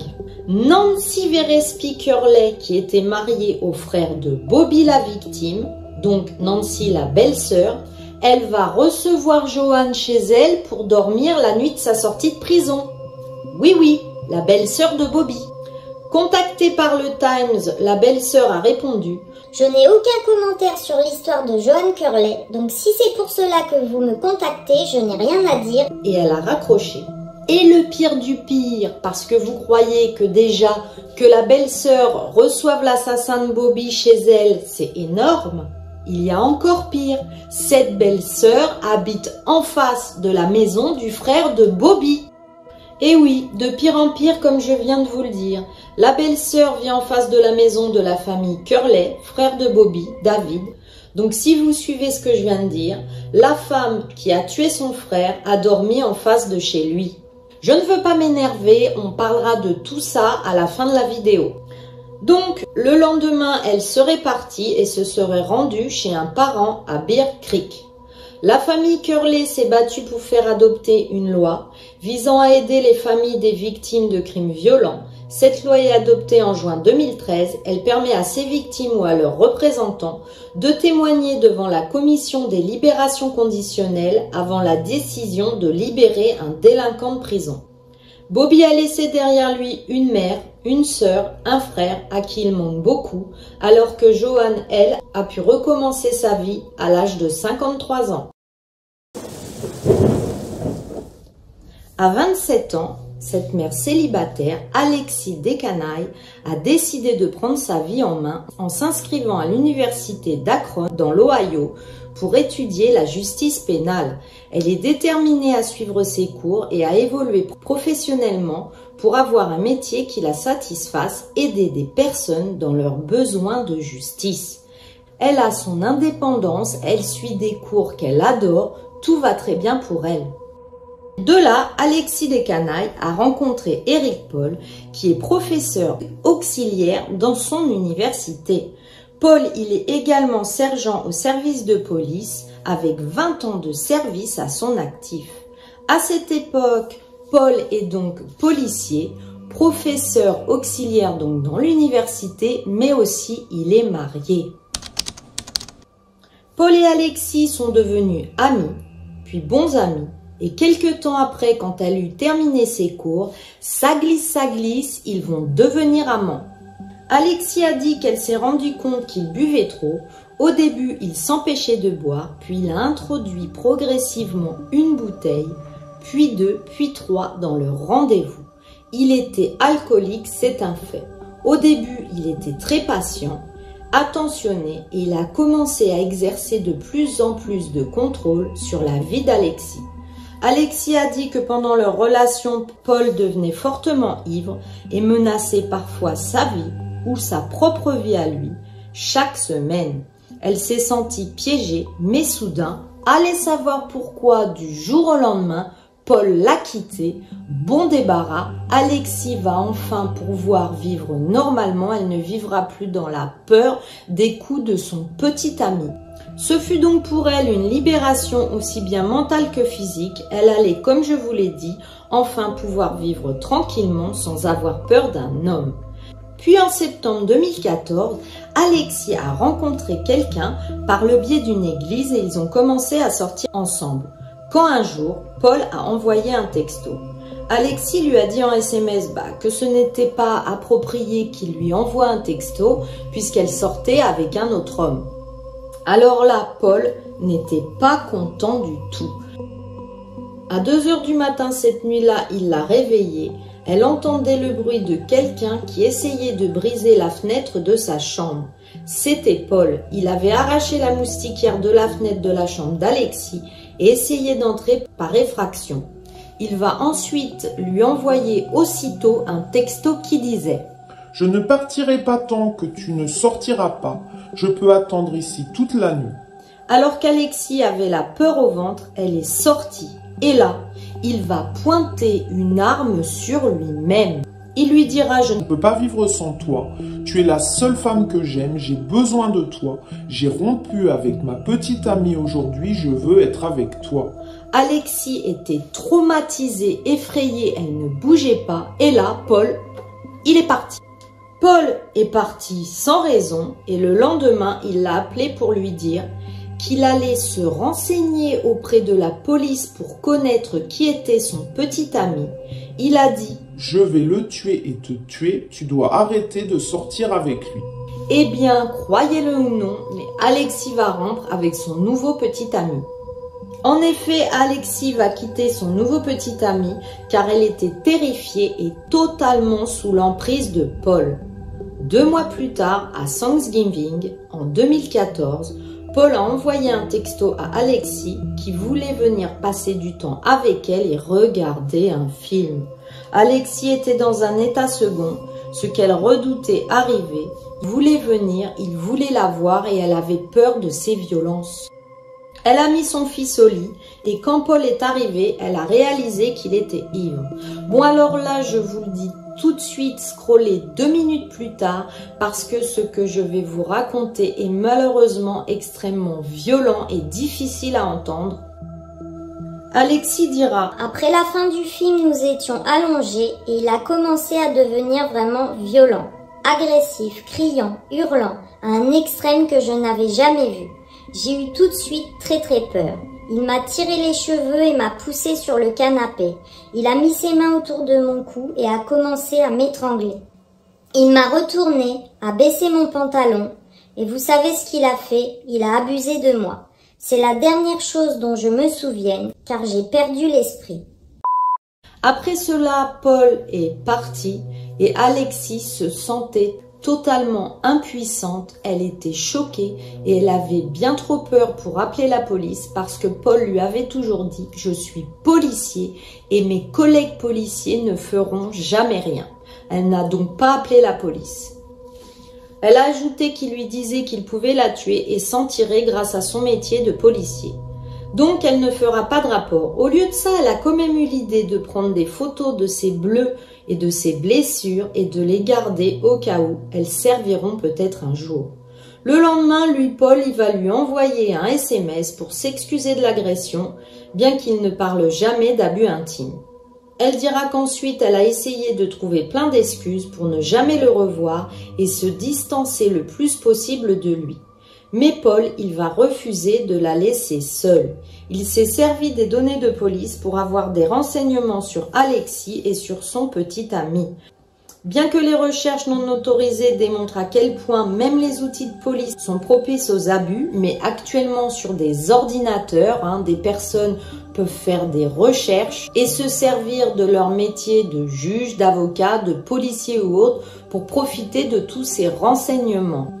Donc bien qu'on soit à une époque où les préoccupations en matière de confidentialité sont cruciales, il y a des fuites de services entre collègues et des abus qui peuvent très mal tourner comme dans cette histoire. Oui, parce que j'ai oublié de le dire, mais on est dans une DPAE. Puis ensuite, Alexis s'est fait un nouvel ami, Brandon Dowler. Brandon Dowler, son ami, dira Mon avis sur Paul n'est pas très bon car une nuit de décembre, quand nous étions chez Alexis avec nos enfants, il a tenté de forcer la porte pour rentrer à l'intérieur de chez elle. Mes deux filles étaient terrorisées. Brandon Dollar a immédiatement appelé le 911 pour signaler l'accident. Alexis, cette fois-ci, fera tout pour que les agents arrivés sur place fassent un rapport. Eh bien, il avait raison, le Paul, les agents vont refuser de faire un rapport. Et ça, ça me rend totalement dingue. Cinq mois plus tard, le 6 avril, tout s'est finalement accéléré. Inquiète pour Alexis qui est devenu son ami, Brandon a dit à Alexis qu'elle pouvait se cacher chez lui, dans la ville voisine, en dehors de la juridiction de travail de Paul, bah donc où il est policier.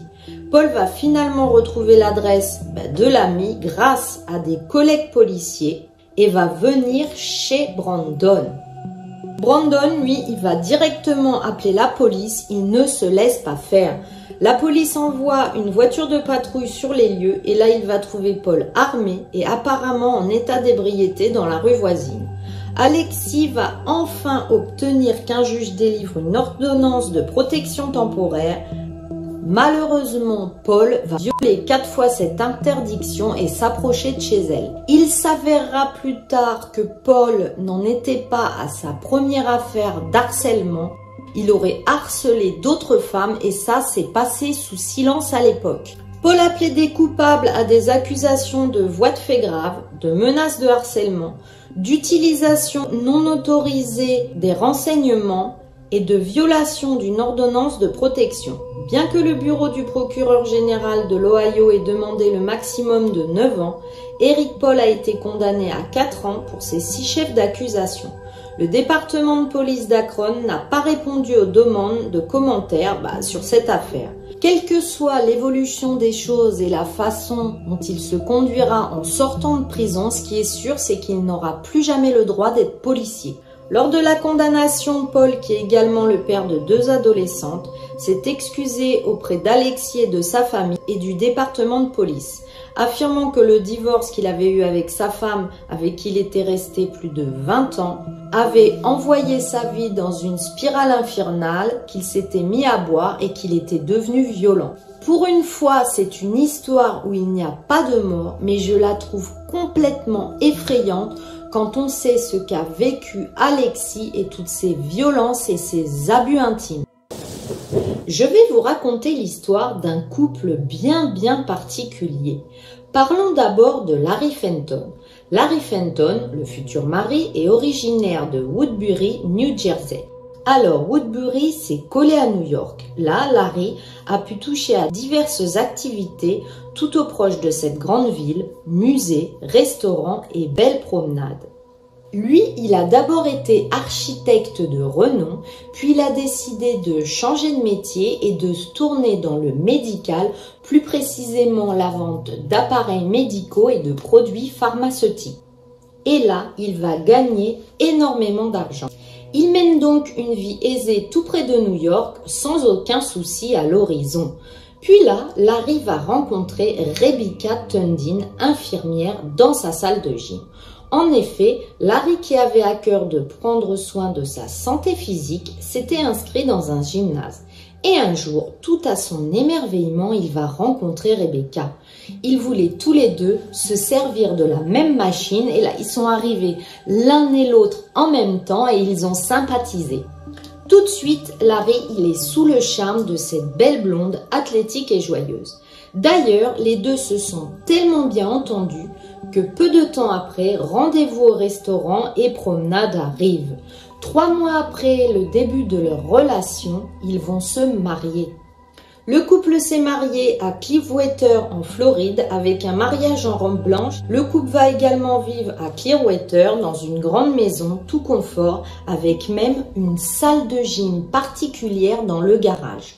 Ils étaient très amoureux et heureux, mais tellement amoureux que si fusionnels, ils ne voyaient jamais personne. Ils ne socialisaient donc pas et vivaient leur romance dans leur maison. Mais cela changeait énormément du style de vie qu'avait l'habitude d'avoir Rebecca. En effet, Rebecca, elle avait auparavant son emploi d'infirmière, ses amis et elle était habituée à sortir au restaurant et à découvrir de, nombreux endroits au cours de ses promenades. Certes, elle vivait dans une très belle maison avec des jolis meubles et plein de vêtements dans un dressing, mais elle s'ennuyait de toutes ces sorties qu'elle faisait avant. Alors oui, elle avait maintenant accès à des séances de massage esthétique pour la rendre encore plus belle aux yeux de son mari, mais cela ne suffisait pas. Ce n'était pas le même genre de sortie épanouissante à l'air libre ou dans des lieux de partage, comme je vous le disais par exemple les restaurants. C'est en quelque sorte la vie d'une princesse dans une prison dorée. Vous comprendrez donc que lorsqu'elle est devenue la femme de Larry, elle a arrêté bah, son emploi d'infirmière et elle est devenue femme au foyer où sa vie ne consistait qu'à s'occuper de la maison et de son physique. Lui, Larry, il était riche et il était occupé toute la journée par son travail. Il gagnait beaucoup d'argent dans son emploi pharmaceutique et il ne s'ennuyait pas puisque la journée, il voyait ses collègues, ses clients il était tout heureux de rentrer, de se reposer et de rester chez lui avec sa femme. Nous sommes rendus au 3 février 2008. Larry avait hâte de regarder le Super Bowl pendant une soirée tranquille devant sa télévision dans sa belle maison. Rebecca, elle, elle décide d'aller dans leur salle de sport dans le garage et elle s'entraîne avec ardeur tout en écoutant la musique assez forte pour lui donner de l'entrain. Quand, pendant sa séance de deux heures, à la fin, elle entend comme un gros boum sur le toit. Mais comme elle n'a pas entendu aucun bruit après avoir baissé la musique, bah, elle a remonté le son et continué à s'entraîner. Et je vous le rappelle, on est dans une DPAE et ça va virer.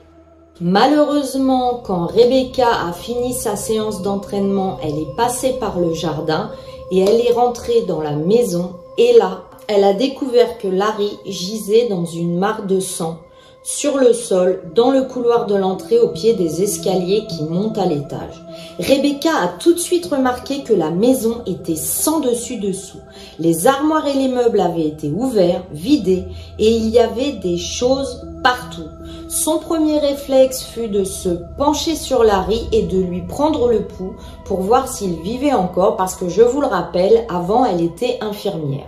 Donc son premier réflexe fut de se pencher sur Larry, ses yeux étaient ouverts. Elle a pris son pouls. Et dans la panique, non réfléchie, elle s'élança dans l'escalier pour voir si quelqu'un était à l'étage. Tout avait été fouillé, mais les voleurs n'étaient plus là. Oui, il y avait du désordre, mais heureusement il n'y avait plus personne. Rebecca redescendit à toute allure les marches et décida d'appeler le 911. Elle décide donc d'appeler le 911 et elle attend dehors l'arrivée des secours. Les premiers intervenants sont arrivés et ont constaté la mort de Larry. Il avait reçu une balle dans le dos, le bras, le cou, et comme je vous l'ai dit, il était étendu au pied de l'escalier dans son sang.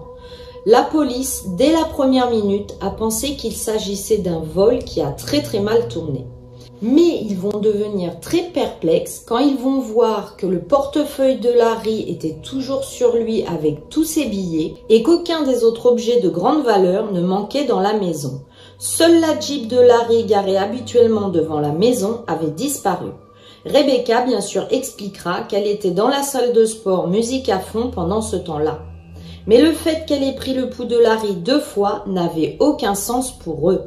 Elle aurait dû tout de suite appeler les secours dès les premières secondes. Et directement là, la police n'a pas de temps à perdre, elle veut pas rater son train, elle va suspecter Rebecca.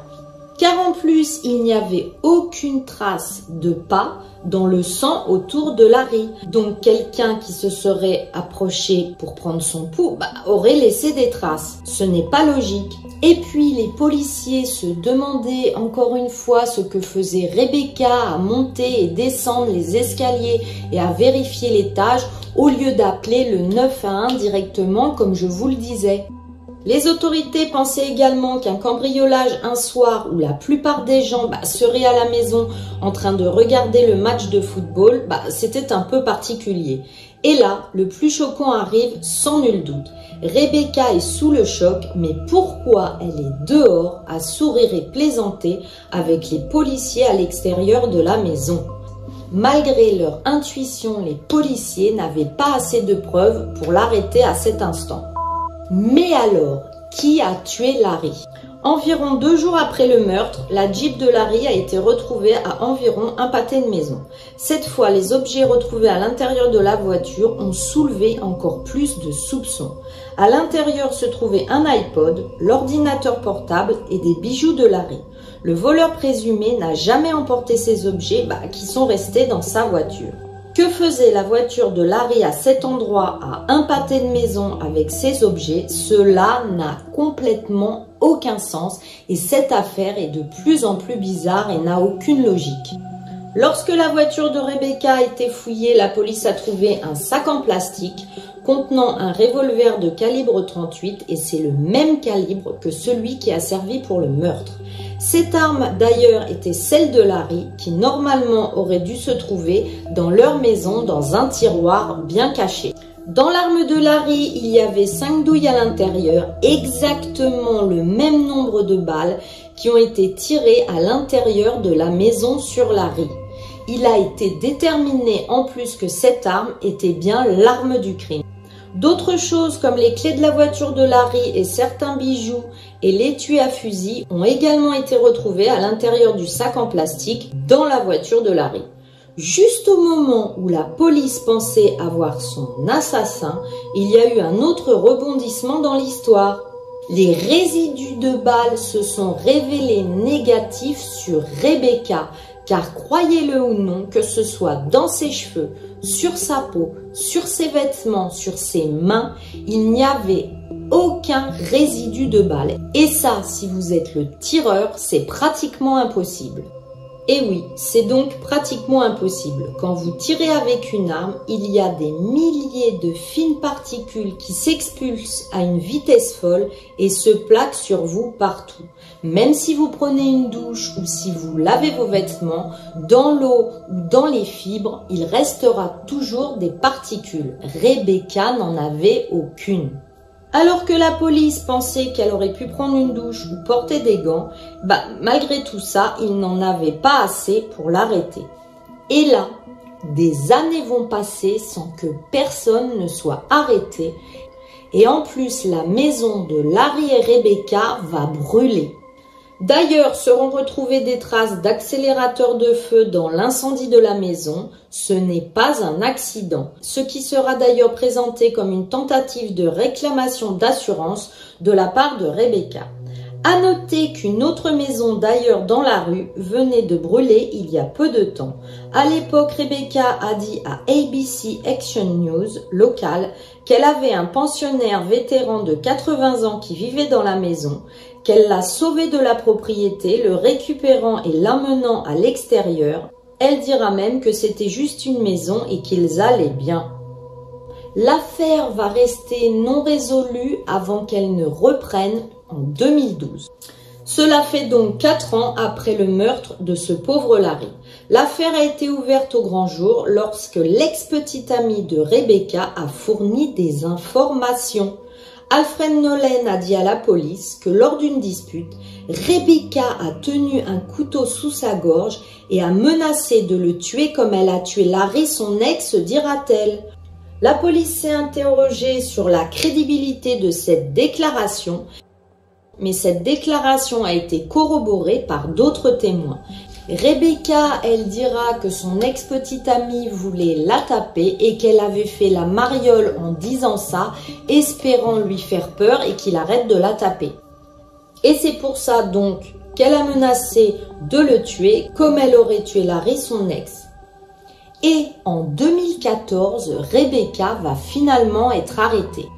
Lors de son procès, nous sommes donc six ans après le meurtre, elle crie à qui veut l'entendre son innocence. L'accusation a affirmé qu'il y avait un motif financier, Rebecca avait un train de vie de princesse, mais si Larry mourait, elle avait tout et pouvait le dépenser à sa guise.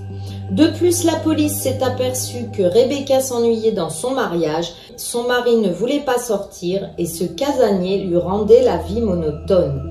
En plus, elle avait des vues sur un restaurateur de la région très en vogue.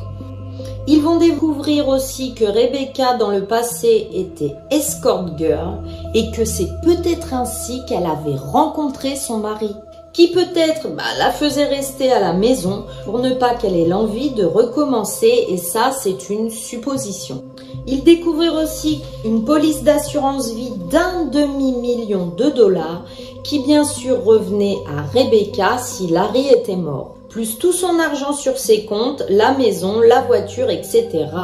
Par contre, sachez-le, s'ils divorçaient, elle n'aurait rien car ils avaient signé un contrat quand ils se sont mariés. En novembre 2015, un jury a déclaré Rebecca coupable de meurtre au premier degré et un juge l'a condamnée à la prison à vie sans possibilité de libération perpète, c'est perpète. Rebecca a toujours maintenu son innocence et croyait que la mort de Larry avait été causée par un vol qui avait mal tourné. Elle a affirmé avoir été victime d'un coup monté par un cambrioleur. Elle dira Je ne pensais tout simplement pas que j'allais être arrêtée pour quelque chose d'aussi odieux. C'est une telle perte pour moi. Avec lui, je menais une vie de princesse. Je l'aimais profondément, nous étions un couple amoureux et il n'y a personne pour dire le contraire. Selon les registres de la prison, Rebecca reste incarcérée au Florida Women's Reception Center à Ocala en Floride. Sur cette affaire, tout le monde reste quand même méfiant car il n'y a aucune preuve directe, pas de résidus de balles, pas d'empreinte sur le pistolet, pas de témoin le jour J, pas de caméra vidéo ayant enregistré quoi que ce soit ou les sorties allées et venues de Rebecca qui aurait emmené la Jeep et autres. Aucune violence antérieure dans le couple. Il y a juste un bon mobile d'argent et les dires d'un ex-petit copain qui finalement on s'apercevra avait besoin d'aider la police pour obtenir l'effacement d'un jugement pour une autre affaire de violence domestique dans laquelle il était coupable. Et ce cas donc reste très particulier car Rebecca est en prison sans aucune preuve directe et lourde et ça c'est vraiment très rare. D'ailleurs, une émission de femmes en prison Killer Woman a permis de faire une interview par Pierce Morgan sur elle.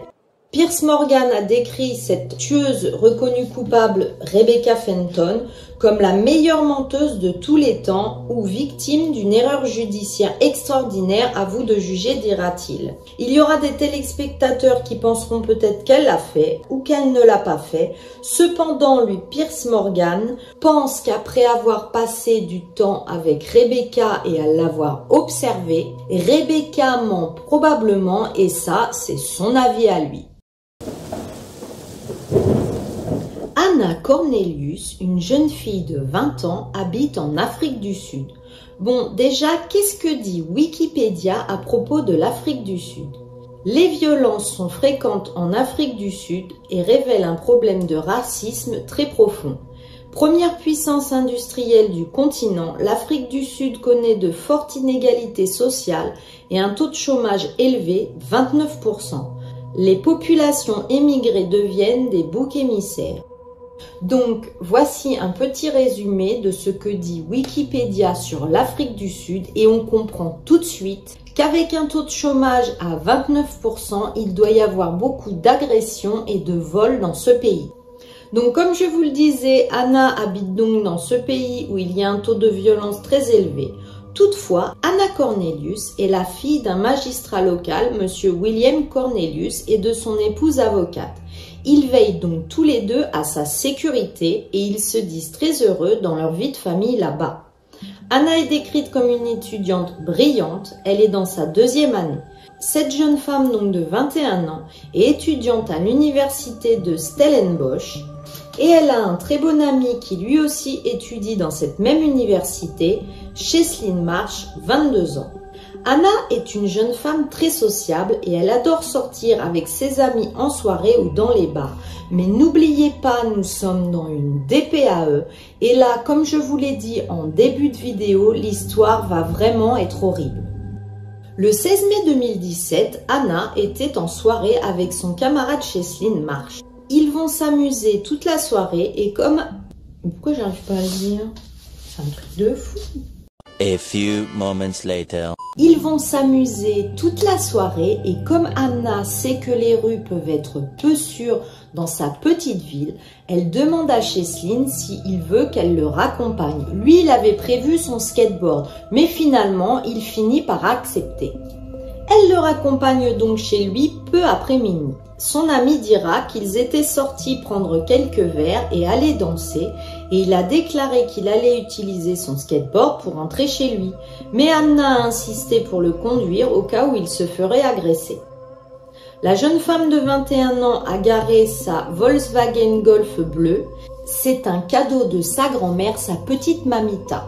Donc la jeune femme gare sa Golf bleue devant l'appartement de son ami Marche donc elle se gare devant l'appartement de Chesley, mais alors qu'ils se disaient au revoir tout joyeux de leur soirée, un groupe de quatre hommes les ont attaqués, ouvrant les deux portes et entrant dans le véhicule. Cheslin Marsh a déclaré que lorsqu'ils se sont arrêtés, ce gang de quatre hommes a bondi en menaçant de poignarder Anna à mort avec un tournevis et avec même un couteau dans son dos.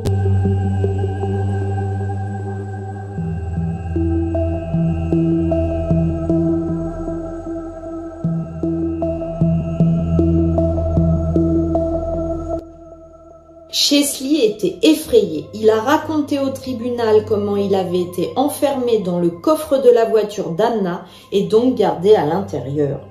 La Golf bleue d'Anna Cornelius a été vue en train de sortir de l'immeuble de Chesley vers 3h40 du matin et la voiture apparaît ensuite sur une autre caméra de vidéosurveillance dans une station-service une heure plus tard.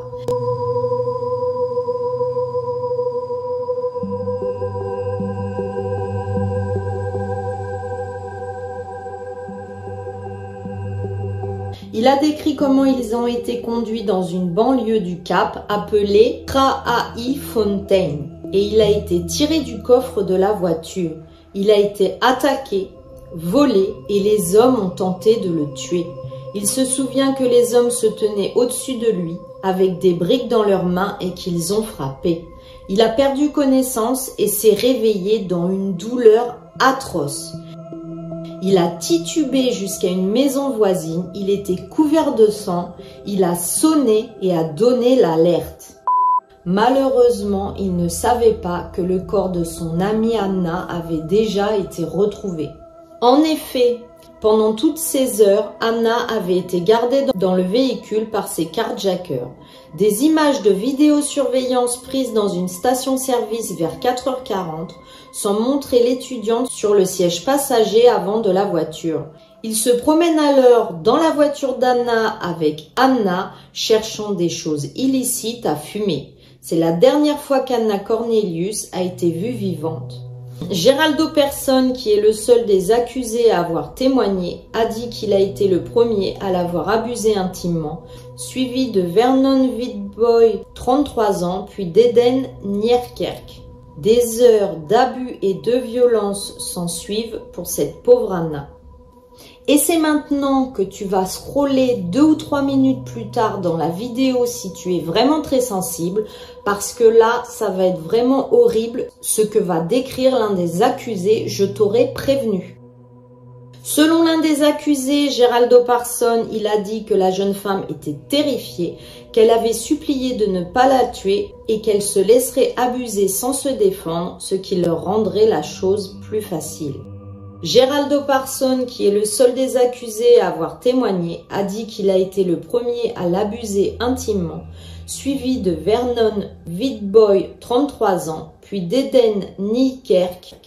Il y aura des heures et des heures d'abus, de violence qui vont suivre pour cette pauvre Anna. Ils l'ont ensuite mise dans le coffre de sa propre voiture et se sont rendus dans un vignoble voisin. Ils ont utilisé une grosse pierre pour briser le crâne d'Anna après leur abus collectif. Tout cela a été raconté dans une salle d'audience totalement choquée et terrorisée. Et là, c'est encore plus horrible pour ceux qui n'ont toujours pas scrollé, scrollé encore, parce que plus de détails vont être donnés sur cette nuit d'horreur. Personne 27 ans déclarera au tribunal qu'elle ne voulait pas sortir du coffre, qu'elle se tenait à la voiture, qu'elle était paniquée, qu'elle s'était accrochée et pourtant il va la poignarder, il ne voulait pas la laisser partir alors qu'il y avait du sang partout. Il dira qu'il a vu Vernon arriver avec une, grosse pierre, qu'il a dit à Vernon ne la tuez pas, nous avons déjà tué son ami Cheslin, laissons-la. Mais Vernon se serait approché avec la pierre dans la main et aurait tapé sur la tête d'Anna. Lorsque l'État a présenté cette grosse pierre au tribunal, il y a eu des cris dans la salle. Le médecin légiste de l'État, le docteur Diedre Abraham, a déclaré au tribunal que la violence contre son crâne était si brutale qu'elle aurait été tuée sur le coup. Vernon Whitboy, 33 ans, Geraldo Parson, 27 ans, Nashville Julius, 29 ans, et Eben Van Nieberg, 28 ans, font face à une série d'accusations dont meurtre, enlèvement, vol, abus intime sur l'étudiante Anna Cornelius. Parson est le seul à avoir témoigné jusqu'à présent et il a admis avoir détourné une voiture, kidnappé et abusé la jeune femme mais il nie le meurtre, impliquant à la place son co-accusé Vernon Whitboy. Il a dit qu'il n'avait jamais rencontré Nashville Julius avant la nuit en question. Il racontera ensuite ce qui s'est passé après la mort d'Anna la même nuit et vous allez voir que malheureusement, ces quatre personnes n'en ont pas fini de faire des choses horribles. Nous avons commencé, dira-t-il, à conduire jusqu'à la Cluisse River. Ils auraient vu une autre femme sur la route et ils l'ont également volée.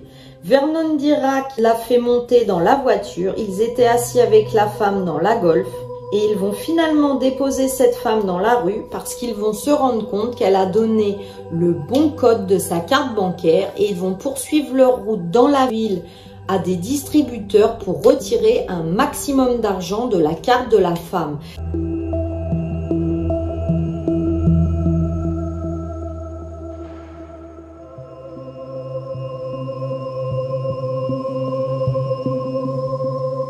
Cette femme a eu vraiment de la chance d'être relâchée sans être tapée ou abusée intimement ou encore pire, tuée. Ils remarqueront qu'une voiture les suivait. Il aurait dit La police est derrière nous, qu'est-ce qu'on fait? Vernon aurait dit qu'il fallait maintenant conduire plus vite et le fourgon de police a allumé ses phares. Ils ont filé, mais la voiture n'allait pas assez vite par rapport à la police. La Golf bleue d'Anna n'était pas si rapide que la voiture de police. Ils se sont alors arrêtés, ont sauté de la voiture et ont couru. Un à un, ils vont se faire attraper et de toute façon, je vous ai mis les images de cette vidéo totalement hallucinante.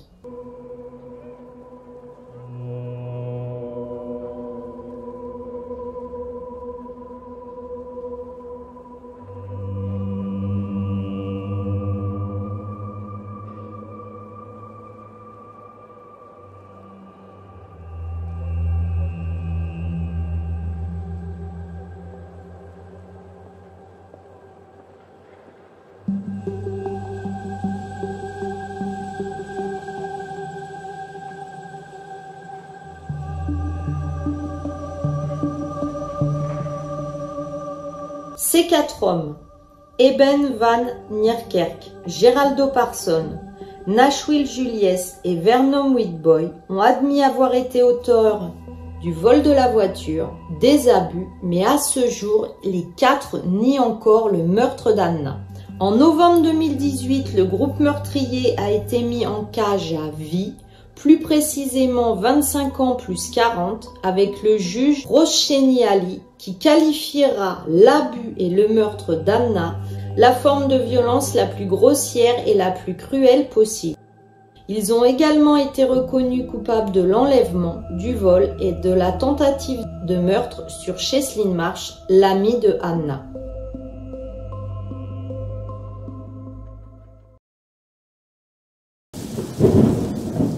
Gail est un des joueurs des Chicago Bears NFL. C'est donc un grand sportif à qui tout réussit. Carrière, nombreuses fêtes et repas de gala, car c'est un invité célèbre et que l'on apprécie à recevoir. Et en plus, il plaît énormément, mais alors là je vous le dis, énormément aux femmes. Et il va rencontrer Ronnie Rutter, qui est une très belle femme douce, souriante et très simple, elle aime la nature et faire la cuisine pour ses amis. Les années vont passer et ils sont maintenant ensemble depuis presque 18-19 ans, mais ils n'habitent pas ensemble. Ils se fréquentent donc depuis une vingtaine d'années. D'ailleurs, la famille de Ronnie était très étonnée quand elle a su qu'en plus de ne pas vivre ensemble, la relation n'était pas monogame, c'est-à-dire que Gail pouvait sortir avec d'autres femmes. Gail et Ronnie vivaient donc une relation basée sur la confiance et ils partageaient de bons moments tout naturellement. Ils sont sûrs de leurs sentiments, surtout Ronnie, car elle a une grande nouvelle à annoncer à Gail. Elle attend un enfant de lui. C'est une joie immense de savoir qu'ils vont avoir ce petit bout de chou qui va concrétiser leurs 20 ans d'amour bientôt. Maintenant, Ronnie, 42 ans, est enceinte de 6-7 mois d'une petite fille qu'ils vont appeler Skylar, leur petit nuage en français. Et là, euh, très rapidement, on perd pas de temps, malheureusement, je vous le dis, on est dans une DPAE et cette belle histoire ne va pas durer. Malheureusement, le 4 octobre 2007, dans sa maison de Deerfield, Ronnie a été retrouvée morte, abattue par balle sur le sol de la cuisine de son appartement. Il n'y avait aucun signe de vol ou d'effraction sur les lieux du crime. C'est une voisine qui a entendu crier et tirer qui a tout de suite prévenu la police car elle savait que sa voisine était seule et enceinte et cela l'effrayait totalement de savoir cette femme enceinte toute seule et peut-être agressée. Les autorités ont déclaré qu'elle avait été abattue à plusieurs reprises, à bout portant, avec deux coups tirés directement sur son abdomen. En plus de ses blessures par balle, le coroner a noté des blessures au visage, écorchures, échymose sous son œil gauche, ses lèvres et son menton. À noter qu'un médecin légiste renommé affirmera plus tard dans l'affaire que ses blessures au visage, ses échymoses et ses griffures étaient antérieures à l'agression par balle. Pour les enquêteurs, cela suggérait que le tireur visait non seulement Ronnie, mais également l'enfant à naître. Le meurtre de Ronnie a secoué la banlieue calme et aisée de Chicago, bah, qui était jusqu'alors très calme. En effet, c'était le premier meurtre qui avait lieu depuis 30 ans dans cette toute petite ville. Le jour où le corps de Ronnie a été découvert, Gail a appelé la police de Deerfield, disant qu'un journaliste l'avait appelé pour lui demander s'il savait quelque chose sur le fait d'avoir été nommé dans une fusillade sur la femme qui portait son enfant. Mais c'est horrible. Gail a appris la mort de la femme qui portait son enfant à cause d'un journaliste en recherche d'un article à sensation forte. Je vous le demande, où est le tact et où est la prise de conscience pour jouer ainsi avec les sentiments d'une personne, ça me rend dingue. Gail a alors appelé la police pour avoir confirmation et malheureusement, un policier lui a confirmé que Ronnie était la victime. L'ancien joueur de la NFL a éclaté en sanglots, il était hystérique. Il venait de perdre deux êtres très chers en une fraction de seconde. Gail décide par la suite d'aller au, au, commissariat. Lorsqu'il est arrivé, le chef adjoint de Deerfield, Rick Wilk, a déclaré que l'ancien joueur de la NFL était visiblement contrarié, mais qu'il était aussi un suspect. Au cours de l'interrogatoire, le détective du groupe de travail sur les crimes majeurs du comté de Lake, Scott Frost, a déclaré que Gail était devenu étrangement comme décomposé sans réaction. Moi je dis, bah, il est probablement sous le choc et on le comprend. Sera demandé à Gail ce qu'il avait fait au cours des dernières 24 heures et il paraîtra que certains détails sur son timing étaient flous. Gail avait insisté sur le fait, bah, bien sûr, qu'il était innocent. La police lui a posé des questions sur toutes les autres femmes qu'il fréquentait. Et là, diront les policiers, il nous donne assez gentiment une liste d'à peu près 16 ou 18 femmes différentes avec qui il sortait en même temps. Nous avions les rendez-vous, les numéros de téléphone de toutes ces relations amoureuses. Et bah, le Gail, ça fricote sec. Donc Gail, en même temps que Ronnie, fréquentait à peu près 18 femmes et la police dira que c'est peut-être l'une de ces femmes qui était jalouse de Ronnie. Lorsqu'on lui a demandé qui selon lui pouvait être bah, la tueuse, la police a déclaré que Gail a tout de suite nommé Monika Kurowska, avec qui il avait une relation un an auparavant, et il a dit que ça s'était très mal terminé. Mais qui est cette Monika Monika Kurowska était un mannequin de fitness polonais et un entraîneur personnel avec qui Gail était sortie pendant plusieurs mois en 2006. Gail a déclaré qu'une nuit, Monika est venue dans son complexe d'appartements et a commencé à faire sonner toutes les sonnettes des voisins. Il l'a trouvée à l'extérieur avec une main ensanglantée. Il a découvert plus tard qu'une de ses fenêtres avait été brisée. Elle avait tapé dedans. Gail a finalement obtenu une ordonnance de protection contre elle. Dans une déclaration à ABC News, cette fameuse Monica a déclaré qu'elle était bouleversée lorsqu'elle est arrivée chez Gail parce qu'elle l'a trouvé au lit avec une autre femme. Elle dit qu'elle a voulu lui parler mais il n'a pas voulu lui parler, il l'a mis dehors. Elle a frappé, frappé à la porte, aux fenêtres et dans le feu de sa frustration, elle a dit qu'elle avait accidentellement cassé une fenêtre. Elle a dit qu'elle avait décidé de mettre fin tout de suite à sa relation avec lui et qu'elle n'avait plus jamais ni parlé ni revu Gail. Gail a déclaré à la police qu'il pensait que Monica envoyait aussi des lettres de harcèlement à diverses personnes de sa vie, y compris Ronnie, la mère de Ronnie et d'autres femmes avec qui il sortait. Malheureusement, maintenant que Ronnie est décédé, ils veulent retrouver toutes ces lettres pour mener l'enquête. La police est au taquet du taquet. Alors qu'elle était interrogée par les enquêteurs, Monica Kuroska a nié avoir envoyé les lettres. Elle a déclaré qu'elle assistait à une séance de formation avec un client lorsque Ronnie Rotter a été assassiné, ce qui a été vérifié, son alibi est en béton. Alors, la police a innocenté Monica en tant que suspect et a finalement aussi d'ailleurs innocenté Gail qui avait lui aussi un alibi. Bientôt, ils vont commencer à se concentrer sur les autres femmes de la vie de Gail. Bah oui, parce qu'il y en a entre 16 et 18, donc ils ont du boulot, la police. Comme je vous l'ai dit, ils vont commencer à se concentrer sur d'autres femmes et ils vont se pencher sur Marnie Young. Mais qui est cette Marnie Yang? Donc, Gail, qui sortait avec Ronnie depuis presque 20 ans, comme je vous l'ai dit, voyait plein d'autres femmes en même temps, y compris cette Marnie Yang. Marnie Yang est une mère divorcée de trois enfants, accro au fitness, qui a occupé plusieurs emplois, notamment agent immobilier et aussi dans la sécurité. Elle a déclaré avoir rencontré Gail lors d'une convention pour les Chicago Bears où elle travaillait dans la sécurité. Elle a dit que les deux avaient commencé à se voir car il l'avait contactée pour son autre métier, investir dans l'immobilier. Puis ils ont vite commencé à sortir ensemble, très épisodiquement, mais Marty n'était pas du tout la favorite de Gail. C'était malheureusement la moins appréciée de toutes. Lorsque la police a appelé Young pour la première fois pour un interrogatoire concernant l'enquête de Ronnie, deux mois environ après le meurtre, elle leur a dit qu'elle et Gail se connaissaient depuis environ six ans.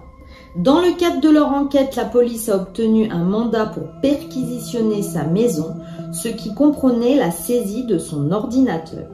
Après avoir eu accès à son email, les enquêteurs ont dit à Gail qui pensait que Marnie Young avait accédé à son email personnel pendant des années. Elle surveillait toute sa vie numérique et elle était au courant bah, de tous ses emails, de ses rendez-vous. C'est incroyable. La police apprendra également que Marnie Young se vantait d'être la petite amie officielle attitrée de Gail. Cela était pour elle comme une ascension sociale, elle en était extrêmement fière. La police va l'interroger sur ce fait et elle dira que c'était totalement faux. Elle a nié que ce soit le cas, elle dira que le mot petit ami n'a jamais été utilisé et que ce n'était pas comme ça qu'elle l'appelait. Les enquêteurs soupçonnaient pourtant très fortement Marnie Young d'être responsable de l'envoi des lettres et du harcèlement de Ronnie, de la mère de Ronnie et des autres femmes. Ils pensaient qu'elle avait découvert des emails de l'autre fitness girl Kurovska dans la boîte de réception de Gail qu'elle avait copié son style d'expression pour donner l'impression que les lettres provenaient d'elle et faire donc bah, accuser quelqu'un d'autre. Lors d'une perquisition au domicile de Marnie Young, la police a déclaré avoir découvert des étiquettes postales avec les adresses des autres femmes de la vie de Gail, les mêmes qui avaient reçu les lettres. Young nie avoir envoyé les lettres et prétend à la place qu'elle était l'une des femmes harcelées qui recevaient des lettres. Non mais toujours, hein, pris la main même, le bras jusqu'au coude dans le sac, les accusés vont nier. La police a découvert qu'elle possédait une arme de poing de 9 mm et les balles correspondent au calibre de celles retrouvées sur les lieux du crime de Ronnie. Young avait également acheté deux volumes d'un livre contenant des instructions sur la fabrication d'un silencieux fait maison. Elle avait acheté les matériaux énumérés dans le livre dans un magasin Home Depot selon les procureurs. Bah Marnie Young, elle, elle va dire à la police qu'elle n'avait pas l'arme au moment du meurtre. Elle dira que c'était l'ami de son fils qu'il avait volé chez elle quelques jours avant le meurtre. Elle dira pour le livre qu'il faisait partie d'un cadeau gag pour un ancien policier avec qui elle était sortie et dont c'était la fête. Selon les procureurs, l'un des éléments de preuve les plus accablants contre Marnie Yang était une conversation enregistrée qu'elle a eue avec une amie proche Christy Pachen, médium professionnel. Il l'avait approchée et lui avait mis un micro. Elle était OK pour aller parler à Marnie et la piéger. Au cours de la conversation, Marnie Yang a dit à Pachen qu'elle avait mis un déguisement élaboré et tiré sur Ronnie.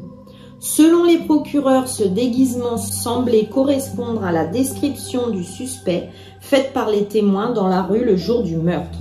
Donc, comme je vous le disais, elle avait décrit le meurtre à Pachen, affirmant qu'elle s'était habillée donc d'une perruque, d'un maquillage pour le visage, qu'elle avait fait deux ou trois pas dans la cuisine et qu'il fallait, selon ses dires, terminer le travail pour lequel elle était venue. Au cours de son procès, les procureurs ont pointé du doigt une vidéo de surveillance d'une station-service du quartier de Rony qui montrait une voiture circulant près des lieux au moment du meurtre qui, selon eux, correspondait à la description de celle de Marnie Young qu'elle avait louée dans la même semaine. Alors, l'équipe de défense de Marnie Young a fait valoir dans sa requête en post-condamnation que les procureurs s'étaient trompés sur la marque et le modèle de voiture. Eh bien, en réponse, le jury a rejeté cette requête. Marnie Yang affirme maintenant qu'elle a eu des problèmes de voiture ce jour-là et qu'elle avait loué la voiture pour une séance photo. Elle ne pouvait pas être sur les lieux du crime. Cependant, interrogée à ce sujet lors de son entretien, elle ne se souvenait plus du nom du photographe avec lequel elle travaillait. Bah bien sûr. Son équipe de défense affirme maintenant également que les preuves balistiques prouvent que la personne qui a tiré sur Ronnie était beaucoup plus grande que Marnie Yan. Cela ne peut pas être elle. En réponse, le bureau du procureur de l'État du comté de Lake a déclaré que la conclusion selon laquelle le tireur était quelqu'un de plus grand que Young est erronée et à mon avis, il commence à en avoir marre. L'équipe de défense a déposé encore une requête disant que les enfants de Marnie Young accusent la police. Ils auraient dû signer des déclarations écrites qui étaient fausses, poussées donc par la police. Les enfants de Young, Emily, Andrew, Brandon étaient seuls à la maison lorsque la police s'est présentée avec un mandat de perquisition à leur domicile trois mois après le meurtre. À peine adolescents à l'époque, Emily et Andrew ont déclaré avoir été amenés dans différents postes de police et interrogés séparément sans la présence d'un parent ou d'un avocat. L'un des enfants dira La seule façon de sortir de cette situation était d'écrire une fausse déclaration que ma mère n'était pas à la maison le matin du meurtre, mais pourtant elle était à la maison ce matin-là. L'adolescent ajoutera qu'il avait fait une crise de nerfs et avait été hospitalisé après cette épreuve. Au procès, Emily Yang, la fille, a témoigné que sa mère lui avait dit qu'elle avait envoyé ses lettres de harcèlement afin de prévenir toutes ces femmes qu'elle n'était pas seule et unique dans la vie de Gail et que c'était une bonne action. Le bureau du procureur de l'État nie que les déclarations des enfants aient été forcées. Ils ont dit que lorsqu'Emily Young a témoigné, elle n'a jamais dit que sa déclaration à la police était un mensonge. Les enfants de Marnie Young se tiennent maintenant aux côtés de leur mère pour la soutenir dans sa défense. Le père de Marnie Young, Larry Merard, a payé un million de dollars pour sa défense. Il dira que c'est pour aider sa fille et ses petits-enfants et pour qu'elle sorte vite de prison. En 2011, un jury n'a mis que trois heures. Oui, oui, seulement trois heures. Et croyez-moi, ce n'est pas beaucoup pour une délibération de jury. Donc le jury n'a mis que trois heures pour condamner Marnie Yang du meurtre de Ronnie Rutter et de son enfant à naître. Les procureurs disent que Marnie Yang était jalouse parce qu'elle sortait également avec Gail. Ils diront Il y a une quantité écrasante de preuves contre elle dans cette affaire. Mais en 2019, les avocats de Yang ont déposé une requête pour réouvrir l'affaire.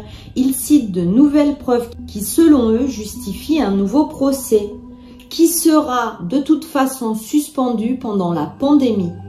Rassurez-vous, Marnie Yang purge aujourd'hui une peine de prison à perpétuité pour le meurtre de Ronnie Rutter et de son enfant. Pendant son séjour en prison, Marnie Young est devenue grand-mère d'une petite fille qu'elle n'a jamais rencontrée. Elle crie toujours au complot et elle dit avoir un espoir d'un nouveau procès un jour. Les journalistes diront Quiconque a suivi cela même à distance et a vu la quantité de preuves qu'ils ont contre elle, plus l'écoute électronique où elle dit que c'est elle, comprendront que cette affaire est classée. Michelle Harris était belle, extravertie, dynamique et drôle. Elle travaillait comme secrétaire chez un concessionnaire automobile lorsqu'elle y a rencontré son futur mari Calvin Harris. Cette concession appartenait au départ au père de Calvin, puis maintenant à son frère. Cal Calvin était donc le fils d'un homme businessman extrêmement riche et il était donc un bon parti. Cal, déjà très jeune, était un jeune homme qui s'est démarqué en tant que super sportif très populaire chez les filles. Il était joueur de crosse au lycée puis au collège. Il était donc d'une famille réputée et avait beaucoup de pouvoir dans une petite ville où l'argent règne en maître. Ils avaient tous les deux dès lors tous les ingrédients pour une relation parfaite, amour, gloire et beauté. Cal et Michel Harris se sont mariés en 1990 avant de s'installer dans la ville de Spencer à New York. Ce couple était extrêmement heureux. Ils ont accueilli leur fils aîné Taylor en 1994, puis leur fille aînée Kayla, puis plus tard leur sœur cadette Jenna, et enfin la plus jeune de toutes, Tanner, qui est entrée dans ce monde en l'an 2000. Malheureusement, alors que Michelle était enceinte de Tanner en 1999, elle va surprendre Cal qui a une liaison. Ceci va totalement gâcher bah, la confiance qu'elle avait envers son mari, déjà bah, parce qu'il l'a trompée alors qu'elle était enceinte et ensuite parce qu'elle va lui demander de faire un choix. C'est sa maîtresse ou elle. Tout de suite, Cal lui va dire qu'il va choisir bah, sa femme. Malheureusement, elle va le surprendre une nouvelle fois avec sa maîtresse. Elle va lui demander un jour pourquoi il l'a trompée. Il va justifier sa liaison en disant Parce que tu ne fais pas assez le ménage. Ah, bah là, moi, je vous le dis, hein. c'est la meilleure excuse pour tromper son conjoint ou sa conjointe. Hein. Ah, bah j'ai fauté parce que tu passais pas assez la serpillière. Michel, sans autre solution en vue, car elle n'arrivait plus à le croire et à nouveau bah, lui faire confiance, elle a choisi le divorce comme seule option et a déposé une requête de divorce en 2001. Bien que les rapports indiquent que Michel s'est plainte de violences domestiques dans sa requête en divorce, Cal, lui, son mari, a nié l'accusation et a affirmé qu'elle l'avait fait pour obtenir la garde des enfants. Cependant, le divorce ne sera jamais finalisé. Tout va basculer dans cette vie de famille. Dans la nuit du 11 septembre 2001, Michelle a quitté le restaurant où elle travaillait comme serveuse, histoire d'être indépendante et de subvenir à ses besoins et ceux des enfants. Donc elle a quitté son travail après avoir terminé son quart de travail. Elle a partagé une boisson avec deux collègues sur le parking du restaurant. D'ailleurs, à savoir que l'un d'eux, elle commençait à le draguer et ça en était à l'état de flirt. Elle a ensuite quitté le parking et ses collègues et est allée voir son petit ami à Smithboro. Et elle est partie à peu près vers 23 heures de chez ce petit ami. C'est la dernière fois que quelqu'un verra Michel. Le lendemain matin, sa voiture a été retrouvée sur la route près de sa maison qu'elle partageait avec ses enfants et son ex-mari Cal.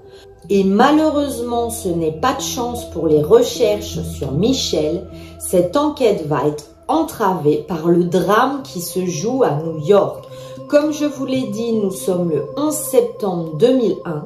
Les tours se sont effondrées et tous les policiers qui auraient normalement été impliqués en grand nombre pour mener l'enquête avaient été transportés par des autobus à New York à ce même moment. En effet, c'était pour répondre aux besoins que la ville avait suite aux attaques. Vous comprendrez donc que pour cette enquête sur la disparition de Michel, cela va jouer d'énormément de malchance avec ces attentats qui sont survenus bah, donc au même moment. Cela me rappelle une histoire où une mère de famille avait disparu pendant un ouragan. Je vous mets le lien ici si vous voulez la regarder. Mais très rapidement, la suspicion va être centrée sur Cal, son mari ex-mari dont le divorce avec Michel était devenu hyper tendu car il aurait pu perdre une partie considérable de sa fortune familiale dans ce fameux divorce. Il a été décrit apparemment comme nonchalant et pas du tout impliqué dans les recherches à propos de la disparition de sa femme. Lui, il va sortir avec d'autres femmes pendant ce temps-là et direct, quelques jours après sa disparition, il va vendre tous ses effets personnels et ses vêtements qui sont dans la maison. Ce n'est pas là l'attitude de quelqu'un qui pense qu'on va la retrouver et qu'elle va revenir. Mais revenons à l'enquête. Peu de temps après sa disparition, la police a trouvé des taches de sang à l'intérieur de la maison de Cal et Michel. De plus, selon l'enquête, de nombreux témoins ont déclaré que Cal était violent envers Michel et qu'il avait même menacé de l'assassiner. Pendant ce temps, la perte de leur mère a été extrêmement difficile pour ses enfants, d'autant qu'ils avaient tous entre 2 bah, et 7 ans à l'époque de sa disparition, ils avaient énormément besoin de leur mère. Cependant, leur fille Jenna dira plus tard que son père était extrêmement respectueux envers leur mère Michel, qu'il avait même aidé ses enfants à créer des albums photos personnalisés avec que des photos de leur mère et des moments qu'ils avaient passés avec elle, dans l'espoir de garder vivant le souvenir de leur mère. Ils travaillaient, disent-ils, sans relâche pour raviver le souvenir de notre mère dans nos esprits. Toutefois, sur les bases de toutes les preuves recueillies par la police, en 2005, Cal est arrêté. Donc on est quatre ans plus tard après la disparition de Michel qui n'a toujours pas été retrouvé. Il est accusé du meurtre au deuxième degré.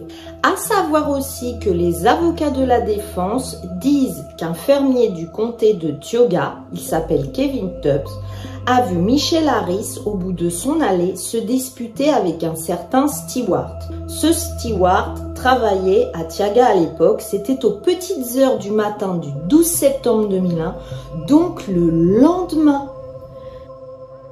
et aussi également des restes de vêtements pour femmes et d'autres objets ont été découverts en janvier dans une fosse à feu. Ils avaient brûlé et on est aussi dans le comté de Tiaga sur un terrain et ce terrain était possédé à l'époque par Stewart, cet homme qui se disputait justement avec elle. Il sera dit que cela faisait preuve pour soutenir la théorie qu'il n'avait pas pu assassiner sa femme. C'était Stewart et Thomason qui avaient assassiné Michelle Harris chez elle et ils se seraient débarrassés de son corps en le brûlant. Ils vont interroger Stewart ben, lors de l'enquête, il restera évasif, mais les policiers ne poseront pas plus de questions. Il y aura pourtant d'autres témoins qui disaient que quand il avait bu des bières, il se vantait qu'il savait cacher un corps.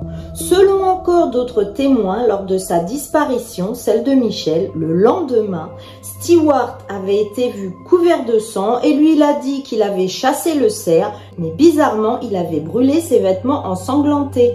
Mais pourquoi de plus, selon la défense, Thomason et Stewart, ces deux fermiers, fréquentaient le restaurant où Michel travaillait en 2001. La défense de ces deux personnes diront que ces dires étaient fiables et que cela ne pouvait pas être eux.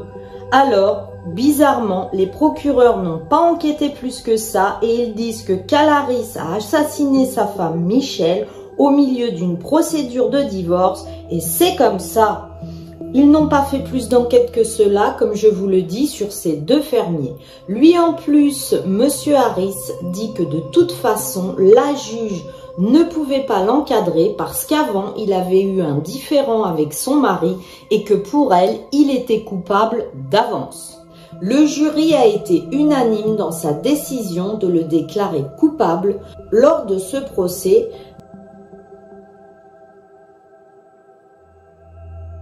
Et là, un témoin va venir au procès et va totalement renverser la vapeur. Un ouvrier agricole qui vivait à proximité a affirmé avoir vu Michel le matin du 12 septembre 2001 près de l'allée de sa maison. Ce témoignage a donc réfuté l'argument de l'accusation selon lequel Cal aurait tué sa femme dans la nuit du 11. Et oui, si on l'a vu le 12 au matin, c'est pas qu'elle a été tuée le 11 dans la nuit. Par conséquent, le verdict a été rapidement annulé. Mais que pensent les enfants de tout ça? Pendant ce temps et lors des différentes accusations de leur père et des procès, ils sont devenus adolescents et ils sont énormément choqués. Tout au long des procès et des nouveaux procès de Cal, ses enfants sont restés à ses côtés et ont insisté sur son innocence. Juste avant le premier procès de Cal, les enfants ont lancé un appel public pour toute information qui aiderait à acquitter leur père de toutes ces accusations. S'exprimant lors d'une conférence de presse, la fille aînée de Cal, Kayla, a même déclaré Nous devons savoir ce qui est vraiment arrivé à notre mère. Nous savons que notre père n'a rien à voir avec sa disparition. Nous savons aussi qu'il y a des gens avec des informations qui peuvent nous aider. Nous voulons garder notre famille unie et ne plus perdre notre Père. Nous implorons ceux d'entre vous qui peuvent nous aider de bien vouloir nous fournir des informations. De plus, deux de ces enfants vont témoigner en faveur de leur père et leur père sera finalement débarrassé de toutes ces accusations et libéré. Mais où sont maintenant les enfants de Cal et Michel Harris? Après l'acquittement de leur père Cal, Taylor, Kayla, Jenna et Tanner ont tout de suite renoué le contact avec leur père qu'ils n'ont jamais cessé d'aimer. Les enfants ayant maintenant grandi, ils n'ont pratiquement aucun souvenir de leur mère Michel, à l'exception de quelques histoires que la famille leur a racontées ainsi que leur père. De plus, la relation qu'ils ont avec leur père est extrêmement fusionnelle et ils attribuent toujours à leur père leur éducation heureuse et le tiennent pour 100% auteur de leur succès dans la vie. Ils vivent maintenant une vie loin des journaux et du public, avec une présence très discrète et privée sur les réseaux sociaux. Ils préfèrent vivre loin de tous les projecteurs. Il est extrêmement difficile à l'heure actuelle de savoir où ils sont. Cependant, même au milieu de toutes les adversités de la vie, les quatre frères et sœurs sont restés très très unis. Ils s'unissent donc tous les quatre auprès de leur père et disent qu'il n'y a que la famille qui compte et après des moments aussi difficiles et horribles que les leurs, on comprend bah, qu'ils se recentrent sur la famille. En attendant, Michel à ce jour n'a jamais été retrouvé. Désiré est né en août 1982 et a obtenu son diplôme d'études secondaires en l'an 2000. Puis à 30 ans, elle a travaillé comme institutrice au Wapato Middle School à Washington. Désiré était donc un professeur de dessin et était adoré des enfants de ses collègues. C'est une femme douce, calme et très patiente. C'est aussi une motarde qui adorait prendre la route et décoller sur son Harley Davidson. Elle est mariée à Scott Sunford. Scott, lui, il est mécanicien dans l'armée et il a même été déployé lors de deux tournées en Irak. Il a épousé Désiré en 2003 après qu'ils se soient rencontrés au lycée et qu'ils soient tombés fous amoureux l'un de l'autre. Le couple achètera ensuite une maison à Yakima, Washington. Leur vie est rythmée par le travail, les week-ends, leurs sorties en moto, seuls ou avec des amis. Mais n'oubliez pas, on est dans une DPAE et vous allez voir, ce n'est pas un conte de fées, car le couple a de nombreux secrets et on le sait, quand la porte est fermée, on ne sait pas ce qui se passe à l'intérieur des maisons. Tout d'abord, il va y avoir un cambriolage dans leur maison environ six mois après leur emménagement. Ils ont eu très très peur et ils vont faire installer un système de sécurité bah, pour se sentir bah, en sécurité et se sentir mieux et être moins inquiet. C'est alors que malheureusement il va y avoir un décès dans la famille de Scott et Scott va se rendre tout seul aux funérailles. Scott est donc à des kilomètres de chez lui dans sa famille quand il a été alerté du déclenchement de système de sécurité le matin à 3h30. Au départ, il va supposer que Désiré l'avait déclenché par accident en se cognant ou en appuyant sur le bouton. Puis, il va essayer de la joindre dans la journée. Il n'y arrivera pas, Désiré ne répondra jamais. Il va tout de suite appeler le 911 pour signaler bah, dans un premier temps le déclenchement de l'alarme et le fait que sa femme ne lui réponde pas. Donc le 7 avril 2013, c'est le jour où Scott a appelé les autorités.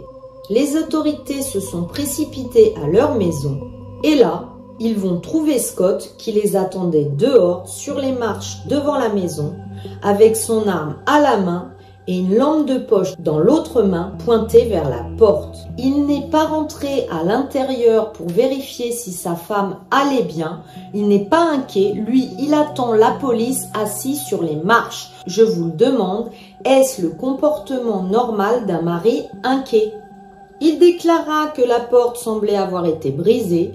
Ils vont entrer dans l'obscurité totale. Il n'y a rien de suspect jusqu'à ce qu'ils arrivent dans la chambre principale et c'est horrible, Désirée est retrouvée par terre. Elle a été abattue de 9 tirs de balles avec une arme de poing de 9 mm.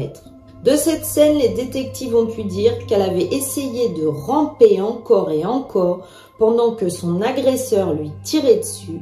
Elle essayait de lui échapper. Des douilles ont été récupérées et une empreinte sanglante faite par une botte a été retrouvée sur les lieux. La police veut interroger Scott pour déterminer quand Désiré a été tué et où lui se trouvait au moment de l'attaque sur Désiré. La police diront donc à Scott qu'ils veulent l'interroger et lui poser quelques questions.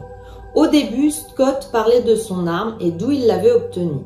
Puis le détective David Johnson a pensé que c'était bizarre parce qu'il venait de lui dire que sa femme avait été tuée et lui ne faisait que de parler de son arme et de se justifier.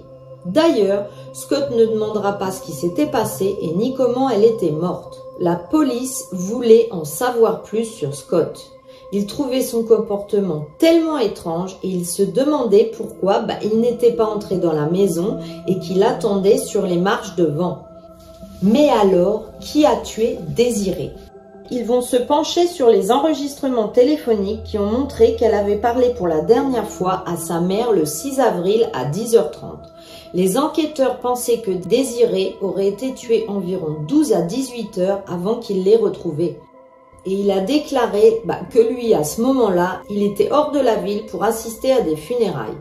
Selon lui, l'alarme s'est déclenchée aux premières heures le matin du 7 avril, mais il a pensé à l'époque que comme c'était un nouveau système de sécurité, Désirée était en train de s'y habituer et qu'elle l'avait peut-être déclenché par erreur. Lors de son retour plus tard dans la journée, il dira que la panique s'est installée en lui alors qu'il n'arrivait pas à la contacter par téléphone. C'est là qu'il a décidé d'appeler la police. Il dira que leur maison d'ailleurs avait été cambriolée quelques jours avant l'incident. Quelques objets de valeur avaient été volés dans leur maison et c'est après cet incident qu'il dira à la police qu'ils avaient installé le système de sécurité. Dans un premier temps, la police va exclure Scott parce qu'il n'était pas là au moment du meurtre. À cette époque, Scott travaillait dans une usine de produits alimentaires et quand on lui a demandé où est-ce qu'il avait dormi après les funérailles, au lieu de rentrer chez lui, il avait dormi chez une amie, une collègue de travail à lui. Puis la police a trouvé ça bizarre. Ils lui ont demandé s'ils étaient amants. Il a affirmé que non et qu'il dormait sur le canapé, que rien ne s'était passé entre les deux. La police a voulu rencontrer cette femme ils l'ont fait venir au poste. Elle s'appelle Paige Blades. Paige est une mère célibataire qui vit à Kennewick et qui donc travaille dans cette même usine de fabrication de produits alimentaires. Elle est la collègue de Scott. Mais Paige, elle, quand elle a été contactée, elle a dit le contraire, ils sont bien amants. Paige a affirmé qu'ils avaient eu une liaison depuis un certain moment et ça, ça va piquer l'intérêt des enquêteurs envers Scott. Il a menti. Cette fois, bah, lui, Scott, interrogé à nouveau, va affirmer que Paige et Désiré avaient également eu une liaison ensemble. Genre, les deux femmes, elles avaient une liaison, donc lui, du coup, il avait une liaison avec l'autre femme en plus de sa femme. Ce ne sont que les dires de Scott, car elle, Paige, ne dira jamais la même chose. Scott dira que plus tard, il avait même parlé de sa liaison à sa femme, et a déclaré que Désiré était au courant et que cela ne la dérangeait pas. Mais les SMS qui seront retrouvés entre Désiré et Paige prouveront le contraire. En effet, dans ces SMS, on se rend compte que Désiré n'était pas du tout d'accord pour la liaison de son mari avec Paige. Sans aucune autre preuve reliant Paige au meurtre ainsi que Scott, ils ont été relâchés. La police a également obtenu un mandat bah, pour la maison de Scott et un mandat pour la maison de Paige. Ils vont prendre chez Scott diverses bottes et chaussures pour voir si les traces d'empreintes correspondent. Aucune de ces chaussures ne correspondait. L'affaire s'est ensuite heurtée à un mur et puis silence radio dans cette affaire pendant un an jusqu'à temps qu'il y ait une dénonciation anonyme. En juillet 2014, un nom va être donné à la police. Marty Grismer, 27 ans. Alors là, la police n'a jamais entendu parler de cet homme jusqu'à présent. Les autorités ont appris que le renseignement sur cet homme venait de Page et elle a dit que c'était Marty le tueur. Page et lui étaient collègues et très bons amis, que peut-être même Marty était amoureux d'elle. À l'époque, elle se serait confiée à Marty, donc son collègue lui aussi, qui en plus est amoureux d'elle. Elle lui aurait dit qu'elle était enceinte de Scott. Bon, en fait, ce n'est pas vrai. Sauf que Marty lui veut que tout se passe bien dans la vie de Page et il aurait a priori voulu tuer Désiré car il pensait que comme ça, Scott et Paige pourraient être un couple qui s'occupe de leur bébé. En fait, il s'avéra que le père était bah, quelqu'un d'autre que Scott et que Marty aurait ensuite tué, donc comme je vous l'ai dit, Désiré, parce qu'elle aurait été problématique pour que Paige et Scott forment la famille idéale. Il aurait avoué ce meurtre à Paige et Paige aurait alerté les autorités. Mais il faut des preuves à la police. Page va donc accepter de porter un micro dans l'espoir de faire admettre ce meurtre par Marty. Page et Marty se sont rencontrés à l'intérieur d'un café et la réunion sera enregistrée. Page dirigeait la conversation et a dit à Marty qu'elle était stressée parce qu'il lui avait dit la semaine dernière. Marty a dit qu'il ne savait pas de quoi elle parlait. Qu'il soit méfiant ou non, Marty n'a jamais avoué quoi que ce soit lors de ce rendez-vous. La police est une fois de plus à la case départ. L'affaire piétine encore quelques semaines jusqu'à ce que la police reçoive un appel de l'entreprise où travaille Marty. Il y avait des bureaux dans le bâtiment qui étaient en train d'être nettoyés. Le sien étant l'un d'entre eux, ils ont trouvé un sac en plastique contenant des pièces d'armes à feu, la police est allée directement dans le bureau pour vérifier le bureau de Marty. La police est au taquet du taquet sur cette affaire. Ils vont également retrouver en plus bah, des pièces d'armes à feu, des douilles.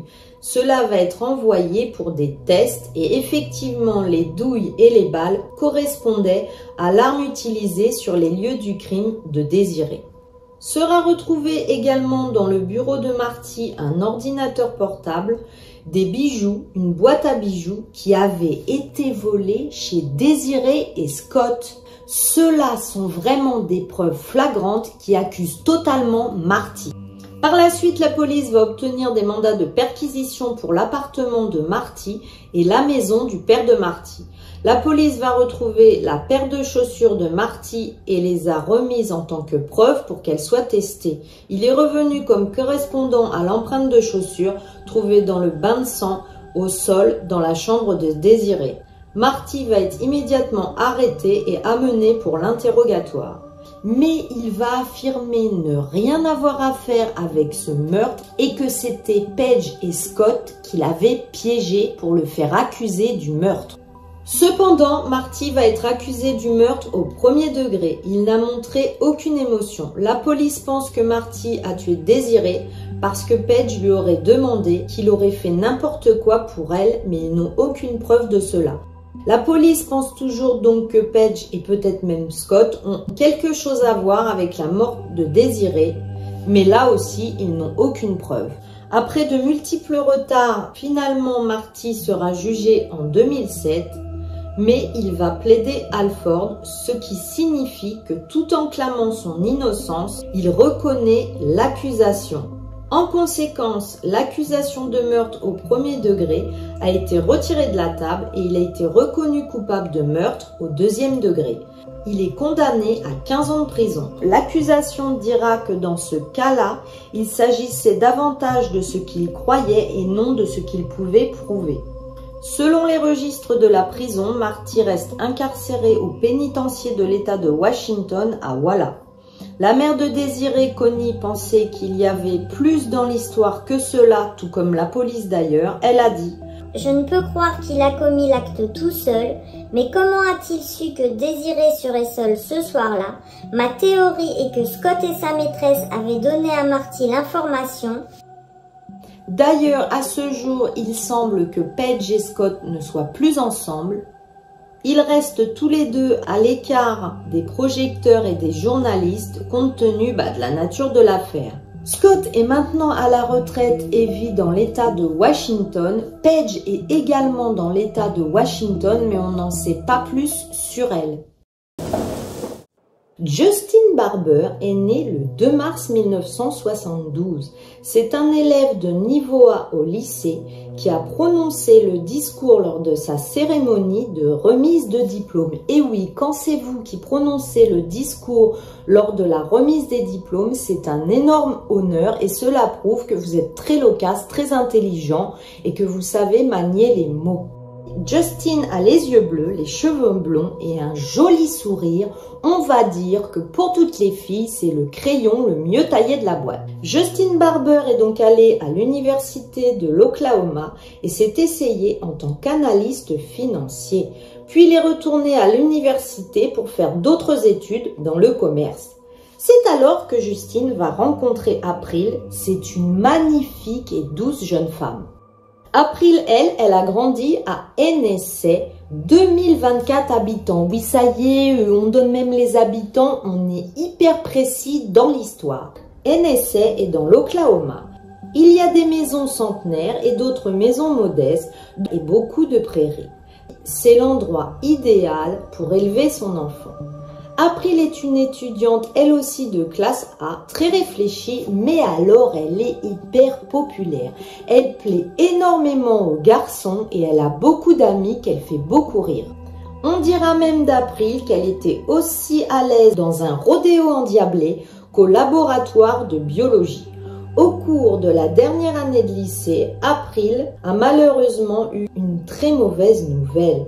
Sa mère a reçu un diagnostic de cancer du poumon et elle est décédée après six mois d'agonie. Le père d'April, lui, qui était un ouvrier pétrolier, a très mal vécu la mort de sa femme. Il est tombé en dépression. Il ne pouvait plus s'occuper de ses enfants. Bien que la famille proche les ait accueillis, April va tout de suite prendre son rôle de grande sœur à bras le corps et va même devenir une mère de substitution pour ses frères et sœurs Julie 9 ans et Kendon 1 an. Pourtant, avec son nouveau rôle de maman de substitution pour ses frères et sœurs, elle va garder de super bonnes notes dans ses études. Elle a poursuivi le programme de pré-médecine à l'Université d'État de l'Oklahoma toujours, puis a étudié la radiothérapie à l'université. Une amie dira d'elle Elle accorde plus de valeur aux relations humaines que la plupart des gens. Elle ne considère pas la vie pour acquise. Puis donc, comme je vous l'ai dit, April va rencontrer Justin. Ils vont sortir ensemble pendant dix mois. Et comme ils filent le parfait amour, et d'ailleurs tout le monde dira d'eux que c'était un couple parfait tel Ken et Barbie, ils décident de se marier. C'est un couple amoureux, romantique. Comme je vous l'ai dit, ils font penser au couple idéal. C'est donc en août 1999, dix mois après leur rencontre, qu'April et Justine se marient lors d'une petite cérémonie aux Bahamas. Cela fait maintenant trois ans que Justine et April sont mariés. Et là, vous vous y attendez peut-être, tout ne va pas pour le mieux dans leur mariage. Et oui, parce que ici, c'est pas le pays des bisounours, on est sur une DPAE et le mariage tourne très mal. Je vais vous expliquer pourquoi. Déjà, Justine n'est pas un homme fidèle. Il va commencer à avoir des relations extra-conjugales. Ça va faire qu'il se dispute avec April.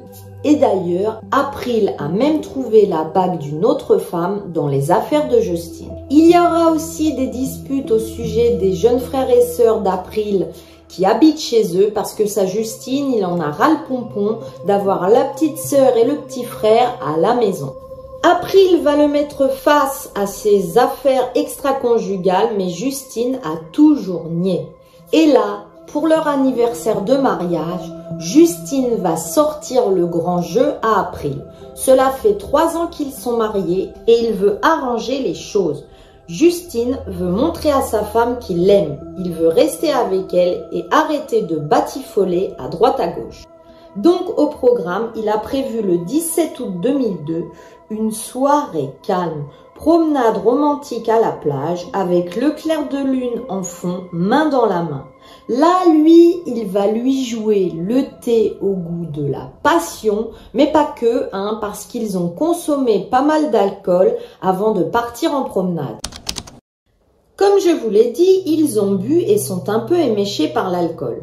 Cette plage est magnifique, elle est cachée par des bosquets de palmiers nains il y a un ruban de sable qui se déroule le long d'un tronçon solitaire, le long d'une route au sud de Jacksonville en Floride. Le soleil commence à se coucher. Les amoureux vont se garer très vite sur le bord de la route pour ne pas rater le coucher de soleil. Ils vont emprunter des passerelles en bois dans les dunes. C'est donc, comme je vous l'ai dit, la soirée parfaite pour un troisième anniversaire de mariage romantique. C'est alors qu'un homme surgit de nulle part. Justin a déclaré que lui et sa femme avaient été attaqués par un agresseur inconnu. Je vous raconte tout ça en détail. Vers 22h30, alors qu'il se promenait au bord de l'eau, un homme de grande taille en t-shirt ample s'est approché d'eux.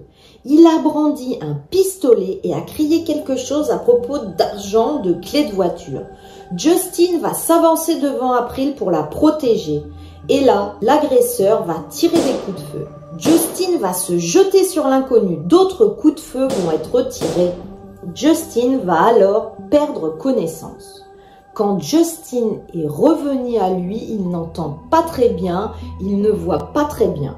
Tout est confus. C'est alors qu'il a découvert qu'il avait reçu quatre balles dans le corps, dont deux dans les épaules, une sous la poitrine et une dans la main gauche. L'agresseur était parti, Justine a crié April April, mais où es-tu, April? Et là, c'est horrible. Il l'a repéré flottant dans l'eau, face contre le fond de l'eau. Justine va se précipiter vers April. Elle avait un trou de calibre 22 dans sa joue gauche. Il l'a traînée jusqu'à la plage, jusqu'à ce que ses forces s'épuisent. Il l'a laissée là, sur le sol. Il a titubé jusqu'à la route et faire signe aux voitures de s'arrêter. Justin dira que les voitures ne s'arrêtaient pas. Au bout de 10 minutes, puis 20 minutes, à force de faire des signes, une voiture va s'arrêter et ils vont appeler le 911. Justin va être immédiatement transféré à l'hôpital. La police et les sauveteurs ont fouillé la plage.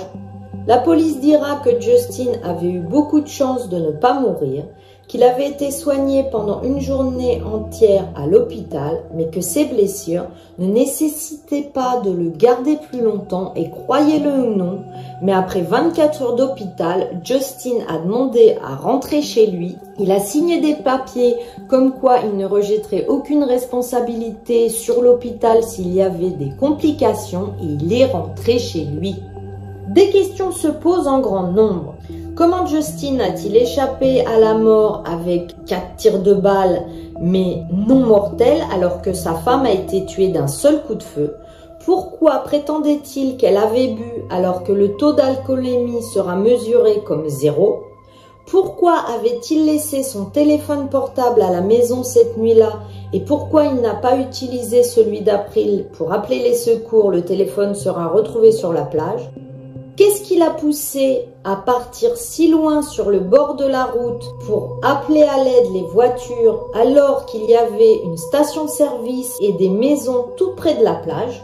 Pourquoi Justin a-t-il agi ainsi? C'est trop bizarre. Justin a ramené les détectives sur les lieux du crime et leur a raconté comment il avait lutté avec l'agresseur, comment tout s'était passé.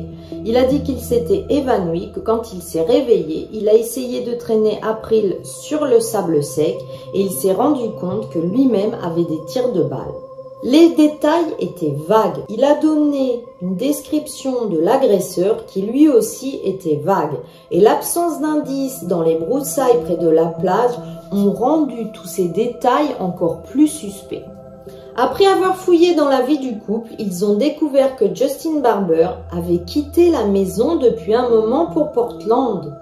En fait, ils ne vivaient plus ensemble depuis quelques semaines et cette soirée était une soirée de réconciliation.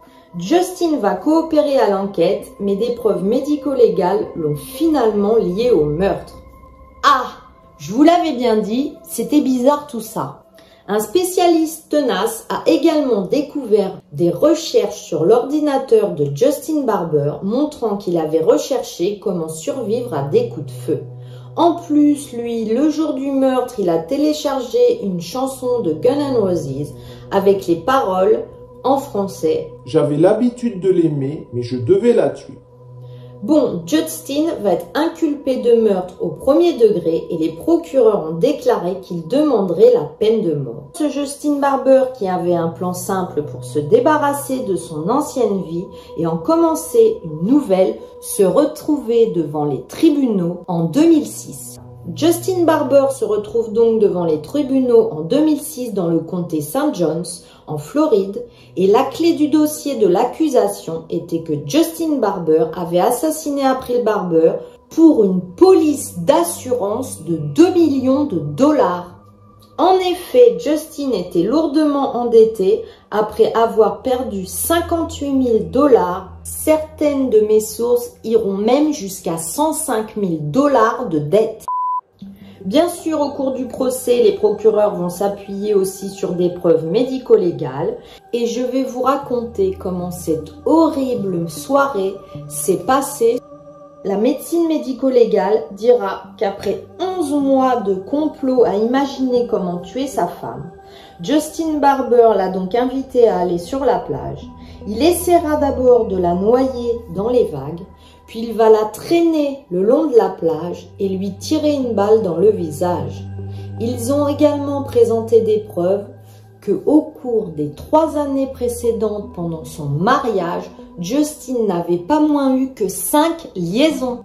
Les avocats de la défense ont déclaré que la preuve qu'une voiture ait été vue sur la plage ou que April ait été tué par quelqu'un d'autre n'existait pas. Justin avait simplement tué sa femme pour toucher la police d'assurance de 2 millions.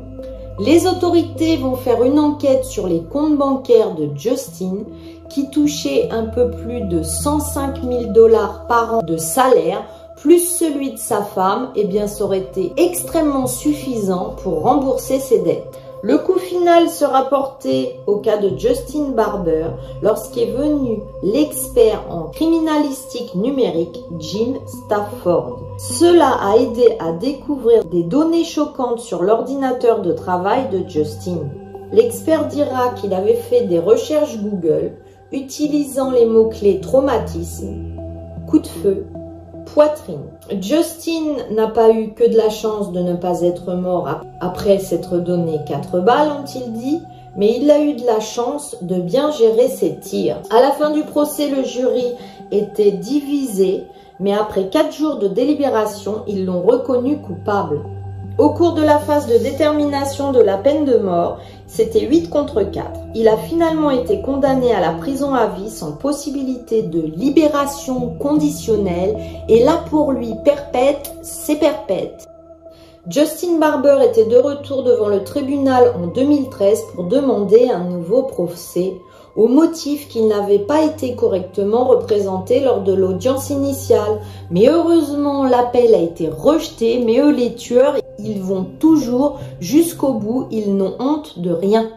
Je vous arrive donc avec deux affaires, si je puis dire, toutes fraîches. Et vous verrez la deuxième est particulièrement brutale. Donc quand vous regarderez la première, n'oubliez pas qu'après la première affaire, il y en aura une deuxième.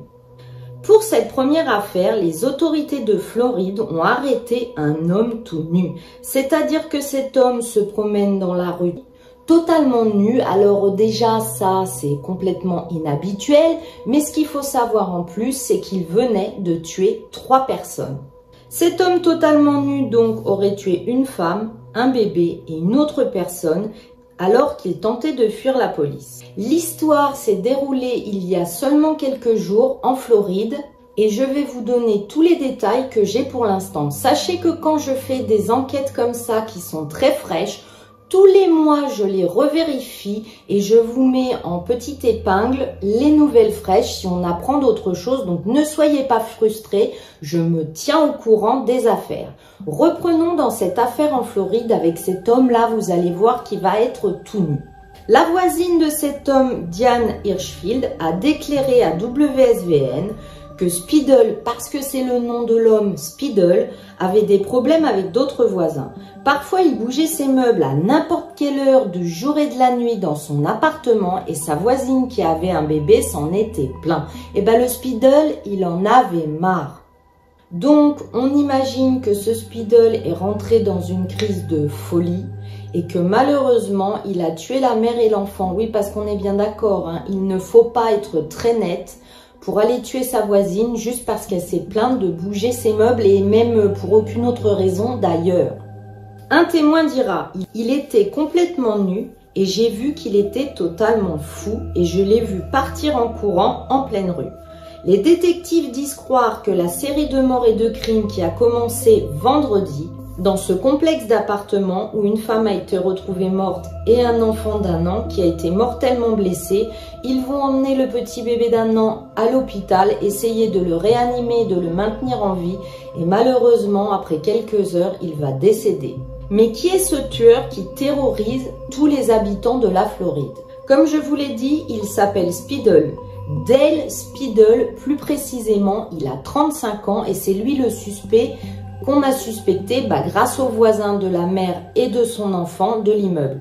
Il aurait fui le complexe d'appartements dans une voiture, une Kia grise, et a ensuite été impliqué dans plein d'accidents de voiture, vous allez le voir. Oui, parce que sa folie là au Speedle, elle va pas s'arrêter là.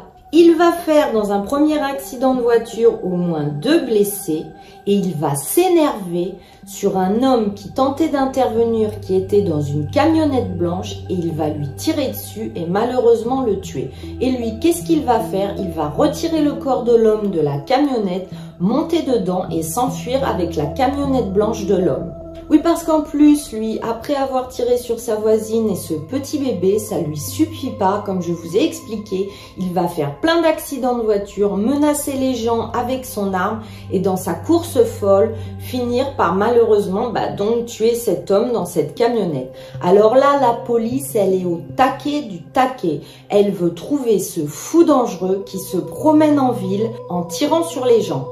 Et là, vers 14h, le vendredi 20 mai 2022, voyez, je vous dis que c'était il y a très peu de temps, les policiers de Carol Spring ont répondu à un rapport faisant état d'un accident avec délit de fuite. Bon alors, qu'est-ce que c'est un délit de fuite? Je vais vous lire la définition exacte. Le délit de fuite est défini comme le fait pour tout conducteur d'un véhicule sachant qu'il vient de causer ou d'occasionner un accident mortel ou non d'ailleurs, de ne pas s'arrêter, de ne pas appeler de l'aide et de tenter ainsi d'échapper à la responsabilité pénale ou civile. Donc on va revenir à notre bon gars là, le Speedle. Speedle, tout d'un coup, il est tout nu comme un verre. Les policiers ont tenté d'arrêter cette Kia argentée qui était conduite par Speedle et qui avait impliqué donc plusieurs incidents, mais ils l'ont perdu de vue parce que, bah, nous on le sait, il est dans une camionnette blanche. Malheureusement, pendant ce temps-là, ils ont quand même emmené l'homme de la camionnette blanche en ambulance essayant de le réanimer et à l'hôpital et il sera, c'est sûr, décédé. Ensuite, un autre accident va être signalé à Coconut Creek où encore deux personnes vont être blessées mais ce fou ne s'arrêtera jamais. Le gars, lui, il poursuit sa folie meurtrière dans sa camionnette blanche et il continue son horrible journée. Et puis Speedle, il va sortir tout nu de la camionnette blanche. Il va tenter d'agresser une femme pour lui voler son collier, mais pauvre femme, voilà autre chose, maintenant il fait du vol à l'arraché lui. Et heureusement, il était plus que temps, la police de Coconut Creek est arrivée sur les lieux et, ils ont arrêté Speedle qui était encore nu à ce moment-là. Cette poursuite folle à travers plusieurs villes a enfin pris fin. Les autorités disent que la Kia grise les a conduits donc à l'appartement de Speedle qui était situé à côté de l'endroit où malheureusement la femme et l'enfant avaient été retrouvés morts. La femme a été déclarée morte sur les lieux dans l'appartement et comme je vous l'ai dit, le jeune enfant de 1 an à l'hôpital. Les autorités n'ont pas révélé comment la femme et l'enfant sont morts, mais je me permets d'imaginer que c'est avec une arme à feu, puisque après lui, dans sa course folle, Speedle tirait avec une arme à feu. Oui, parce que je le rappelle encore, cette nouvelle-là n'a que une semaine, c'est donc une nouvelle fraîche et on n'a pas encore tous les détails. Les voisins du complexe d'appartements et donc de Speedle et de la mère et l'enfant ne sont pas capables de donner un sens à ces crimes horribles et qui le peut car il n'y a pas de sens de faire cela. Et les détectives bah, tentent de trouver des pistes sur cette tragédie complètement alambiquée. Speedle pour l'instant reste en prison, c'est une prison locale pour un chef d'accusation de meurtre avec préméditation et, d'autres chefs d'accusation notamment de vol, de coups et blessures aggravées avec une arme mortelle et de quitter les lieux d'un accident impliquant des dommages matériels selon bah, toutes les archives en ligne que j'ai pu trouver. Bien sûr, comme à chaque fois, je vais vous tenir au courant en faisant les petites épingles comme je vous ai dit, mais on en est là. Heureusement, lui, Speedle, il a été arrêté, il est derrière les barreaux il sera prochainement jugé. Et maintenant, voici la deuxième affaire que j'ai pu vous trouver. Elle a à peine un mois. C'est un couple de Floride qui va être retrouvé mort et les policiers disent que c'est un crime horriblement vicieux. La police de Daytona Beach en Floride recherche la personne qui a tranché la gorge d'un couple qui rentrait chez eux tranquillement en moto à Main Street. Ils revenaient d'un événement à la Bike Week. La Bike Week, c'est un des plus grands événements au monde de rassemblement de motos et ce couple tranquillement ben, y avait été et ils rentraient chez eux en moto. C'est alors qu'un homme les a attaqués en se jetant sur eux avec un couteau et les frappant encore et encore. Les deux victimes, qui sont-elles? Ce sont un mari et une femme, Terry, 48 ans, et Brenda Holtman, 55 ans. Comme je vous l'ai dit, ils ont subi de multiples coups de couteau et de lacérations. Ils ont été retrouvés tôt le dimanche matin le 6 mars 2022 après que des personnes les aient retrouvés totalement immaculés de sang dans la cour d'une maison. La police a déclaré que le couple avait peut-être été suivi par Max et Anne alors qu'ils rentraient chez eux. Les agents ont répondu au double homicide après que quelqu'un ait appelé le 911 pour signaler deux personnes ensanglantées dans une cour de maison. Les habitants de ce quartier où a été découvert le corps sont terrifiés. Il faut que la police mène l'enquête. Puis, quelques jours plus tard, suivant ces deux meurtres, un homme d'Orlando est accusé d'avoir poignardé le couple à mort ici le premier week-end donc de la Bike Week, le rassemblement moto. Il était de retour dans le comté de Volusia et il a été détenu sous caution. On a un coupable. C'est Dean Maxan, 32 ans. Il a été arrêté à Orlando, soupçonné du meurtre de Terry et Brenda Holtman le 6 mars 2022, alors qu'il rentrait chez eux à moto sur Main Street. La police pense que le couple a été attaqué, puis tiré du trottoir et laissé dans la cour de la maison pour ne pas être vu tout de suite. Les enquêteurs vont penser que le vol n'était pas du tout le motif du tueur parce qu'il leur a laissé tous leurs objets de valeur et leur argent liquide sur eux. Cela terrorise encore plus les habitants. Bon, les enquêteurs, ils vont vraiment être au taquet du taquet. Ils pensent que Maxéane est arrivé au bus de Daytona Beach, la ville où aura lieu les meurtres, et que par la suite, une fois ces horribles meurtres effectués, illico presto, il a quitté la ville. À savoir que cet homme-là, et c'est ce qui va être vraiment encore plus terrible dans cette histoire et va vous énerver, il avait énormément d'antécédents de vols, et de vente de produits illicites, mais ils n'ont jamais donné suite. Le 10 mars 2022, donc l'homme nommé John R. Maxeon, 32 ans, sera identifié comme un citoyen d'Haïti et qui était émigrant illégal aux États-Unis. Il a été arrêté donc enfin pour le meurtre de Terry et Brenda Holtman et inculpé avec deux chefs de meurtre au premier degré. Il est en ce moment placé en prison dans le comté d'Orange et il n'est pas prêt d'en sortir.